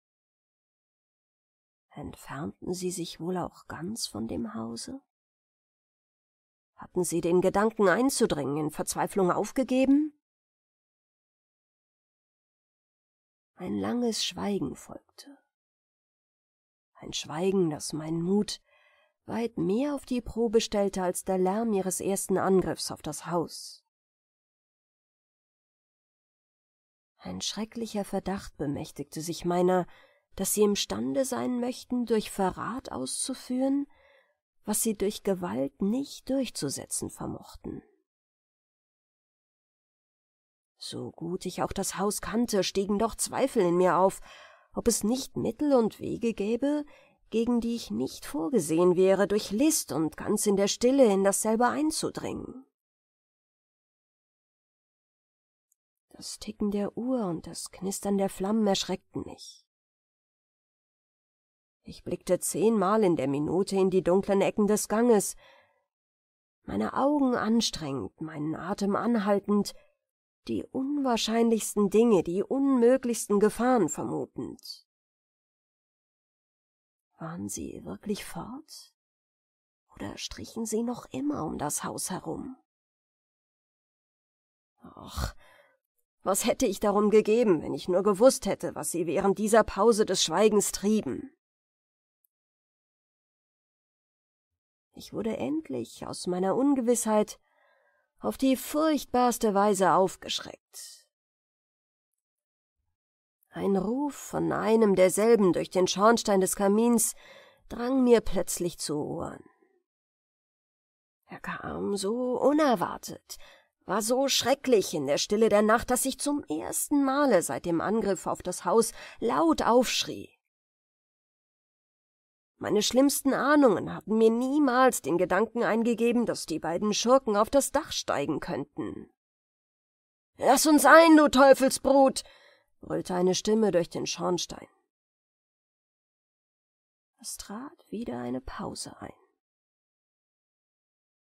Der Rauch von dem Holzfeuer dünn und leicht wie er war in dem gegenwärtigen Zustand der glühenden Asche, hatte offenbar den Mann genötigt, das Gesicht von der Öffnung des Schornsteins zu entfernen. Ich zählte die Sekunden, während er, wie ich vermutete, wieder Atem schöpfte. In weniger als einer halben Minute kam ein neuer Ruf. Lass uns ein, oder wir brennen dir das Nest über dem Kopf ab. Es abbrennen, was abbrennen? Es gab nichts leicht Brennbares als das Stroh auf dem Dach, und dieses war vollständig von dem seit fünf Stunden ohne Unterlass gefallenen Regen durchweicht. Mir das Haus über dem Kopf niederbrennen? Wie? Während ich noch immer in wilder Aufregung darüber nachdachte, welche Gefahren mir möglicherweise durch Feuer drohen könnten, kam einer der schweren Steine, welche auf dem Strohdach lagen, um zu verhindern, dass es durch die heftigen Winde weggerissen wurde, donnernd den Schornstein herab. Er streute die glühenden Kohlen auf dem Herd im ganzen Gemach umher. Ein reich ausgestattetes Zimmer mit Teppichen und anderen brennbaren Stoffen würde sogleich in Brand geraten sein. Selbst unser nackter Fußboden und unsere rohen Möbel verbreiteten einen Brandgeruch bei dem Funkenregen, welchen der erste Stein nach allen Richtungen ausstreute. Ein Augenblick stand ich über diesen neuen Beweis teuflischer Erfindungsgabe der Schurken ganz entsetzt da. Aber die furchtbare Gefahr brachte mich sogleich wieder zur Besinnung zurück.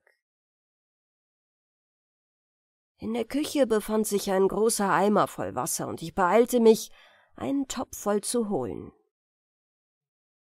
Bevor ich in das Gemach zurückkam, war ein zweiter Stein durch den Kamin heruntergeworfen worden, und der Fußboden brannte an mehreren Stellen. Ich war klug genug, zuerst mein ganzes Wasser auf das Herdfeuer zu gießen, ehe der dritte Stein herunterkam. Die Kohlen auf dem Boden löschte ich dann leicht aus. Der Mann auf dem Dache musste das Zischen des Feuers, als sich das Wasser ausgoß, gehört haben, denn nach dem dritten Stein kam keiner mehr herunter. Dass einer von den Schurken auf demselben Wege wie die Steine heruntersteigen sollte, war nicht zu befürchten, da der Kamin, wie ich wohl wusste, zu eng war, um einer anderen Person als einem kleinen Jungen den Durchzug zu gestatten. Bei diesem tröstlichen Gedanken blickte ich empor. Ich blickte empor und sah so deutlich, wie ich jetzt das Papier sehe, auf das ich schreibe, die Spitze eines Messers durch das Dach kommen, gerade über meinem Kopf. Unser Häuschen hatte keinen oberen Stock und unsere Gemächer keine Decken. Langsam bewegte sich das Messer durch die trockene Innenseite des Strohdachs zwischen den Sparren hin und her. Es hielt dann eine Weile an, und ich hörte, wie an dem Stroh gerissen wurde, das in Menge herunterfiel. Die große, haarige Hand von Shifty Dick kam darauf durch eine Öffnung zum Vorschein. Sie war mit dem Messer bewaffnet, mit dem sie an die Balken klopfte, als ob sie die Stärke derselben prüfen wollte. Gott sei Dank, sie waren dick und lagen sehr nahe beisammen. Nur mit einem Beil hätte man einen Teil derselben entfernen können. Die mörderische Hand untersuchte noch immer mit dem Messer, als ich einen Ruf von dem Schurken Jerry hörte, ein Ruf, der aus der Nähe des Steinschuppens meines Vaters hinter dem Hause zu kommen schien. Die Hand und das Messer waren im nächsten Augenblick verschwunden. Ich ging nach der hinteren Türe legte das Ohr an dieselbe und horchte. Beide Männer befanden sich jetzt in dem Schuppen. Ich strengte mein Gedächtnis an, um mich zu erinnern, welche Werkzeuge und andere Dinge, die gegen mich gebraucht werden konnten, dort aufbewahrt wurden. Aber meine Aufregung verwirrte mich. Es fiel mir nichts bei ein als die große Steinsäge meines Vaters, die viel zu schwer und unhandlich war, um auf dem Dach des Hauses verwendet werden zu können. Ich quälte noch immer umsonst mein Gehirn ab, als ich die Männer etwas aus dem Schuppen schleppen hörte. In demselben Augenblick, wo das Geräusch mir zu Ohren drang, erinnerte ich mich plötzlich einiger Balken, welche seit Jahren dort lagen. Ich hatte kaum Zeit, mich zu gewissern, dass sie einen derselben entfernten, als ich Shifty Dick zu Jerry sagen hörte, welche Türe? Die vordere, war die Antwort. Sie hat bereits einen Bruch. Wir werden sie jetzt in der kürzesten Zeit eingestoßen haben. Es gehörte gerade kein großer Scharfsinn dazu, aus diesen Worten zu schließen, dass sie im Begriff waren, den Balken wie einen Mauerbrecher gegen die Türe zu gebrauchen. Als sich mir diese Überzeugung aufdrängte, verlor ich endlich den Mut. Ich wusste, dass die Türe eingestoßen werden würde. Keine Barrikade, wie ich sie gebaut hatte, konnte länger als einige Minuten den Stößen mit einem schweren Balken widerstehen. Ich kann nichts weiter tun, als das Haus gegen sie halten, sagte ich zu mir, während meine Knie zusammenschlugen und die Tränen meine Wangen zu netzen begannen. Ich muss mich auf die Nacht und die dichte Finsternis verlassen und mein Leben durch Laufen retten, solange es noch Zeit ist.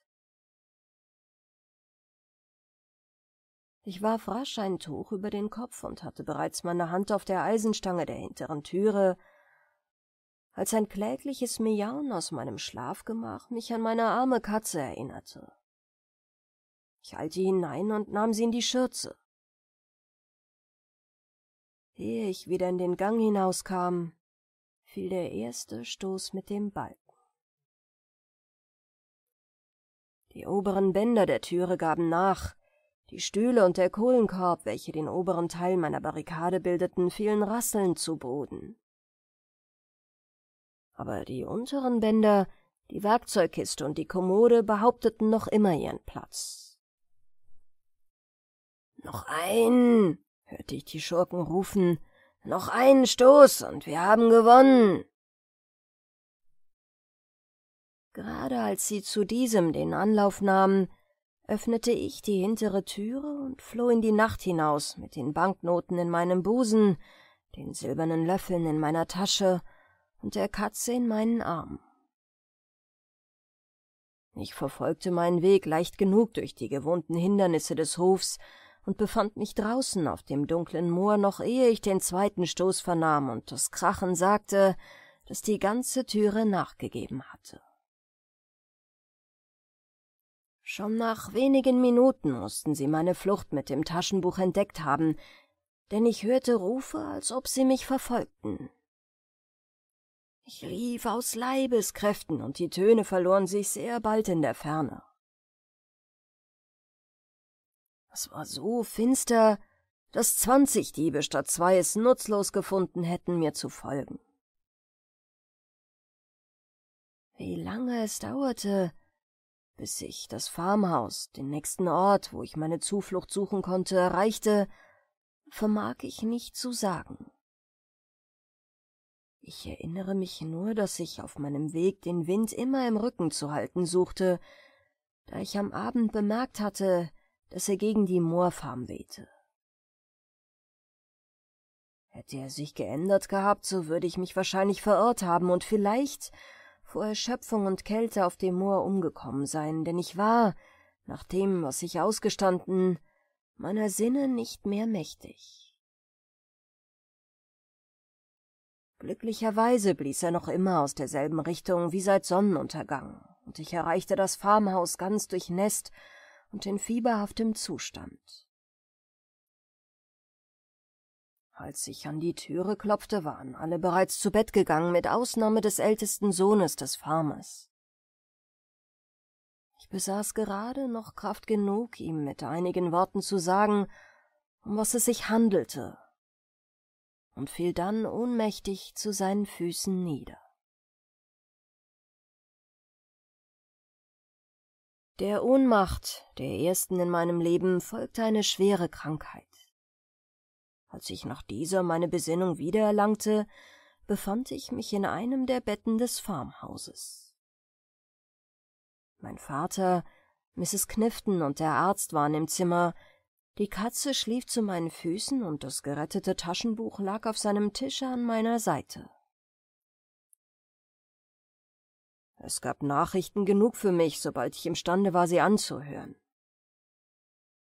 Shifty Dick und der andere Schurke befanden sich im Gefängnis und erwarteten ihre Aburteilung bei den nächsten Narzissen.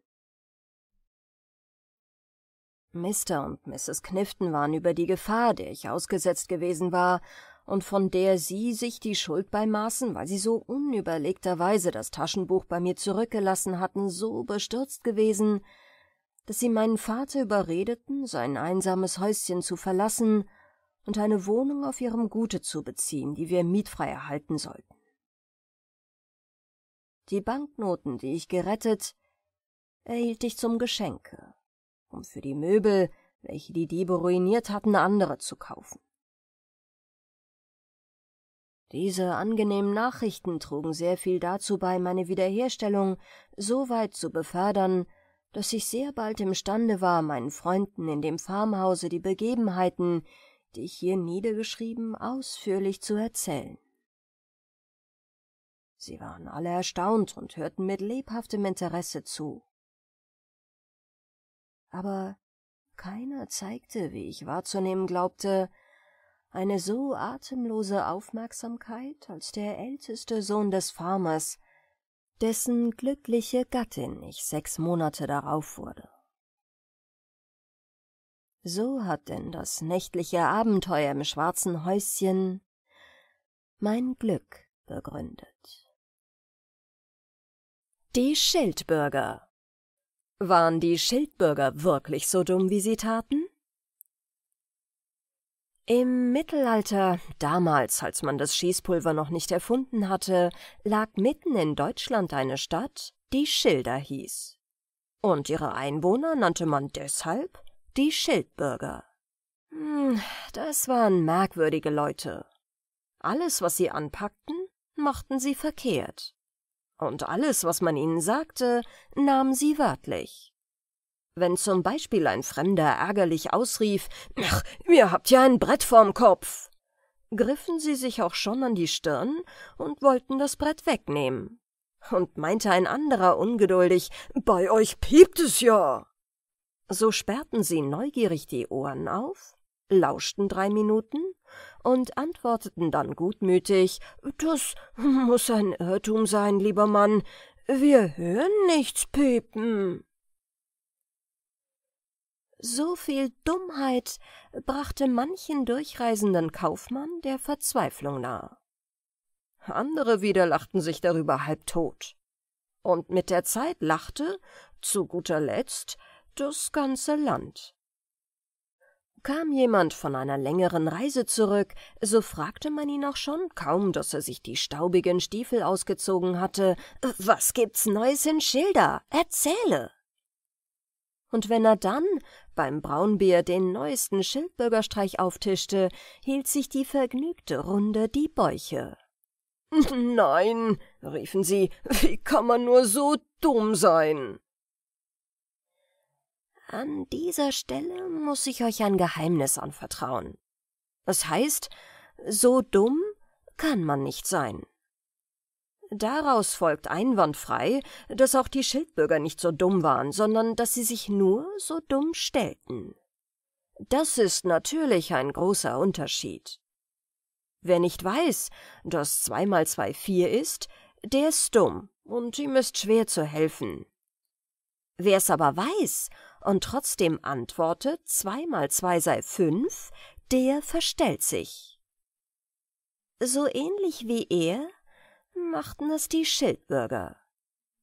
Und wer unter euch scharf nachdenken kann, der wird mich etwas ganz Bestimmtes fragen wollen.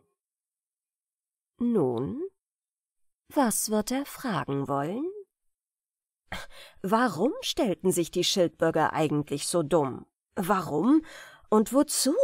Was hatten sie davon? Ja, ganz recht. Was hatten sie davon? Wer lässt sich schon gern vom ganzen Lande auslachen? Wer ist schon gerne und noch dazu freiwillig so dumm wie Bohnenstroh? Ja, also außer den Schildbürgern wüsste ich niemanden. Und damit er sie versteht, muss ich erst einmal erzählen, wie ihre Dummheit zustande kam. Die Geschichte ist ein bisschen verzwickt. Ich kann's nicht ändern. Passt also gut und genau auf. Lange, sehr lange bevor die Schildbürger durch ihre sprichwörtliche Dummheit berühmt wurden, waren sie im Gegenteil fleißig, tüchtig, beherzt und aufgeweckt. Ja, sie waren sogar tüchtiger und gescheiter als die meisten anderen Leute. Das sprach sich bald herum. Und wenn man sich anderswo kein Rat mehr wusste, schickte man einen berittenen Boten nach Schilder, dass er Ratschläge einhole. Am Ende kamen allwöchentlich mindestens zwei Gesandte aus fernen Reichen und Ländern, brachten prächtige Geschenke von Königen, vom Kaiser und vom Sultan und baten, Schilder möge ihn den ein oder anderen klugen Einwohner als Minister, Bürgermeister oder Oberlandesgerichtsdirektor ausleihen. Ja, so gingen immer mehr Schildbürger ins Ausland, erwarben sich draußen Rang, Ehren und Orden und sandten regelmäßig Geld nach Hause. Ruhm, Geld und Titel sind ganz gut und ganz schön. Aber in Schilder selber ging es mittlerweile drunter und drüber. Da die Männer nicht daheim waren, mussten statt ihrer die Frauen pflügen, säen und ernten. Die Frauen mussten die Pferde beschlagen und das Vieh schlachten. Die Frauen mussten die Kinder unterrichten, die Steuern einkassieren, die Ernte verkaufen, den Marktplatz pflastern, die Zähne ziehen, das Korn mahlen, die Schuhe besohlen, die Semmeln backen, die Bäume fällen, die Predigten halten, die Scheunen ausbessern, die Diebe einsperren, die Glocken läuten, die Bretter hobeln, den Weinkeltern, die Brunnen graben, die Wiesen mähen, die Dächer decken und abends im Wirtshaus zum roten Ochsen sitzen. Ja, das war zu viel. Das Vieh verkam. Die Ernte verfaulte, es regnete durch die Dächer. Auf dem Marktplatz wuchsen Brennnesseln. Die Uhr am Kirchturm ging vier Stunden nach. Die Kinder wurden frech und blieben dumm. Und die armen Frauen wurden vor lauter Sorgen, Mühen und Tränen hässlich und vor der Zeit krumm und alt. Da? Schrieben sie ihren Männern einen wütenden Brief, worin zu lesen stand, warum und wieso sie nicht länger ein noch auswüssten, und die Männer sollten sich schleunigst heimscheren. Ja, da kriegten die Männer einen Heidenschreck, verabschiedeten sich hastig von ihren tief betrübten Königen und Kurfürsten und vom Sultan und fuhren aus allen Himmelsrichtungen mit der Extrapost nach Hause zurück. Hier schlugen sie erst einmal die Hände überm Kopf zusammen. Sie kannten ihr Schilder gar nicht wieder. Die Fensterscheiben waren zersprungen, im Hausflur wuchs Moos, die Wagenräder quietschten, die Kinder streckten die Zunge heraus, und der Wind wehte die Ziegel vom Dach. Tja, das habt ihr von eurer Gescheitheit, sagten die Frauen ärgerlich. Und die Männer gingen, ohne ein Wort zu sagen, ins Bett. Ein paar Tage später trafen sie sich im Roten Ochsen tranken Bier, klagten einander ihr Leid und kratzten sich hinter den Ohren. Draußen vorm Gasthof standen schon wieder fünf Gesandte aus fremden Ländern und baten um ihr Gehör. Schickt sie weg, sagte der Ochsenwirt. Diesmal können wir unseren guten Rat selber brauchen.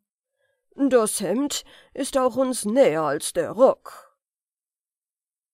Dann steckte er den Kopf durchs Fenster und rief Wir haben leider alle den Keuchhusten.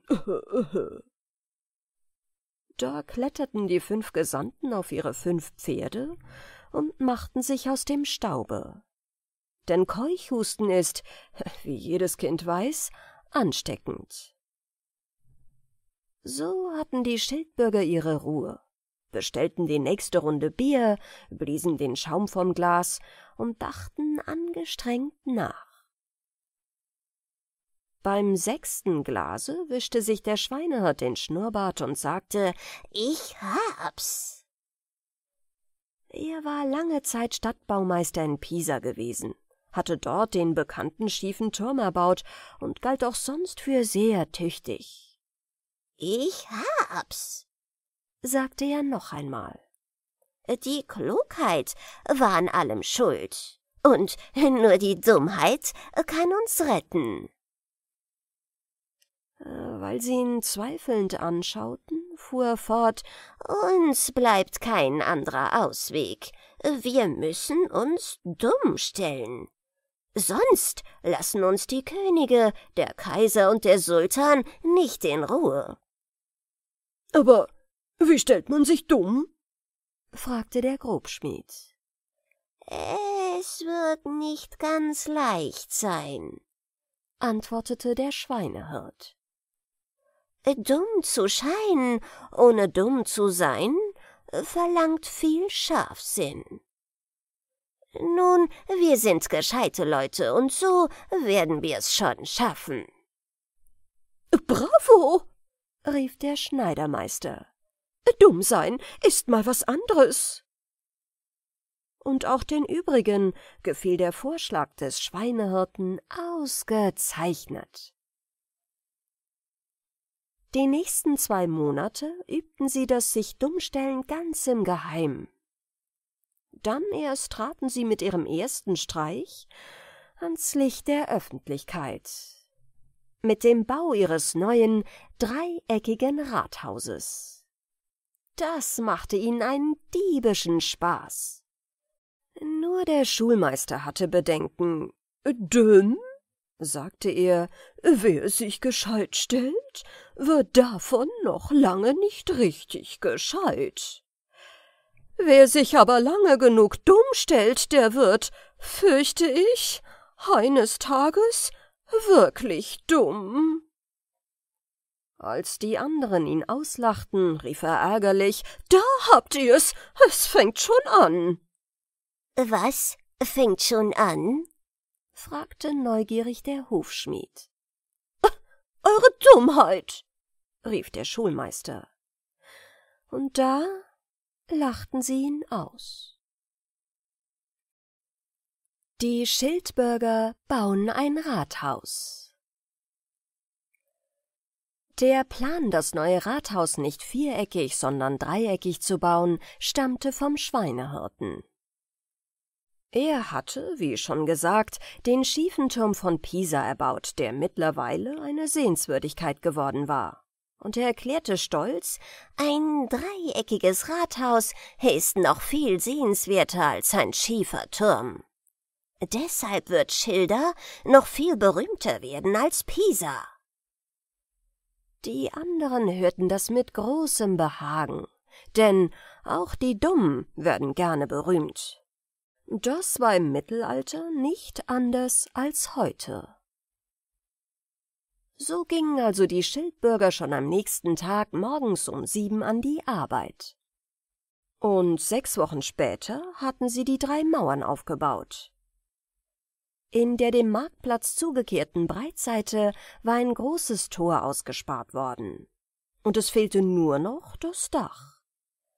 Nun, auch das Dach kam bald zustande, und am Sonntag darauf fand die feierliche Einweihung des neuen Rathauses statt. Sämtliche Einwohner erschienen in ihren Sonntagskleidern und begaben sich mit dem Schweinehirten an der Spitze in das weißgekalkte, dreieckige Gebäude.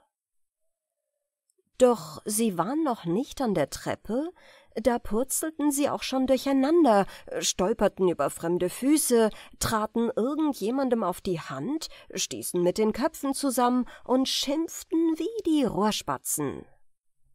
Die drin waren, wollten wieder heraus, und die draußen standen, wollten unbedingt hinein. Es gab ein fürchterliches Gedränge. Endlich landeten sie alle, wenn auch zerschunden und mit Beulen und blauen Flecken, wieder im Freien, blickten einander ratlos an und fragten aufgeregt, äh, was war denn eigentlich los? Da kratzte sich der Schuster hinter den Ohren und sagte, in unserem Rathaus ist es finster. Ja, stimmt, riefen die anderen. Als aber der Bäcker fragte, und woran liegt das? wussten sie lange keine Antwort. Bis der Schneider schüchtern sagte, ich glaube, ich hab's. Nun? In unserem neuen Rathaus, fuhr der Schneider bedächtig fort, ist kein Licht. Da sperrten sie Mund und Nase auf und nickten zwanzigmal. Der Schneider hatte recht. Im Rathaus war's finster, weil kein Licht drin war. Am Abend trafen sie sich beim Ochsenwirt, tranken ein Bier und beratschlagten, wie man Licht ins Rathaus hineinschaffen könne. Es wurden eine ganze Reihe Vorschläge gemacht. Doch sie gefielen ihm nicht besonders. Erst nach dem fünften Glas Braunbier fiel dem Hufschmied das Richtige ein. »Ja, das Licht ist ein Element wie Wasser«, sagte er nachdenklich. Und da man Wasser in Eimern ins Haus trägt, sollten wir es mit dem Licht genauso machen. Hurra! riefen sie alle, das ist die Lösung. Am nächsten Tag hättet ihr auf dem Marktplatz sein müssen. Das heißt, ach, ihr hättet gar keinen Platz gefunden.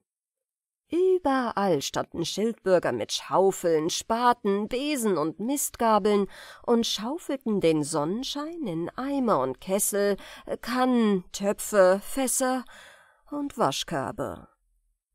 Andere hielten große leere Kartoffelsäcke ins Sonnenlicht, banden dann die Säcke geschwind mit Stricken zu und schleppten sie ins Rathaus.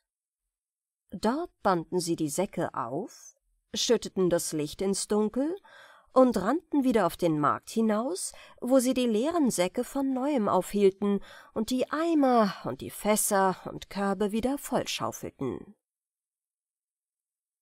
Ein besonders Schlauer hatte eine Mausefalle aufgestellt und fing das Licht in der Falle. So trieben sie es bis zum Sonnenuntergang. Dann wischten sie sich den Schweiß von der Stirn und traten gespannt durch das Rathaustor. Sie hielten den Atem an. Sie sperrten die Augen auf. Äh, aber im Rathaus, ja, da war es noch genauso dunkel wie am Tag zuvor. Da ließen sie die Köpfe hängen und stolperten wieder ins Freie. Wie sie so auf dem Markt herumstanden, kam ein Landstreicher des Wegs und fragte, wo es denn fehle. Sie erzählten ihm ihr Missgeschick und, dass sie nicht ein noch aus wüssten. Er merkte, dass es mit ihrer Gescheitheit nicht weit her sein konnte und sagte, Kein Wunder, dass es in eurem Rathaus finster ist. Ihr müsst das Dach abdecken. Sie waren sehr verblüfft. Und der Schweinehirt meinte, wenn dein Rat gut sein sollte, darfst du bei uns in Schilder bleiben, solange du willst. Jawohl, fügte der Ochsenwirt hinzu. Und essen und trinken darfst du bei mir umsonst.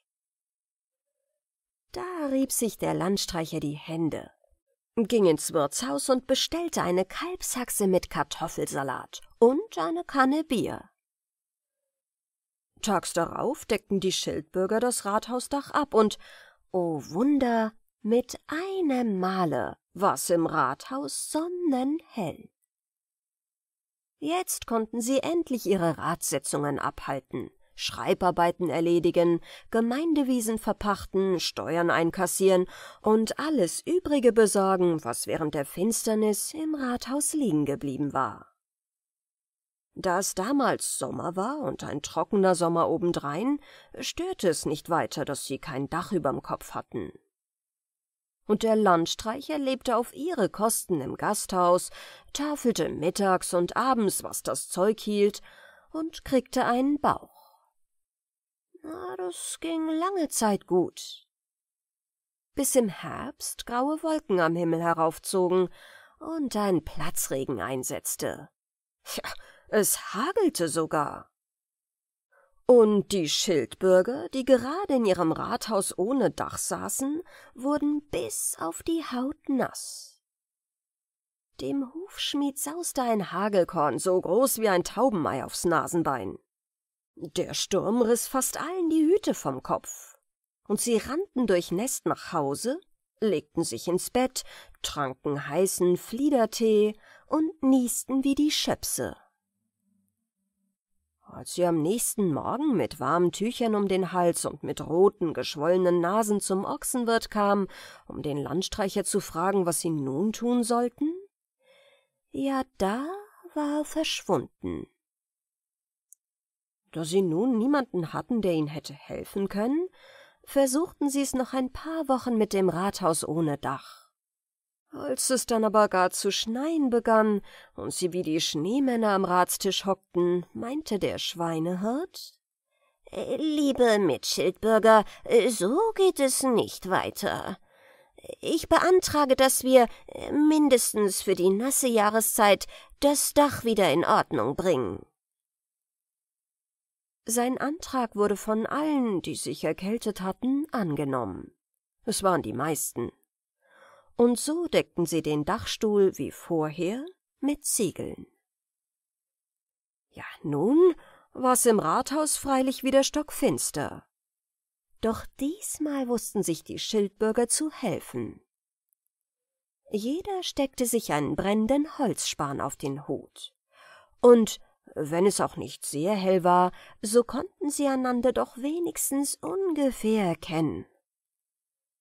Leider begannen die Späne nach einer Viertelstunde zu flackern. Nach einer halben Stunde roch es nach angebrannten Hüten. Und schon saßen die Männer, wie vor Monaten, im Dunkeln. Es war ganz still geworden. Sie schwiegen vor lauter Erbitterung. Plötzlich rief der Schuster aufgeregt, »Da, ein Lichtstrahl!« Tatsächlich. Die Mauer hatte einen Riss bekommen, und durch ihn hindurch tanzte ein Streifen Sonnenlicht.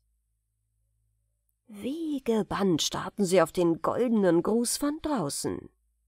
»Oh, wir Esel«, brüllte da der Schweinehirt. »Wir haben ja die Fenster vergessen.« Dabei sprang er auf, äh, fiel im Dunkeln über die Beine des Schmieds und schlug sich an der Tischkante drei Zähne aus. Ja, so war's. Sie hatten tatsächlich die Fenster vergessen. Sie stürzten nach Hause, holten Spitzhacken, Winkelmaß und Wasserwaage, und noch am Abend waren die ersten Fenster fix und fertig.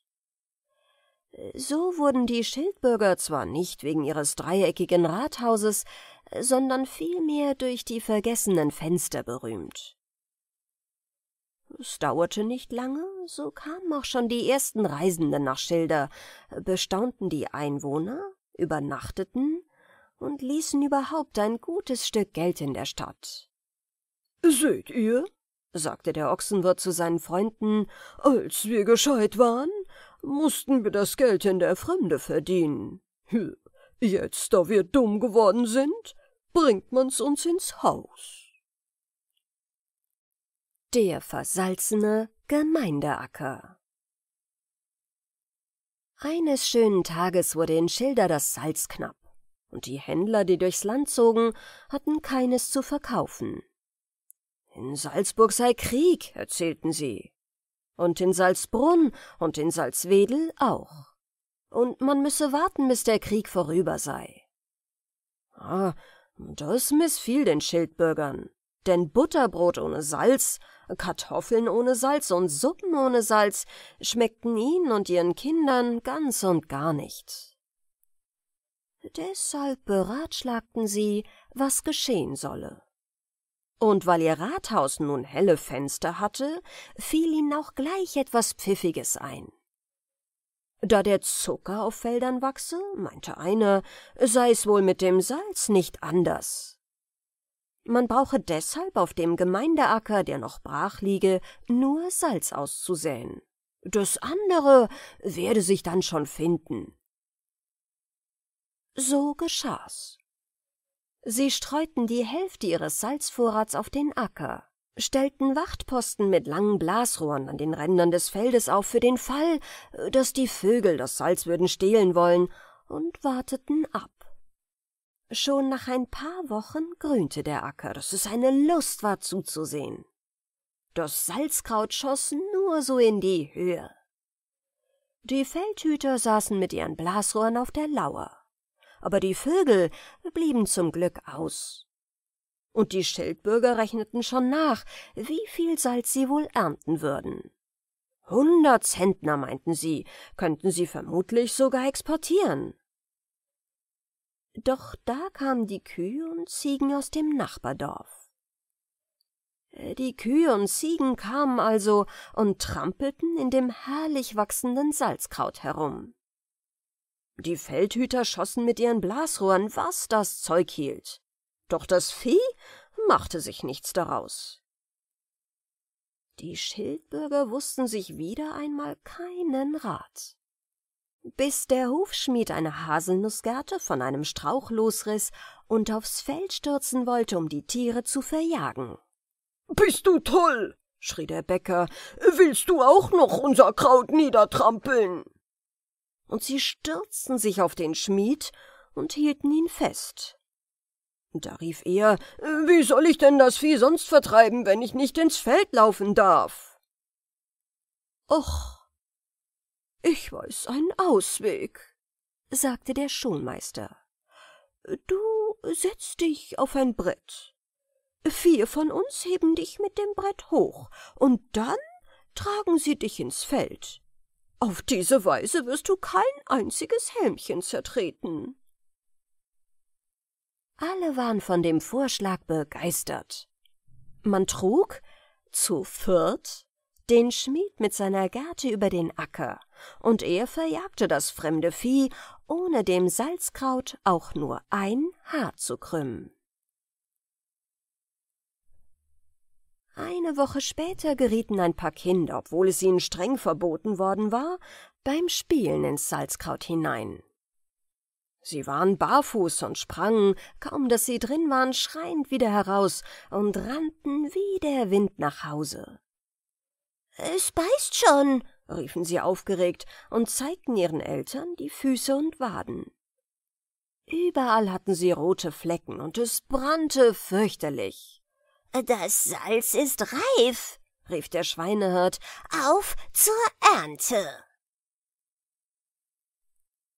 Die Schildbürger ließen ihre Arbeit stehen und liegen, spannten die Pferde und Ochsen vor die Erntewagen und fuhren mit Sicheln, Sensen und Dreschflegeln zum Gemeindeacker. Das Salzkraut biss ihnen in die Beine, dass sie wie die Lämmer herumhüpften. Es zerkratzte ihnen die bloßen Arme. Sie bekamen rotgeschwollene Hände, Tränen traten ihnen in die Augen und rollten über ihre Backen und es dauerte gar nicht lange, so warfen sie die Sensen und Sicheln weg, sprangen weinend aus dem Acker, fuchtelten mit den brennenden Armen, Händen und Beinen im Wind und fuhren in die Stadt zurück. Nun? fragten ihre Frauen, habt ihr das Salz schon abgeerntet? Die Männer steckten die Hände und Füße ins kalte Wasser und sagten Nein, es hat keinen Zweck. Das Salz ist uns zu salzig. Ach ja, ihr wisst natürlich längst, was da auf dem Felde gewachsen war und was da so beißen konnte. Es waren Brennnesseln. Ihr wisst es, und ich weiß es. Aber wir sind ja auch viel gescheiter, als die Schildbürger waren. Wer am besten reimt, wird Bürgermeister. Da Schilder zum Kaiserreich Utopia gehörte, ist es weiter kein Wunder, dass dem Kaiser von Utopia die Dummheit der Schildbürger bald zu Ohren kam. Da sich aber in früheren Jahren oft bei ihnen Rat geholt hatte, hielt er das, was man neuerdings über ihre Streiche zu erzählen wusste, für Gerüchte und Gerede. Deshalb beschloss er, selber einmal nach Schilder zu reisen. Er schickte also einen Boten, kündigte seinen hohen Besuch an und ließ ausrichten, sie sollten ihm halb geritten und halb gegangen entgegenkommen. Und wenn sich ihre Antwort auf seine Begrüßungsworte reime, so werde er Schilder zur freien Reichsstadt ernennen und den Einwohnern die Umsatzsteuer erlassen. Die Aufregung in Schilder war natürlich groß, und im Rathaus ging es hoch her. Denn wer von ihnen sollte denn dem Kaiser, wenn er käme, antworten? Äh, noch dazu in gereimter Form? Das ist doch sonnenklar, rief der Schuster. Unser Bürgermeister muss das tun. Du hast gut reden, erwiderte der Bäcker. Äh, wir haben doch gar keinen Bürgermeister. Ja, verdutzt sahen sie einander an. tatsächlich, sie hatten vergessen, einen Bürgermeister zu wählen. Äh, nun, Sie beschlossen einstimmig, gleich am nächsten Tag das Versäumte nachzuholen.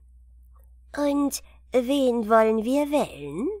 fragte der Schweinehirt neugierig. Da meinte der Ochsenwirt, den, der bis morgen das beste Gedicht macht. Der Vorschlag gefiel ihnen über alle Maßen, und sie gingen schleunigst heim, um etwas Hübsches zu dichten denn jeder von ihnen wäre selbstverständlich gerne Bürgermeister geworden.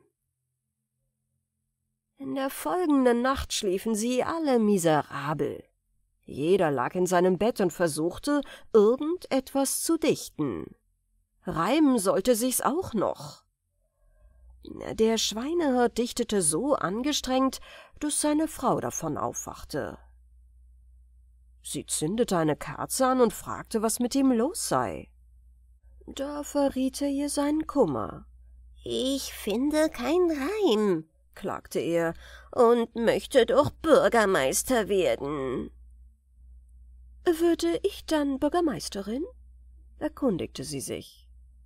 Und als er nickte, begann sie auf der Stelle eifrig nachzudenken. Schon eine Viertelstunde später hatte sie ein Gedicht fix und fertig. Katrine heißt die Gattin mein, möcht gerne Bürgermeisterin sein, ist schöner als mein schönstes Schwein und trinkt am liebsten Moselwein. Sie sprach ihm das Gedicht neunundneunzigmal vor, und er musste es neunundneunzigmal nachsprechen. Da klingelte der Wecker, und der Schweinehirt musste ins Rathaus. Die meisten Gedichte, die man zu hören kriegte, waren nicht viel wert. Der Schuster deklamierte zum Beispiel Ich bin ein Bürger und kein Bauer und mache mir das Leben bitter. Das kann ich besser, rief der Hufschmied und dichtete Ich bin ein Bürger und kein Ritter und mache mir das Leben sauer. Ja, doch auch seine Verse fanden keinen rechten Anklang. Ja, so ging das eine ganze Weile hin, bis dann der Schweinehirt aufgerufen wurde. Er holte tief Luft und sagte mit lauter Stimme äh, Meine Frau, die heißt Katrine, wär gern Bürgermeisterin, ist schwerer als das schwerste Schwein und trinkt am liebsten bayerisch Bier. Ja, dass er damit den Vogel abschoss, wird niemanden von euch wundern. Der Schweinehirt wurde also unter Beifallsrufen zum Bürgermeister von Schilder gewählt. Und er und seine Frau waren aufeinander furchtbar stolz. Der Kaiser besucht die Schildbürger.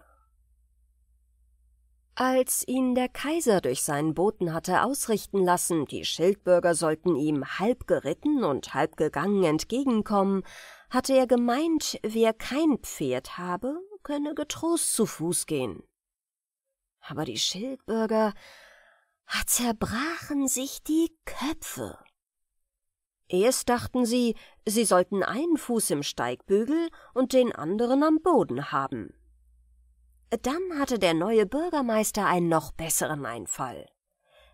Wenn wir hölzerne Steckenpferde ritten, sagte er, wären wir halb zu Pferd und halb zu Fuß. Das war ein Gedanke recht nach ihrem Herzen. Sie ließen sich beim Schreiner Steckenpferde schnitzen, weiße, braune, schwarze und fuchsrote, und als der Kaiser in seiner Galakutsche angemeldet worden war, sprengte ihm ganz Schilder auf Holzpferdchen entgegen. Der Anblick freute den Kaiser außerordentlich. Deswegen war er später dem Bürgermeister auch nicht sonderlich böse, als dieser auf die kaiserlichen Grußworte äh, keinen Reim wusste. Und die Umsatzsteuer erließ er ihnen trotzdem. Das freute nun wieder die Schildbürger. Und so wurde des Kaisers Aufenthalt zu einem rechten Fest. Er lachte in einem fort, und weil sein Leibarzt sagte, Lachen sei gesund, blieb er sogar einen Tag länger. Zum Abschied schenkten sie ihm einen großen Topf mit hausgemachtem Senf. Es war nur schade, dass der Bürgermeister den Topf beim Überreichen äh, fallen ließ. Er bückte sich, griff eine Handvoll Senf und wollte den Kaiser wenigstens kosten lassen. Aber der hohe Besuch dankte bestens und meinte, er habe gerade keinen Appetit.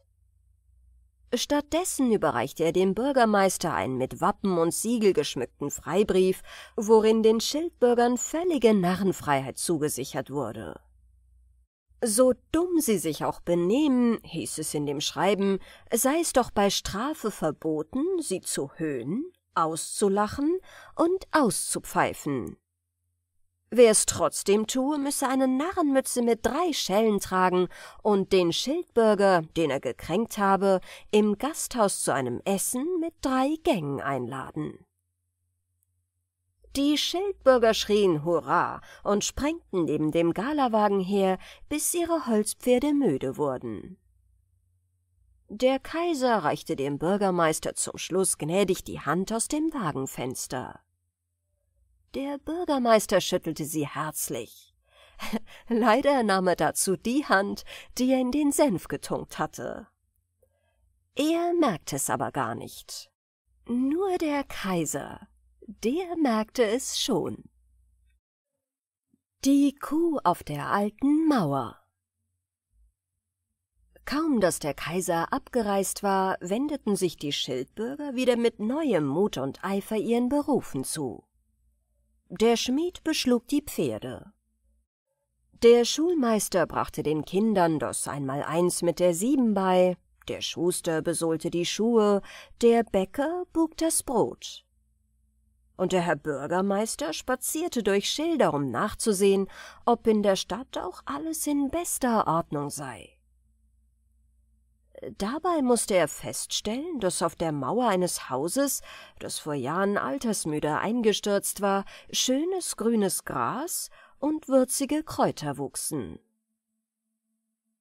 Diesen Übelstand brachte er während der nächsten Sitzung im Rathaus zur Sprache und erklärte, es sei eine Sünde und Schande, dass Gras und Kräuter auf der Mauer nutzlos wüchsen, blühten und verkämen. Der Ochsenwirt schlug vor, die Mauer abzumähen, und wer die Maat einbringe, der dürfe sie verfüttern. Es meldete sich aber niemand. Denn alle miteinander fanden den Vorschlag zu gefährlich. Die Mauer war hoch und brüchig, und keiner wollte mit der Sense oder der Sichel hinaufklettern und sich dabei womöglich den Hals brechen. Schließlich und nach langen Debatten fand der Schreiner einen Ausweg.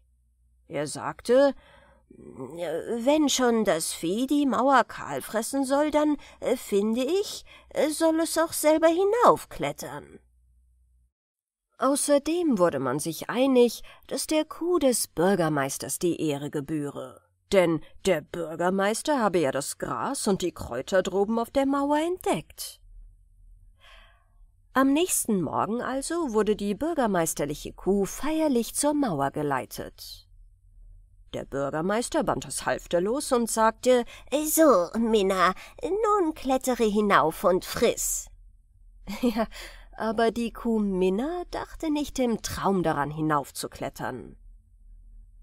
Man schob sie sechs Mann hoch dicht an die Mauer. Der Bürgermeister schlug ihr eins hinten drauf, äh, nicht der Mauer, sondern der Kuh, aber es half alles nichts.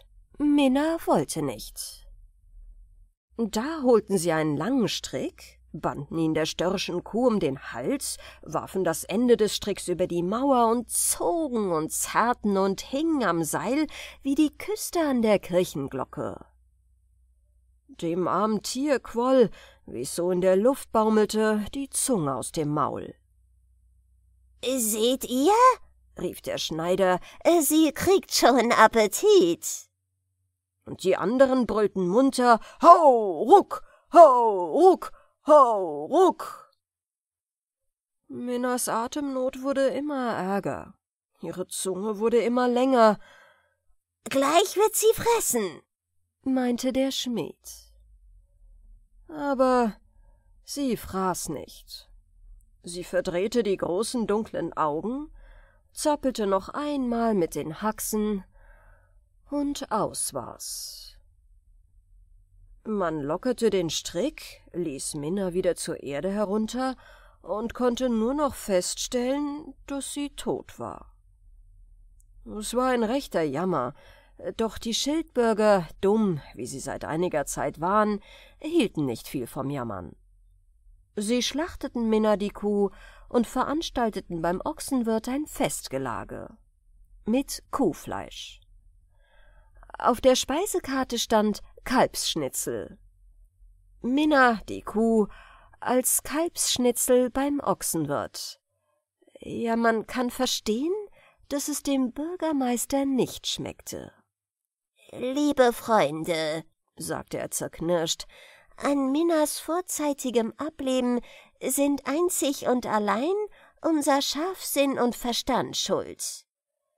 Hätte ich das Gras auf der Mauer nicht bemerkt und daraus gefolgert, dass es nutzbringend verwendet werden müsse, wäre das brave Tier noch munter und guter Dinge.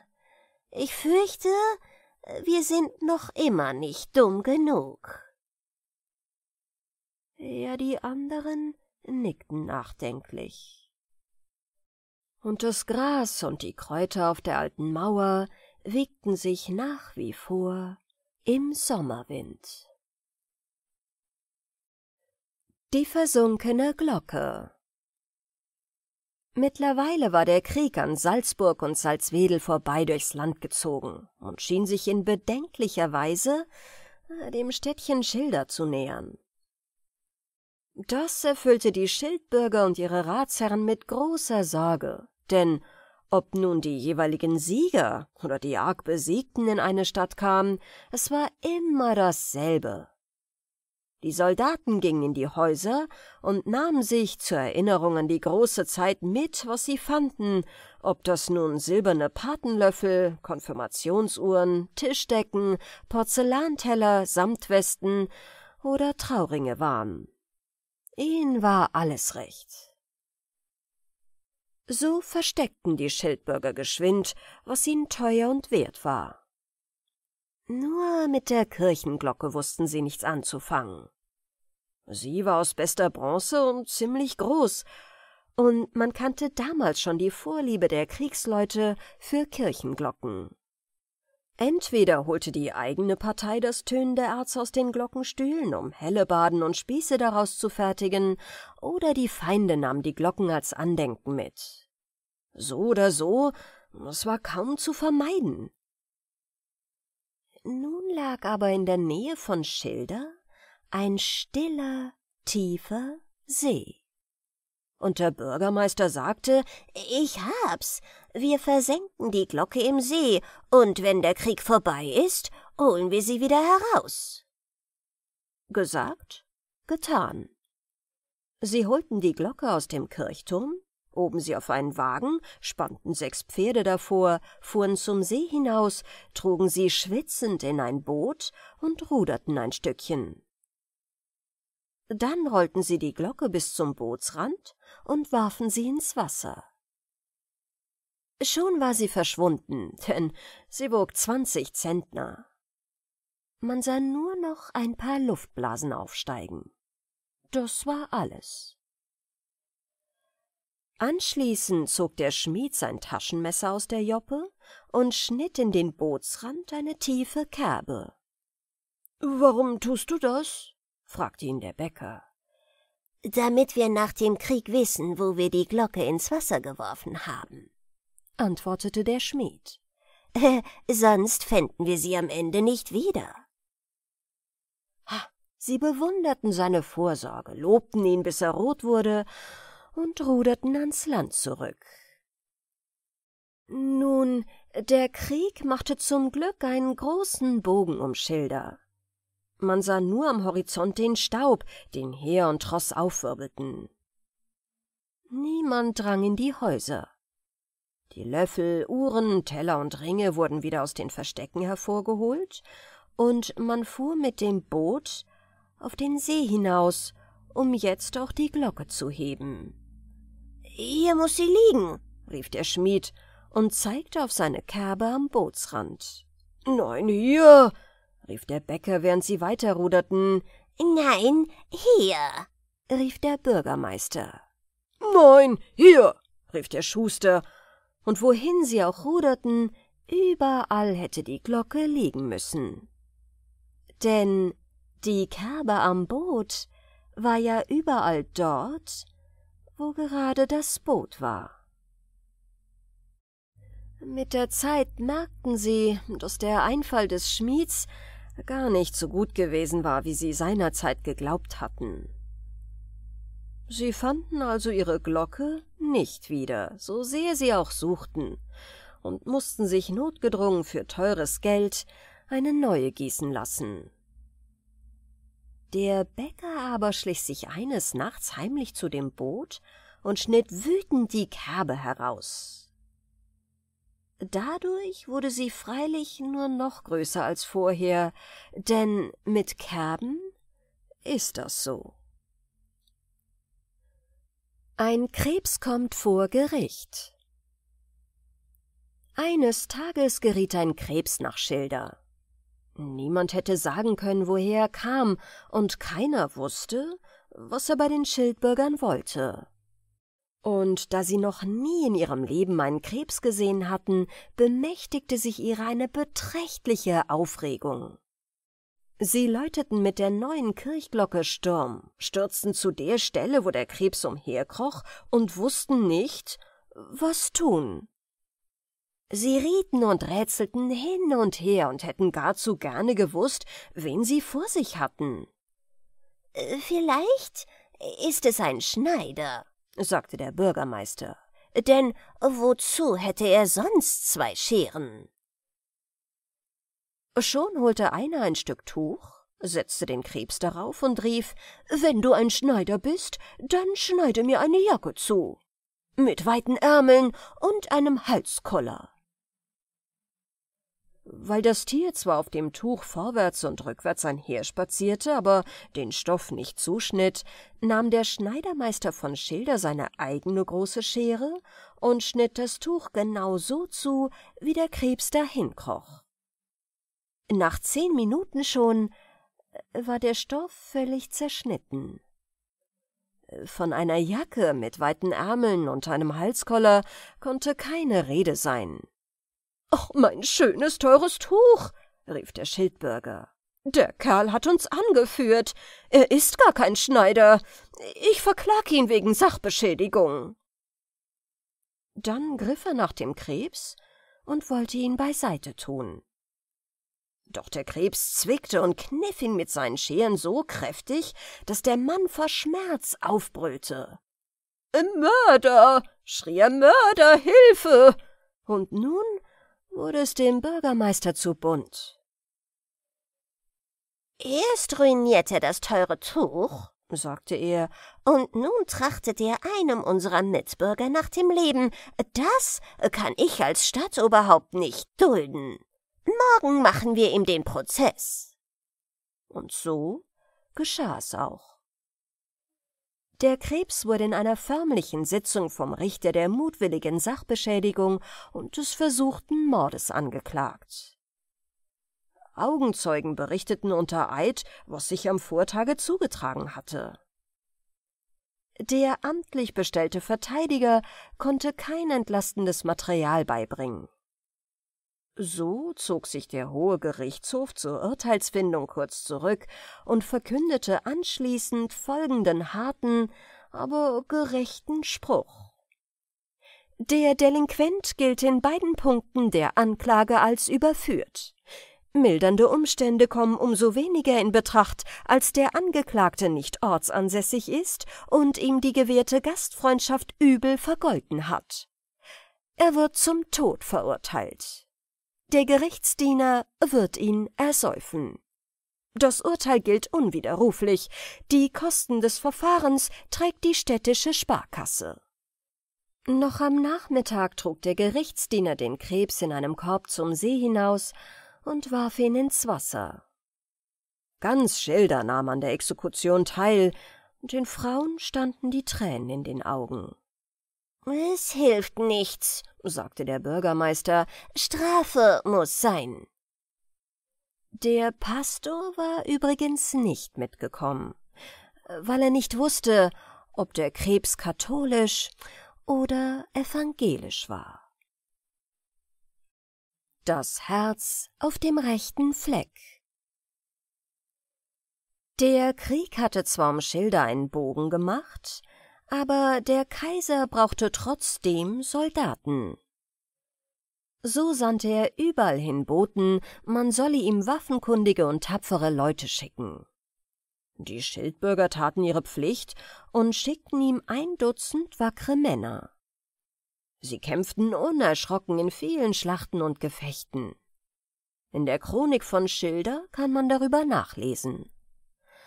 Dort erfährt man auch, dass von dem Dutzend, das in den Krieg zog, viele umkamen und insgesamt nur zwölf nach Hause zurückkehrten.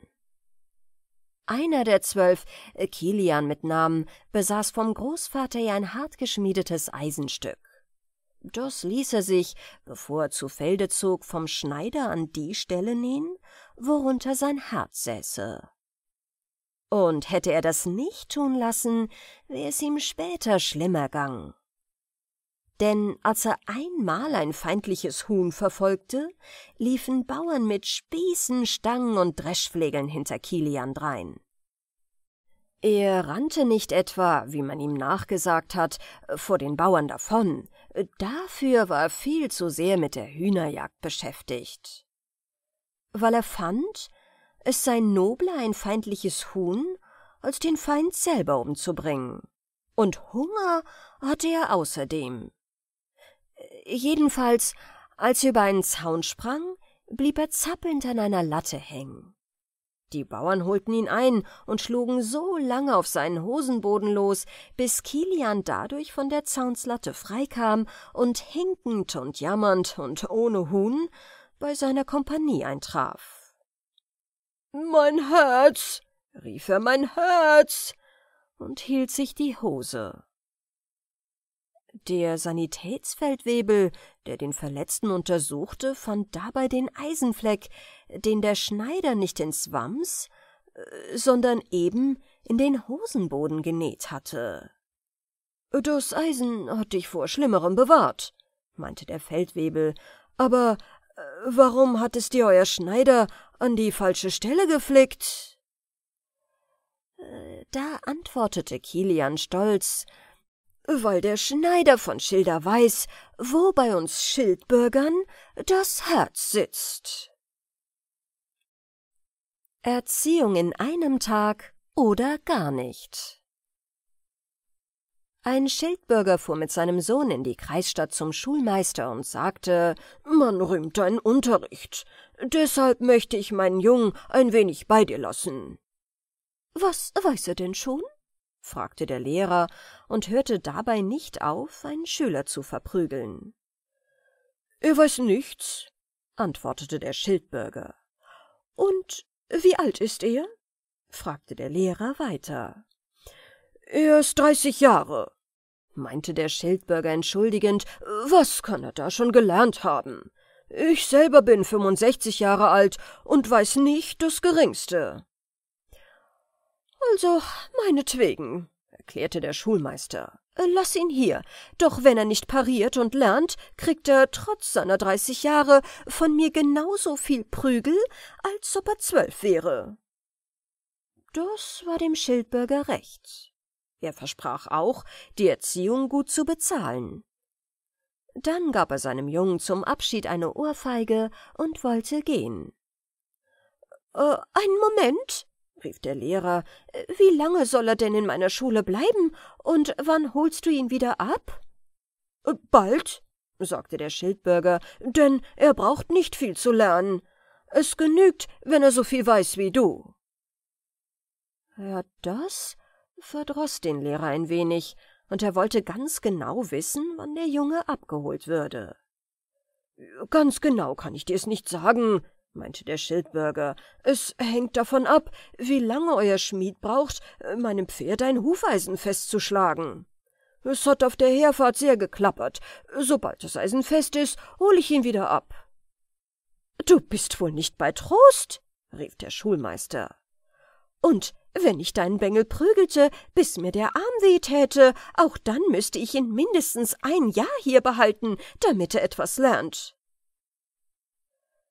Da nahm der Schildbürger seinen dreißigjährigen Sohn wieder bei der Hand und suchte das Weite. In der Tür sagte er nur noch Das Lernen weh tut und Geld kostet, mag hingehen. Doch ein Jahr Zeit ist mir dafür zu schade. Dann soll er lieber so dumm bleiben wie sein Vater. Die Folgen der Dummheit für Schilder und die übrige Welt dass man in Schilder keine Krebse kannte, wisst ihr schon. Dass man auch noch nie eine Katze gesehen hatte, ist wohl noch viel erstaunlicher. Umso besser wusste man mit Mäusen Bescheid. Sie waren in allen Kellern, Speichern und Küchen, in den Räucherkammern, beim Bäcker und nicht zuletzt beim Ochsenwirt. Bei diesem kehrte eines Tages ein Wanderer ein, der eine Katze bei sich hatte. Da die Schilder Mäuse nicht wussten, was eine Katze ist, waren sie sehr zutraulich. Und in einer halben Stunde hatte die fremde Katze zwei Dutzend Mäuse erlegt. Die anderen Gäste und der Wirt wollten nun wissen, wie das Tier heiße und wie viel es koste. Maushund heißt es, sagte der Wandersmann, und weil Maushunde sehr selten sind, kostet mein Prachtexemplar hundert Gulden. Sie liefen zum Bürgermeister, erzählten ihm von dem Maushund und baten, er möge ihn für die Stadt anschaffen. So geschah es. Als der Wanderer die hundert Gulden bekommen hatte, machte er sich aus dem Staube, falls die Schildbürger der Kauf reuen sollte. Kaum war aus dem Stadttor hinaus, kam ihm auch schon jemand nachgelaufen und wollte wissen, womit man den Maushund füttern müsse. Der Wanderer rannte, was das Zeug hielt, und rief hastig äh, Nur Speck frisst er nie. Da schlug der Schildbürger die Hände überm Kopfe zusammen und lief verzweifelt in die Stadt zurück. Er hatte nämlich in der Eile statt nur Speck frisst er nie verstanden, nur Menschen und Vieh. Das Entsetzen war groß. Wenn wir keine Mäuse mehr haben werden, wird er unser Vieh und uns selber fressen, riefen sie außer sich. Wo hat er sich versteckt? Im Rathaus, auf dem Speicher. So umzingelten sie das Rathaus, und schickten ein paar beherzte Männer hinein. Doch die Katze ließ sich nicht ergreifen. Sie kam unverrichteter Sache zurück. Dann müssen wir den Maushund ausräuchern, rief der Bürgermeister. Denn um wen wär's mir schade? Ums Rathaus oder um uns? Da schrien alle um uns und steckten das Rathaus in Brand. Als es der Katze zu heiß wurde, kletterte sie aufs Rathausdach. Und als die Flammen die Dachbalken ergriffen, sprang sie mit einem Riesensatz aufs Nachbardach und putzte sich mit der Pfote den angesenkten Schnurrbart. Schaut euch den Maushund an, rief der Schmied, er droht uns. Der Bäcker murmelte zitternd, wir schmecken ihm schon. Da zündeten sie das Nachbarhaus an. Und weil die Katze von Dach zu Dach sprang und die Schildbürger in ihrer Todesangst Haus um Haus anzündeten, brannte um Mitternacht die ganze Stadt. Am nächsten Morgen lag Schilder in Asche. Alles war verbrannt, nur die Katze nicht. Sie war vor Schreck in die Wiese gelaufen und verschwunden. Nun saßen die Schildbürger auf den Trümmern ihrer Stadt und ihrer Habe, waren froh, nicht gefressen worden zu sein, und beschlossen schweren Herzens, in alle Himmelsrichtungen auszuwandern. Das taten sie auch sehr bald. Und so kommt es, dass es heutzutage die Stadt Schilder nicht mehr gibt und die Schildbürger auch nicht. Das heißt, es gibt sie natürlich noch, nur ihre Enkel und Urenkel und deren Enkel und Urenkel leben über die ganze Erde verstreut. Von Leuten also, die sich, um glücklich zu werden, dumm stellten und dadurch ins Unglück gerieten, dass sie dumm wurden. Und sie können das auch gar nicht wissen. Denn heutzutage gelangen die Dummen zu Ruhm und Rang, zu Geld und Glück, genauso wie die Gescheiten. Tja, woran sollten also die Dummen auf unserer Erde merken, dass sie dumm sind? Ein einziges Merkmal gibt es, woran man die Dummen erkennt. Mit dem, was sie erreicht haben, sind sie selten, aber mit sich selber sind sie stets zufrieden. Gebt also gut Obacht bei den anderen. Und bei wem noch? Ja, ganz recht. Bei euch. Aladdin oder die Wunderlampe In China lebte ein armer Schneider, der verdiente so wenig, dass er mit seiner Frau und seinem Sohne aus der bittersten Not gar nicht herauskam. Deshalb hatten die Eltern auch keine Zeit gehabt, sich um die Erziehung ihres Sohnes Aladdin zu kümmern, und nun war der Bengel halsstarrig, boshaft und ungehorsam geworden und trieb sich den lieben langen Tag auf der Straße herum. Als er in das Lehrjungenalter kam, nahm ihn der Vater Schneider in seine Bude und unterwies ihn, wie er die Nadel führen sollte. Aber der Junge hatte kein Sitzfleisch, und so oft der Alte den Rücken wandte, schlüpfte Aladdin auf die Straße und kam den ganzen Tag nicht wieder. Alle Strafen halfen nichts. Zuletzt musste der Vater seinen Sohn dem liederlichen Leben überlassen und litt darüber so viel Kummer und Herzeleid, dass er starb. Die Mutter schloss den Laden, machte das Handwerksgeräte zu Geld und ernährte sich und ihren Sohn vom Wollespinnen. Aladdin, der nun nicht einmal mehr Furcht vor seinem Vater zu haben brauchte, ward ein immer größerer Taugenichts. Einst spielte er mit Gassenjungen auf einem Platze der Stadt, als ein fremder Mann des Weges kam.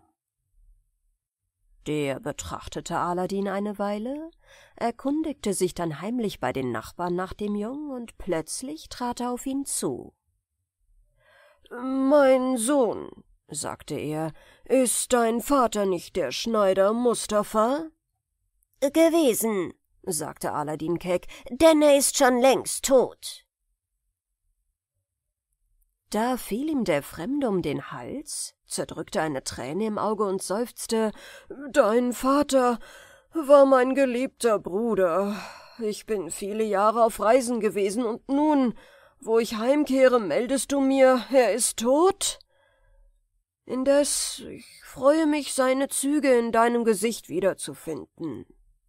Und nun nimm dies Geldgeschenk, grüße deine Mutter und sag ihr, Morgen werd ich sie besuchen, damit ich den Ort sehe, an dem mein guter Bruder so lange gewirkt hat. Aladdin lief sehr vergnügt heim. Er ahnte nicht, dass der Fremde ein Zauberer war, der fast alles erlogen, was er mit ihm geredet hatte. Und sein Erstaunen wuchs noch mehr, als die Mutter zu ihm sagte, sein Vater hätte nie einen Bruder gehabt. Des anderen Tages traf der Zauberer Aladdin wieder, drückte ihm zwei Goldstücke in die Hand und sagte Lieber Neffe, sag deiner Mutter, ich käme heute Abend zu ihr, und für dies Geld soll sie mir ein gutes Nachtmahl richten. Aladdin gehorchte, und die Mutter ging aus, um Speisen und Wein für den Fremden zu besorgen. Kaum war die Sonne gesunken, trat dieser ins Haus, erzählte mancherlei von seinem verstorbenen Bruder, und es schien, als könne er sich nur schwer über den Tod des Schneiders trösten. Zuletzt wandte er sich auch an Aladdin und fragte Womit beschäftigst du dich denn? Du bist nun schon bald erwachsen, und ich hoffe, du hast das Gewerbe deines Vaters erlernt. Bei dieser Frage schlug Aladdin die Augen nieder, denn er geriet in große Verlegenheit. Seine Mutter aber sagte gerade heraus, Aladdin ist ein Faulenzer. Er lungert die Tage über auf der Straße herum, und da ich nicht zugleich mich und ihn durch Spinnen erhalten kann, so werde ich ihm in nächster Zeit mein Haus verschließen, und er mag zusehen, wie er sein Brot findet. Hm, hm, machte der Fremde und dachte eine Weile nach. Wie wäre es denn, wenn ich dir aus meinem Vorrate köstlicher Stoffe eine Menge zur Verfügung stellte, mein lieber Neffe. Vielleicht hast du nur eine Abneigung gegen das Gewerbe deines Vaters. Wenn du aber einen Laden mit feinen Geweben und Linnenzeug aufmachst und kaufst und verkaufst, so kannst du leicht ein anständiges Auskommen finden. Weil Aladdin und seine Mutter über dies Anerbieten sehr erfreut waren, besann sich der Zauberer nicht lange und fuhr fort Also gut, morgen werde ich dich für meine Kosten anständig kleiden lassen, und übermorgen wollen wir einen Laden suchen, wie ich ihn im Sinne habe.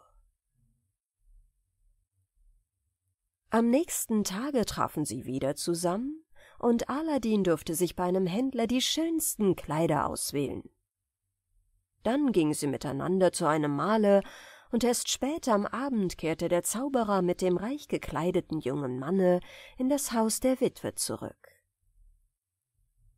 Die alte Frau war von der Großmut des Fremden zu Tränen gerührt und sagte, ich zweifle nun keinen Augenblick mehr, dass ihr der Bruder Mustafas seid, und dennoch wundere ich mich, dass mein Mann mir niemals über euch gesprochen hat.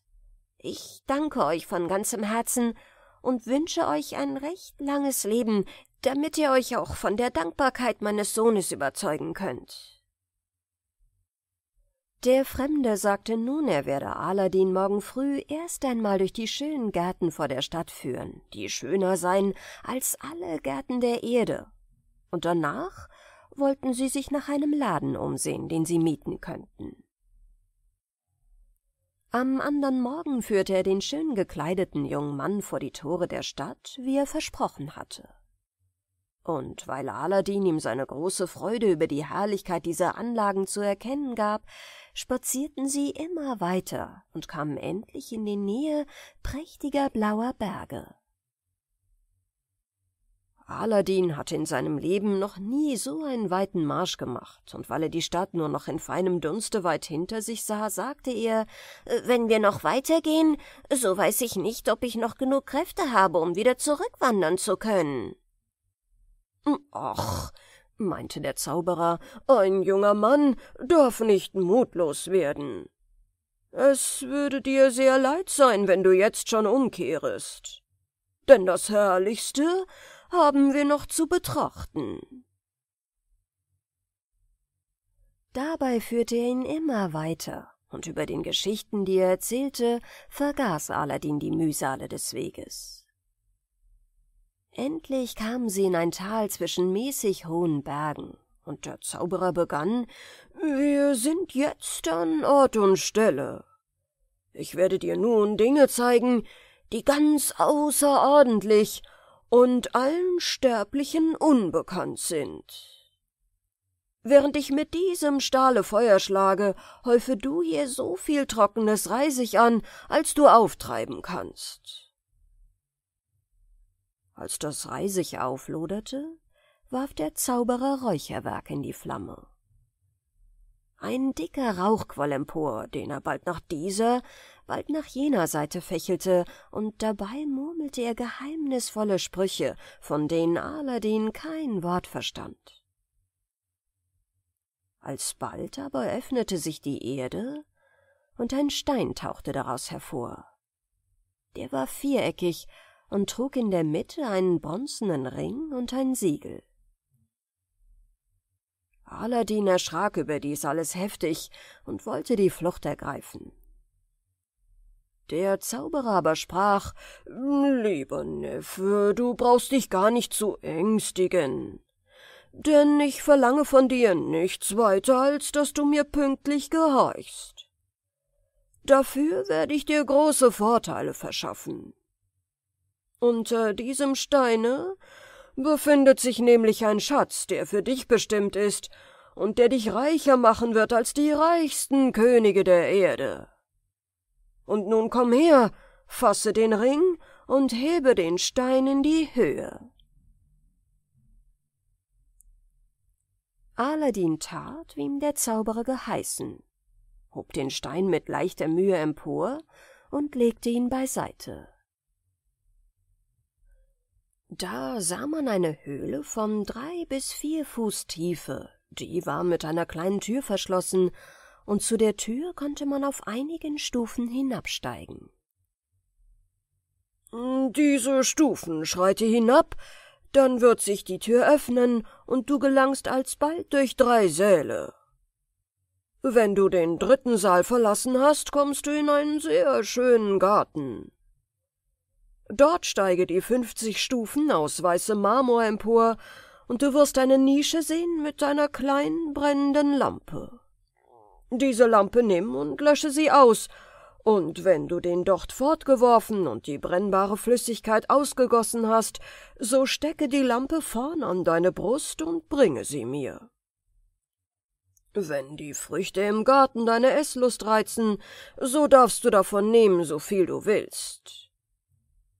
Dieser Ring aber, den ich dir jetzt an den Finger stecke, ist ein Mittel gegen alles Übel, das dir auf deinem Weg begegnen könnte. Und nun steige ohne Furcht hinab und sei freudig in dem Gefühle, dass wir durch deinen Gang beide steinreiche Leute werden.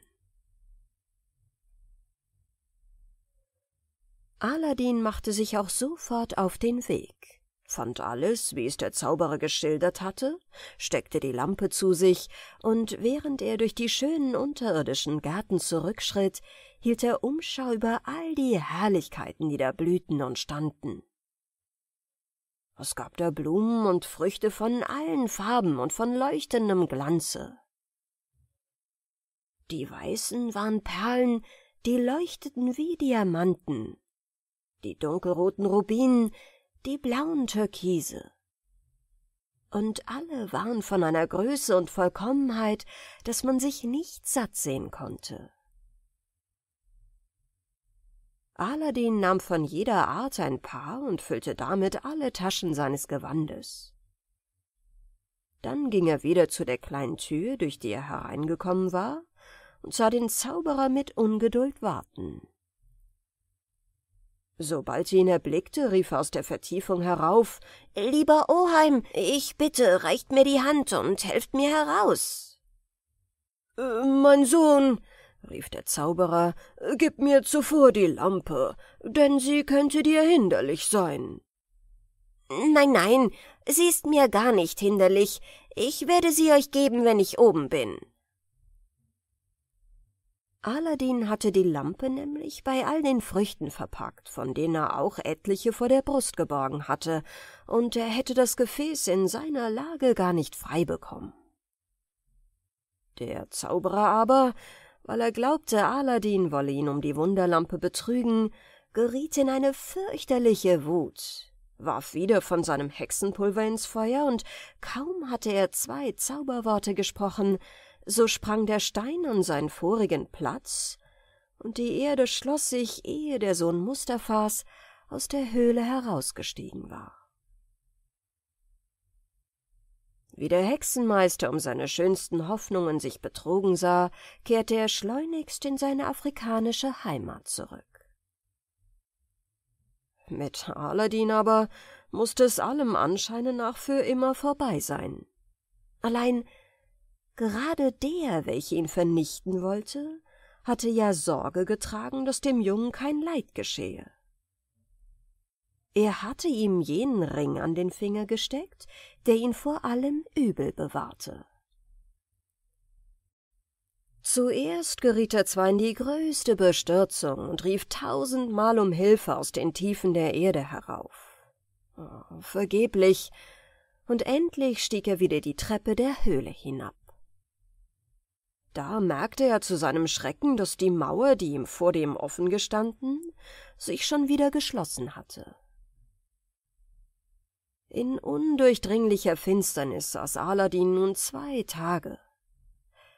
Am dritten aber rang er die Hände und flehte Gott an, er möge ihn aus seiner Qual durch einen sanften Tod erlösen. Dabei drehte sich der Ring an seinem Finger, und alsbald stand ein Geist von ungeheurer Größe und schreckhaftem Ansehen vor ihm und sprach Was verlangst du? Äh, »Wer bist du, fürchterlicher?« fragte Aladdin mit zitternder Stimme. »Ich bin dein Sklave, denn du trägst den Zauberring an deinem Finger.« »Wenn das so ist, so bringe mich aus dieser Finsternis.« Kaum war dieser Wunsch ausgesprochen, da öffnete sich die Erde, und Aladdin befand sich genau an der Stelle, an die er von dem Zauberer geführt worden war. Denn das Reisigfeuer verglomm zwischen den Steinen. Mit schnellen Schritten eilte er nach Hause, aber sein dreitägiges Fasten und die Freude des Wiedersehens verursachten, dass er seiner Mutter wie leblos in die Arme sank. Als er sich endlich erholt hatte, berichtete ihr von seinen Erlebnissen und zeigte ihr alles, was er aus dem Wundergarten mitgebracht. Aber sie erkannten den Wert dieser Dinge nicht. Dann sank er in einen langen und sehr tiefen Schlaf, aus dem er erst am dritten Tage erwachte. Da bemerkte er, dass seine Mutter gerade ausgehen wollte, um einen Teil ihrer Baumwolle zu verkaufen.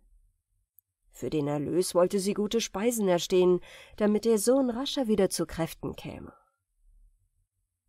Aber Aladdin bat sie, »Liebe Mutter, behalte nur deine Baumwolle, ich werde gehen und die Lampe verkaufen.« Die Mutter holte die Lampe hervor, und weil sie sehr schmutzig war, nahm sie Wasser und Sand und wollte sie putzen. Kaum rieb sie das Metall, da stieg auf einmal ein riesenhafter, gräßlicher Geist aus der Erde empor und rief Was willst du von mir?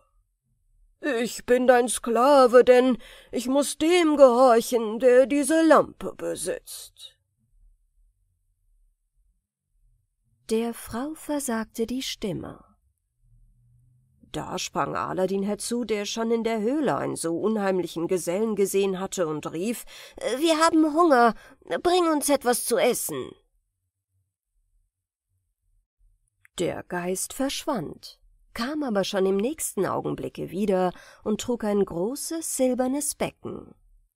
Darin waren zwölf silberne Schüsseln gefüllt mit vortrefflichen Speisen, sechs große Brote weiß wie Schnee, zwei Flaschen köstlichen Weines und zwei silberne Trinkschalen.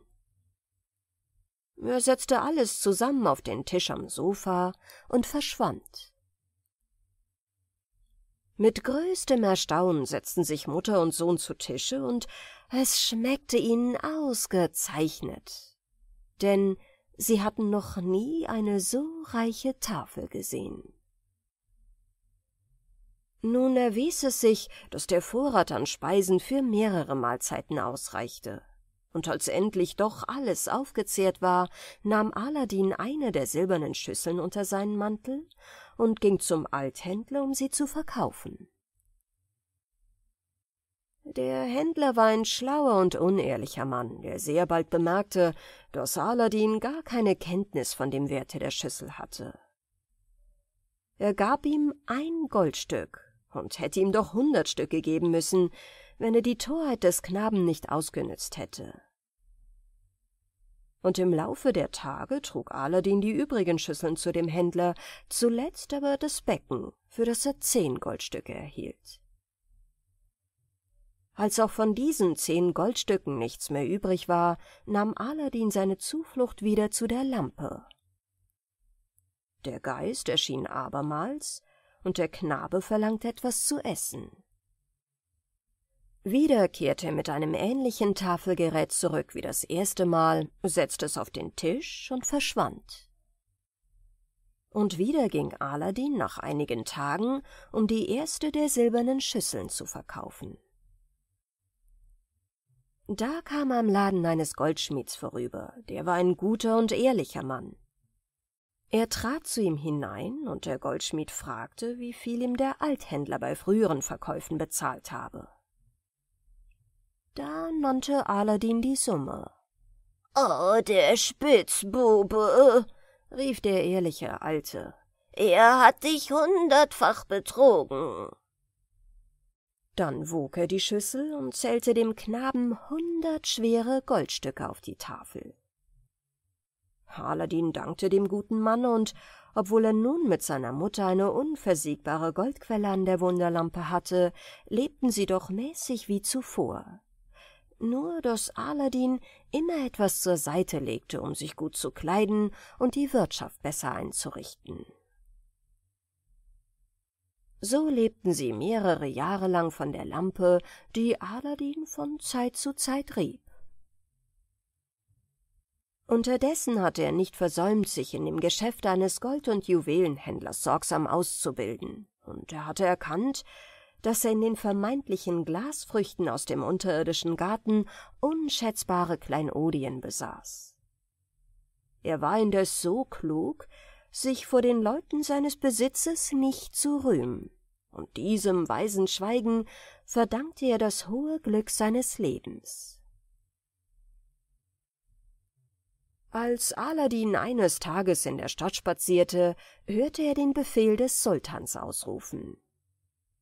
Jeder solle seinen Laden und seine Haustür schließen und sich so lange in das Innere seines Hauses zurückziehen, bis die Prinzessin Badrubur, die Tochter des Sultans, nach dem Bade gegangen und wieder zurückgekehrt sein würde. Aladdin, der das große Verlangen hatte, die schönste aller Prinzessinnen einmal zu sehen, versteckte sich in ein Gebüsch in der Nähe des Bades. Badrobur kam in Begleitung von vielen dienenden Frauen, und als sie in die Nähe des Bades gelangt war, nahm sie ihren Schleier vom Antlitz.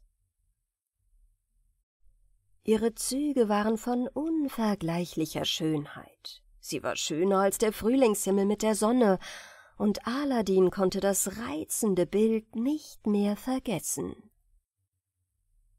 Eines schönen Tages, nachdem er schon lange ein verändertes Wesen gezeigt hatte, zog er seine Mutter ins Vertrauen und sagte ihr, er hätte den Entschluss gefasst, um die Prinzessin Badrobur zu werben.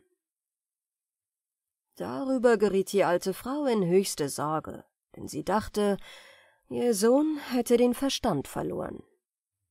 Ei, rief sie ein über das andere Mal, wer bist du denn, dass du dich an die Tochter des Sultans wagst? Hast du vergessen, dass dein Vater der ärmste Schneider der Stadt war?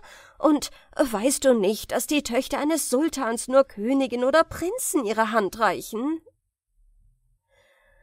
Aber Aladdin blieb hartnäckig bei seinem Entschlusse und sagte, keine Macht der Erde würde ihn davon abbringen.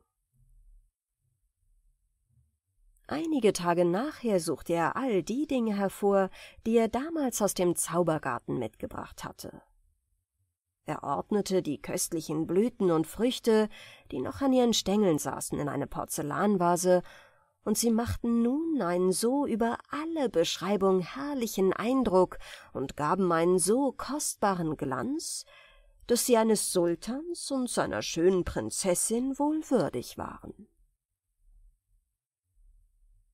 Aladdin beschloss also damit in den Palast zu gehen, die Vase dem Sultan zum Geschenke zu bieten und um Badrobur zu werben.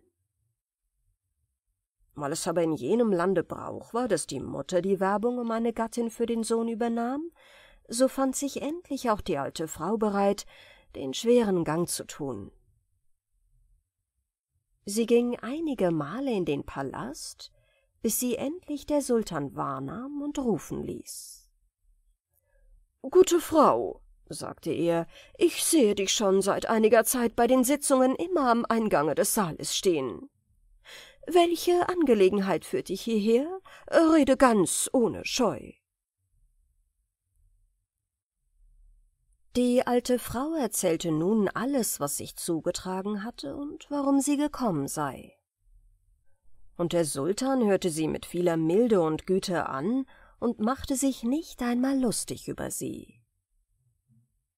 Doch ehe er ihr noch eine Antwort erteilte, fragte er sie, was sie in dem leinernen Tuche trage. Sogleich enthüllte sie die Vase von Porzellan, warf sich vor dem Throne nieder und überreichte sie dem Herrscher. Es ist unmöglich, die Überraschung und das Erstaunen des Sultans zu beschreiben, als er so viele über die Maßen kostbare, schöne und leuchtende Edelsteine beisammen sah, und dazu alle von einer Größe, dergleichen er noch nie zu Gesicht bekommen hatte. Eine Weile stand er regungslos und geblendet, als von einem Glanze des Himmels. Und er und der ganze Hofstaat waren sich darüber einig, dass es auf der Welt nichts Kostbareres und Vollkommeneres geben könne. Nun, begann der Sultan endlich zu seinem Großvezier zu reden, was sagst du zu einem solchen Geschenke? Ist es nicht meiner Tochter würdig und äh, kann ich sie nicht um solchen Preis dem geben, der um sie anhalten ließ? Diese Worte versetzten den höchsten Beamten des Reiches in große Unruhe. Denn er hatte gehofft, der Sultan würde Badrubur seinem Sohne geben, und nun sagte er Herr, ich muss euch gestehen, dass dies Geschenk von ganz ungewöhnlicher Kostbarkeit ist. Doch ich bitte euch, die Entscheidung drei Monate hinauszuschieben. Vielleicht gelingt es meinem Sohne inzwischen, ein noch herrlicheres Kleinod ausfindig zu machen. Der Sultan glaubte zwar nicht daran, aber er entließ die Mutter Aladins alsbald mit freundlichen Worten und forderte sie auf, in drei Monaten wieder nachzufragen. Aladin war mit diesem Bescheide nicht sehr zufrieden, aber er war nicht ohne Hoffnung und zählte ungeduldig die Tage, die ihn von seinem Glücke trennten. Da war eines Abends kein Öl im Hause, und die Mutter begab sich zum Kaufmann. Dabei merkte sie, dass die ganze Stadt festlich beleuchtet und in freudiger Aufregung war. Wisst ihr denn nicht, dass sich der Sohn des Großveziers mit der Prinzessin Badrubur vermählt? fragte der Händler. Sie wird jetzt bald aus dem Bade kommen, und die Hofbeamten versammeln sich soeben, um sie in den Palast zu geleiten. Denn die Vermählungsfeierlichkeiten sollen beginnen. Weiter wollte die gute Frau nichts hören, lief heim und rief ihren Sohn an Es ist alles verloren. Du rechnest auf das schöne Versprechen des Sultans, aber es wird nichts daraus. Es ist alles, alles verloren. Nun erzählte sie ihm, was sie gehört hatte. Aladdin war wie vom Blitze getroffen. Doch augenblicklich erinnerte er sich seiner Lampe, lief in sein Zimmer, rieb die Lampe, und alsbald erschien der Geist. Was verlangst du? Ich bin bereit, dir zu dienen. So gehe in den Palast des Sultans, entführe die Neuvermählten und bringe sie beide hierher. Mein Gebieter, ich leiste auf der Stelle Folge, sprach der Geist und entschwand. Es waren keine drei Minuten verflossen, so stieg der Geist aus den Dielen wieder empor, hielt die Prinzessin unter dem linken, den Bräutigam unter dem rechten Arme und stellte sie beide vor Aladdin hin.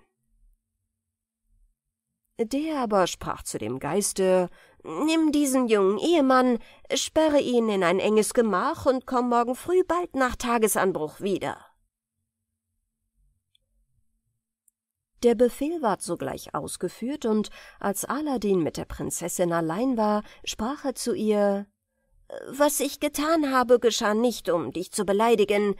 Ich wollte nur verhüten, dass jener dich gegen das gegebene Versprechen des Sultans in Besitz nimmt. Die Verwunderung der Prinzessin über das merkwürdige Ereignis war so groß, dass sie keines Wortes mächtig war. Am Morgen erschien der Geist, und Aladdin befahl ihm, »Hole den Sohn des Großveziers und trage ihn und Badrubur wieder an den Platz, von dem du sie weggenommen hast.« Als die Eltern des jungen Paares kamen, um den Morgengruß zu bieten, erfuhren sie zu ihrem Erstaunen von den Ereignissen dieser Nacht. Sie dachten nicht anders als, ihre Kinder wären von einer närrischen Einbildung befallen, und sie ließen sie allein, damit sie wieder zu sich kämen. Am Abend aber sandte Aladdin den Geist, forderte von ihm die Neuvermählten wie am Tage vorher und ließ sie am andern Morgen wieder in den Palast tragen. »Nun, meine Tochter«, fragte die Sultanin, »willst du mir wohl berichten, wie du geruht hast?« da hüllte sich Badrubur in tiefes Schweigen und zeigte verstörte Augen, und weil die Eltern merkten, dass sie sehr unglücklich sei, wurden augenblicklich alle Festlichkeiten eingestellt. Der Sohn des Großveziers musste den Palast verlassen, und die junge Ehe war, so rasch sie geschlossen, wieder aufgelöst worden. Aladdin ließ nun drei Monate vollends verstreichen, die ihm der Sultan als Frist gesteckt hatte. Dann schickte er seine Mutter in den Palast, um den Herrscher an sein Versprechen zu erinnern. Ja, das verdroß den Sultan nicht wenig, denn er hatte eine heftige Abneigung gegen die Vermählung seiner Tochter mit einem Manne aus dem Volke und als er seine Räte zuzog, sagten ihm diese Es gibt kaum ein anderes Mittel, dieser unpassenden Vermählung aus dem Wege zu gehen, als einen so hohen Preis auf die Prinzessin zu setzen, dass jenes Mannes Reichtümer, wie viel er deren immer besitzen möge, doch nicht ausreichen. Dies wird ein gutes Mittel sein, ihn von der verwegenen Bewerbung abzubringen. Das leuchtete dem Sultan ein, und er sagte zur Mutter Aladins, »Gute Frau, ein Sultan muss sein Versprechen halten. Und so will ich auch deinem Sohne die Prinzessin geben, wenn er mir vierzig große Becken von gediegenem Golde, mit Kostbarkeiten angefüllt, wie ich solche früher bei dir gesehen habe, überreicht.« Und zwar müssen mir die Becken von vierzig schwarzen Sklaven gebracht werden, die alle aufs herrlichste gekleidet sind. Die Mutter erzählte ihrem Sohne, was der Sultan von ihm gefordert habe, und sah mit Erstaunen, dass Aladdin diese Nachricht sehr vergnügt aufnahm. Sobald die Alte ausgegangen war, ergriff er die Lampe, rief den Geist und sagte ihm seine Wünsche. Kurz darauf ließ sich der Geist wieder sehen. Er kam diesmal in Begleitung von vierzig schön gekleideten schwarzen Sklaven, deren jeder ein Becken von gediegenem Golde auf dem Kopfe trug, angefüllt mit Perlen, Smaragden, Rubinen und Diamanten. Und jedes Becken war von goldgeblümtem Silberstoff überdeckt. Zum Überflusse ließ sich Aladin noch vierzig weiße Sklaven in noch viel kostbareren Gewändern von dem Geiste bringen, ordnete alle zu einem Zuge, in dem die Weißen vorausschritten, und hieß sie zum Palaste des Sultans ziehen. Das Volk strömte von allen Seiten herzu, die Herrlichkeit zu sehen.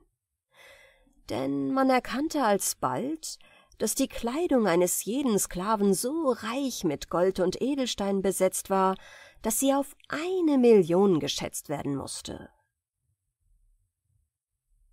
Der bloße Anblick dieser unermeßlichen Reichtümer ließ den Sultan keine Minute zweifeln, dass der Eigentümer der richtige und würdige Gatte für seine Tochter sei, und er sprach zur Mutter Aladins äh, Gute Frau, geh und sage deinem Sohne, dass ich ihn mit offenen Armen erwarte.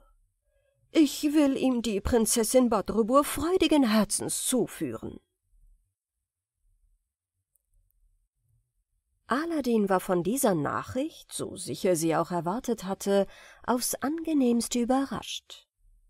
Er lief auf sein Zimmer, rieb die Lampe, und als der Geist erschien, sprach er zu ihm Bereite mir sofort ein Bad und halte danach für mich die reichste und kostbarste Kleidung in Bereitschaft, die je ein Fürst getragen hat. Er hatte dies kaum ausgesprochen, als ihn der Geist in ein Bad trug, das aus einem sehr weichen und sehr wohlriechenden Wasser bestand und als er in sein Zimmer zurückkehrte, fanden sich daselbst Kleider von ungeahnter Pracht. Führe mir ein Pferd herbei, gebot er dem Geiste, das an Schönheit des Wuchses und an Trefflichkeit das edelste Ross im Stalle des Sultans übertrifft, und dessen Decke, Zaum und Sattel und Zeug über eine Million wert sein müssen. Auch verlange ich, äh, dass du mir noch zwanzig Sklaven herbeischaffst, die mir zur Seite gehen, und zwanzig andere ebenso kostbar gekleidete, die in zwei Reihen meinem Rosse vorausschreiten. Meiner Mutter bringe sechs Sklavinnen reicher geschmückt als die der Prinzessin Badrobur. Und ferner bedarf ich noch einer Summe von zehntausend Goldstücken in zehn Beuteln. Äh, geh und beeile dich. Alles geschah, und der Sultan schickte alsbald einen Boten mit der Nachricht, Aladin werde voller Ungeduld im Palaste erwartet. Der stieg sogleich zu Pferde, und der Zug setzte sich in schönster Ordnung in Bewegung. Als der Sultan den reichen Herrn Aladin erblickte, stieg er sogleich vom Thron und ging ihm entgegen, breitete seine Arme aus und rief mein teurer Sohn, das Vergnügen, dich hier zu haben und sich zu sehen, zieh ich allen meinen und deinen Schätzen vor. Es war ein sehr herrliches Mahl im Schlosse gerichtet, und als danach der Ehevertrag vom Richter aufgesetzt wurde, fragte der Sultan Aladin, ob er in dem Palaste bleiben und noch am gleichen Tage Badrubur als sein Weib nehmen wolle. Herr, antwortete Aladin, wie groß auch meine Sehnsucht ist, die schönste der Prinzessinnen zu besitzen, so gewährt mir doch noch so lange Zeit, bis ich einen Palast erbaut habe. Ich erbitte mir dazu von euch einen Platz in der Nähe und werde Sorgen tragen, damit mein Heim möglichst rasch fertig wird. Der Sultan schenkte ihm einen der besten Plätze der Stadt und sagte Viel Glück zu allem, aber vergiss nicht, dass ich meine Tochter je eher, je lieber mit dir verbunden sehen möchte, um das volle Maß der Freude zu genießen. Danach ritt Aladin höchst befriedigt nach Hause, rief den Geist und sagte Mein kluger und mächtiger Geist, ich habe alle Veranlassung, mit dir zufrieden zu sein. Ich brauche aber noch einen Palast, ob du ihn aus Marmor, Jaspis oder Achat bauen willst, das überlasse ich ganz dir. Ebenso die Inneneinrichtung. Ich erwarte nur, dass du mir oben darauf einen großen Saal mit einer Kuppel und vier ganz gleichen Schauseiten baust, dessen Wände aus Gold und Silber ausgeführt sein müssen, mit sechs Fenstern auf jeder Seite, deren Säulen mit Gold und Diamanten kunstreich geschmückt sein müssen. Und zwar so, dass man dergleichen noch nie auf der Welt gesehen hat. Die Sonne ging eben unter, als Aladdin dem Geiste diesen Auftrag gab. Und bei Anbruch des Tages erschien der Geist und sprach Der Palast ist fertig. Komm und sieh, ob du damit zufrieden bist. Aladdin fand alles über Erwarten herrlich und königlich. Nur eines fehlt noch, sagte er. Es muss nämlich von dem Palasttore des Sultans bis an den Eingang der Zimmer, die in meinem Schlosse für die Prinzessin bestimmt sind, ein Teppich von schönstem Sammet gelegt werden, damit sie, wenn sie aus dem Palaste des Sultans geht, darüber hinwegschreiten kann. Ich komme in einem Augenblicke wieder, sprach der Geist, und Aladdin sah seinen Wunsch bereits vollzogen, ehe er noch glaubte, dass ihn sein mächtiger Diener verlassen habe. Dann trug er Aladdin zurück in seine Wohnung. Das war um die Zeit, da die Sonne über den Horizont gestiegen war und am Palaste des Sultans die Tore aufgingen. Die Nachricht von dem Wunder, das über Nacht geschehen war, fand sich mit Blitzesschnelle zum Sultan. Da liefen die Räte zusammen, zogen die Brauen in die Höhe und sagten, das ist ein Blendwerk. Da kam jedoch Aladdin schon auf seinem edlen Rosse und inmitten seiner Sklaven des Weges und hielt feierlich Einzug in seinem Schlosse. Seht ihr?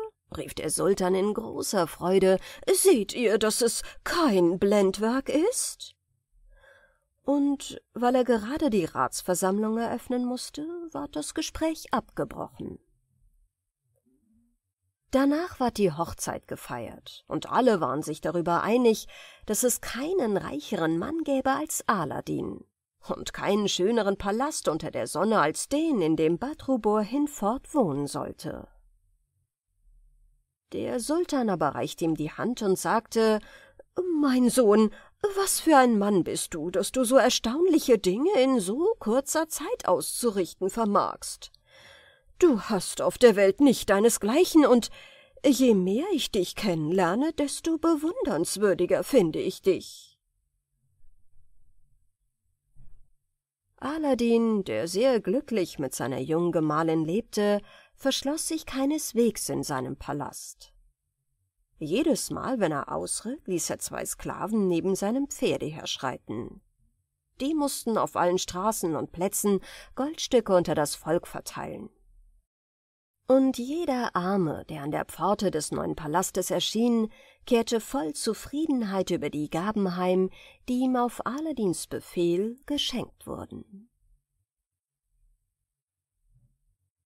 Aladdin hatte nun schon mehrere Jahre in ungetrübtem Glücke also gelebt, als der Zauberer sich seiner erinnerte und dachte, du musst doch Gewissheit erlangen, welches Ende jener junge Mann genommen hat, den du damals im Zorne in die Höhle eingeschlossen hast, als er dir die Wunderlampe nicht geben wollte. Er zog aus seinem Zauberschrank ein verschlossenes Schächtelein hervor, hob den Deckel ab und erfuhr durch einige Hantierungen im Sande, der sich in der Schachtel befand, dass Aladdin als der Gatte einer Prinzessin in großem Reichtum lebe. Voll Wut sagte der Zauberer, dieser elende Schneidersohn hat also das Geheimnis mit der Lampe entdeckt und genießt nun die Frucht meiner Mühen und Nachtwachen. Indes, ich will ihn wohl daran zu hindern wissen, oder ich will des Todes sein. Gleich am nächsten Morgen bestieg er seinen Berberhengst, machte sich auf den Weg und kam nach etlichen Monaten auch richtig in die Stadt Aladins. Er fragte seinen Zauberkasten wieder, wo die Wunderlampe sei, und erfuhr, dass Aladin sie in seinem Palaste sehr wohl verwahre. Es kam für ihn alles darauf an, diese köstliche Lampe zu erlangen. Das Unglück wollte, dass Aladin um diese Zeit gerade für acht Tage auf die Jagd geritten war. Er hatte den Palast aber erst seit drei Tagen verlassen. Das ist ein günstiger Augenblick zum Handeln, sagte der Zauberer. Und ich darf ihn mir nicht entgehen lassen. Darauf ging er in den Laden eines Mannes und sprach zu dem Händler Ich brauche ein Dutzend kupferne Lampen. Könntet ihr sie mir wohl ablassen? Er machte das Geschäft, ging alsbald zum Palast der Aladins und rief Wer will alte Lampen gegen neue eintauschen? Und die Leute lachten darüber und sagten, der muss wohl seinen Verstand verloren haben, weil er neue Lampen zum Tausch gegen alte anbietet. Immer von neuem erscholl sein Ruf Wer will alte Lampen gegen neue vertauschen?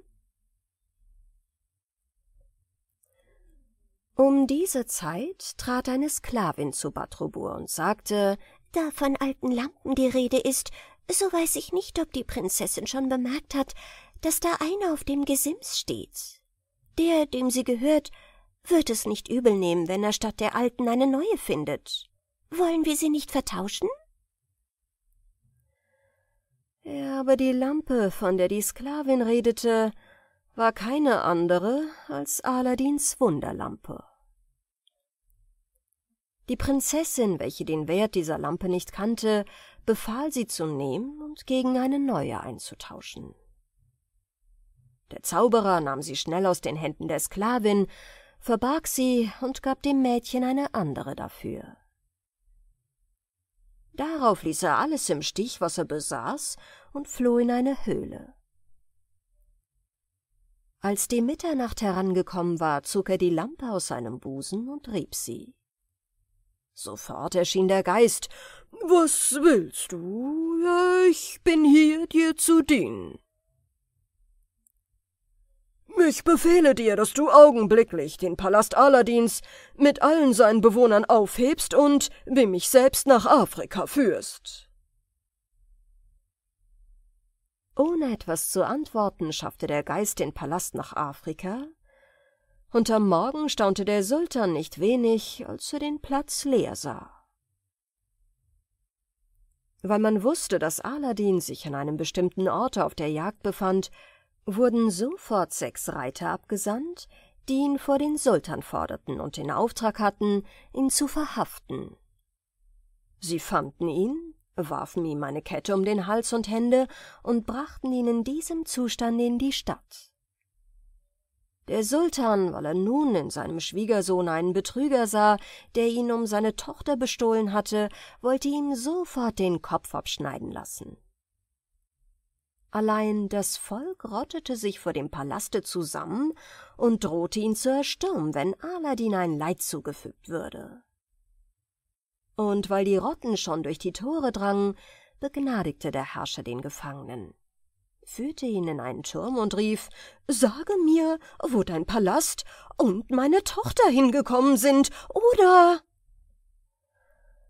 Aladin erkannte augenblicklich, dass hier der Zauberer seine Hand im Spiele haben müsse, und er sagte Herr, bewilligt mir eine Frist von vierzig Tagen, damit ich die nötigen Maßregeln treffe, alles in Erfahrung zu bringen. Gelingt es mir nicht, alles wiederherzustellen, wie es war, so will ich euch meinen Kopf zu Füßen legen, damit ihr nach Belieben darüber verfügt. Gut, sprach der Sultan zornig, die Frist sei dir gewährt. Doch bilde dir nicht ein, du könntest mir entweichen. In welchen Winkel der Erde du dich verkriechen magst, ich werde dich zu finden wissen. Aladin war seines Verstandes kaum mehr mächtig, als er in dieser tiefen Demütigung über den Hof des Palastes schritt. Die Hofbeamten sahen ihn über die Achsel an, und die, die ihn zuvor beneidet hatten, höhnten ihn nun. Er ging aus der Stadt, fragte die Menschen, die er traf, ob sie seinen Palast nicht gesehen hätten, und weil er obendrein in einer härenen Kutte steckte, so dachten die Leute, ein armer Irrer sei ihm begegnet. So schritt er immer weiter und kam bei Einbruch der Nacht an das Ufer eines Stromes. Nach der Sitte seines Landes trat er hinzu und wollte sich Gesicht und Hände waschen.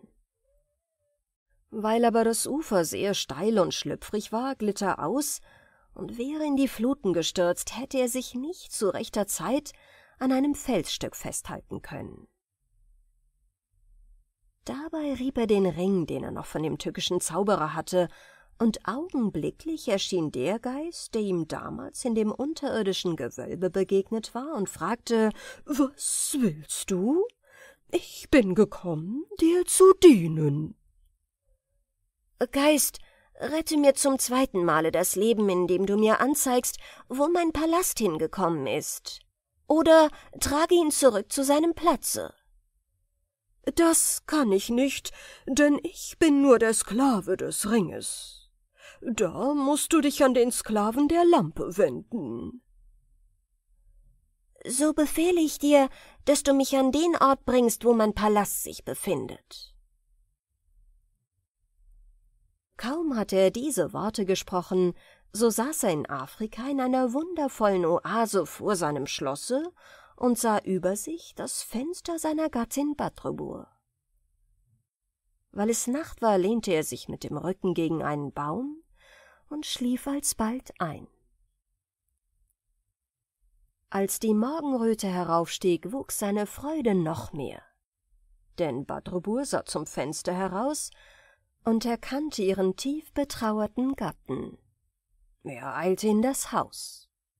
Liebste Badrobur, rief er ihr entgegen, sage mir, was aus der Lampe geworden ist, oder wir sind verloren. Die Prinzessin zweifelte nun nicht mehr daran, dass die Lampe an dem Unglück schuld sei, und fing an, bitterlich zu weinen.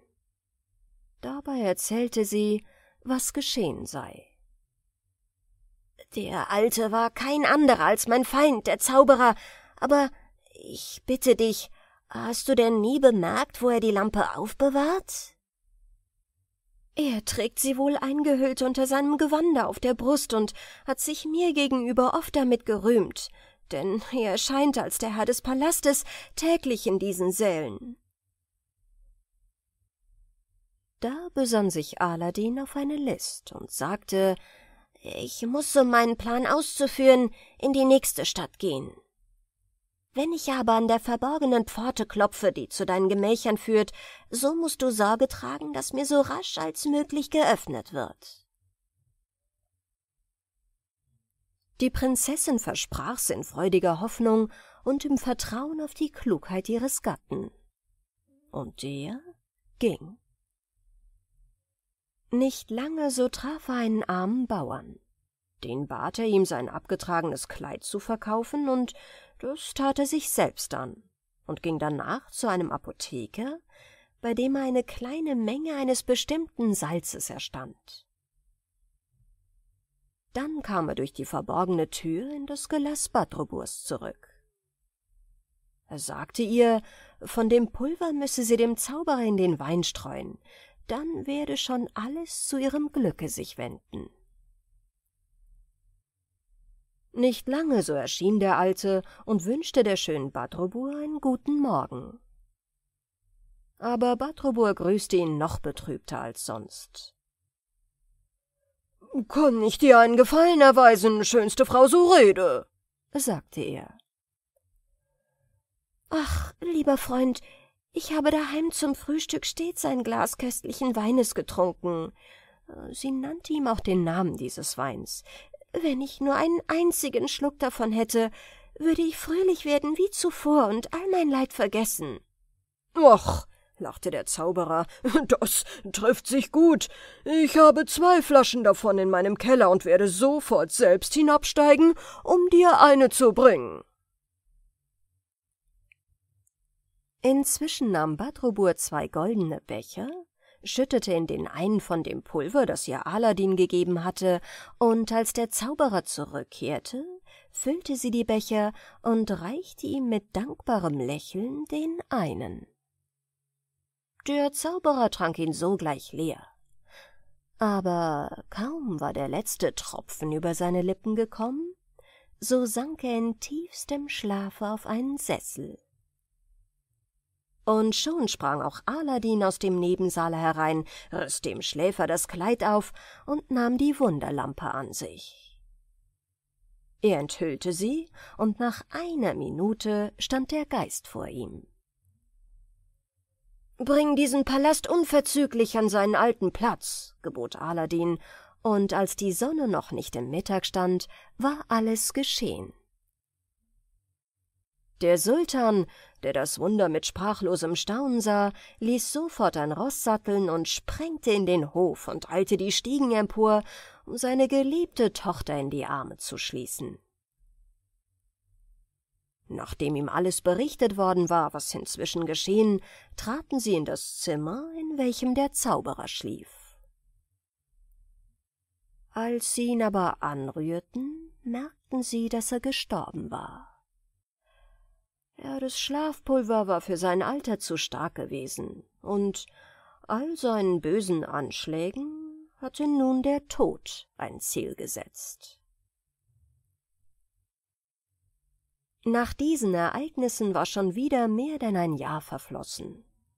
Der alte Zauberer schlief in seinem Grabe, und sein Bruder, der auch ein großer Hexenmeister war, wunderte sich, dass er so lange nichts von jenem gehört habe. Da erforschte er durch seine Kunst, dass der Alte gestorben war und ließ sich auch Zeit und Umstände seines Todes aufs genaueste sagen. Er fasste auf der Stelle den Entschluss, den Tod seines Bruders zu rächen, zog über Ströme und Gebirge, durch Wälder und Wüsten und kam endlich in die Stadt Aladins. Dort hörte er von einer frommen Einsiedlerin namens Fatime erzählen, ging um die Mitternacht zu ihr und sagte, »Habe keine Furcht vor mir. Ich will nur, dass du mir ein Kleid verkaufst und dafür außer reichlichem Golde das meine nimmst.« »Dein Gold behalte nur, denn ich kann keines gebrauchen. Weil ich mich aber vor dir fürchte, so nimm mein Kleid und ziehe deines Weges.« So schnell geht das nicht, sagte der Hexenmeister. Erst schneide mir den Bart ab und färbe mir mein Gesicht gleich dem deinigen, und zwar so, dass ich dir ganz ähnlich sehe und dass die Farbe nicht ausgeht. Fatime zündete noch eine Lampe an, nahm einen Pinsel und einen Saft, rieb ihm das Gesicht ein und versicherte, dass die Farbe nicht ausginge, weder vom Regen noch von der Sonne. Sodann setzte sie ihm ihre eigene Kopfbedeckung aufs Haupt, gab ihm einen Schleier und zeigte ihm, wie er sich damit auf dem Gange durch die Stadt das Gesicht verhüllen müsse. Nachdem dies alles geschehen war, kam den Alten doch eine Furcht an, die Einsiedlerin möchte ihn verraten. Er brach sein Versprechen, ihr nichts zuleide zu tun, fasste sie und stürzte sie in einen Brunnen. Nach dieser schlimmen Tat blieb er noch bis zum Morgen in der Einsiedelei und ging darauf in die Stadt, um den Weg zum Palaste zu nehmen. Sobald die Kunde durch die Straßen lief, die fromme und heilkundige Fatime sei in der Hauptstadt, sammelte sich viel Volk um die vermeintliche Frau und begehrte ihre Hilfe in allerlei Krankheit und Not des Leibes. Durch das Geschrei und den Volksauflauf war auch die Prinzessin Badrobur aufmerksam geworden. Und weil sie schon viel Gutes von Fatime gehört hatte, sandte sie einige Sklaven, die wundertätige Alte zu holen. Fromme Frau, sagten die Sklaven, die Prinzessin wünscht euch zu sehen, also kommt und folgt uns. Die Prinzessin erweist mir eine hohe Ehre, antwortete die falsche Fatime. Ich bin bereit, ihr zu gehorchen. Badrobur, die sich sehr freute, die Lebensgeschichte der wundertätigen Alten vernehmen zu können, wies ihr zunächst ein Zimmer zur Ruhe an, denn sie schien nach der langen Wanderung sehr erschöpft. Inzwischen hatte Aladdin den Geist gerufen, um von ihm zu erfahren, welche Bewandtnis es mit der frommen Frau Fatime auf sich habe. Da sprach der Geist Fatime, ist in der Nacht ermordet worden.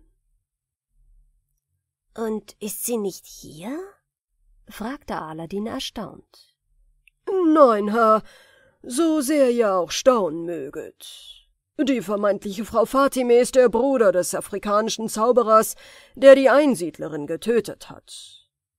In ihren Kleidern hat er sich in euren Palast geschlichen, um seinen Bruder an euch zu rächen. Sobald er eine Gelegenheit findet, wird er euch seinen zweischneidigen Dolch ins Herz stoßen. Aladdin verlor keinen Augenblick, rief Knechte in Waffen und ließ den verruchten Zauberer in Ketten legen und in den Turm werfen. Der Sultan aber, nachdem er von seiner Mordtat erfahren hatte, rief das Gericht zusammen, das ihn zum Tode am Galgen verurteilte. Auf diese Weise wurde Aladdin von seinen Verfolgern befreit. Wenige Jahre darauf starb der Sultan in hohem Alter und da keine männlichen Nachkommen hinterließ, folgte ihm die Prinzessin Badrubur auf dem Throne und teilte ihre Herrschaft mit Aladdin. Sie regierten viele Jahre hindurch, und ihre Untertanen nannten diese glücklichen Jahre das goldene Zeitalter. Das waren einige der schönsten Hörbücher aus einem Jahr Liest vor. Wenn sie dir gefallen haben, würde ich mich freuen, wenn du auf den Daumen hoch klickst und du das Hörbuch mit jemandem teilst. Wenn du magst, hören wir uns morgen wieder. Aber jetzt schlaf gut.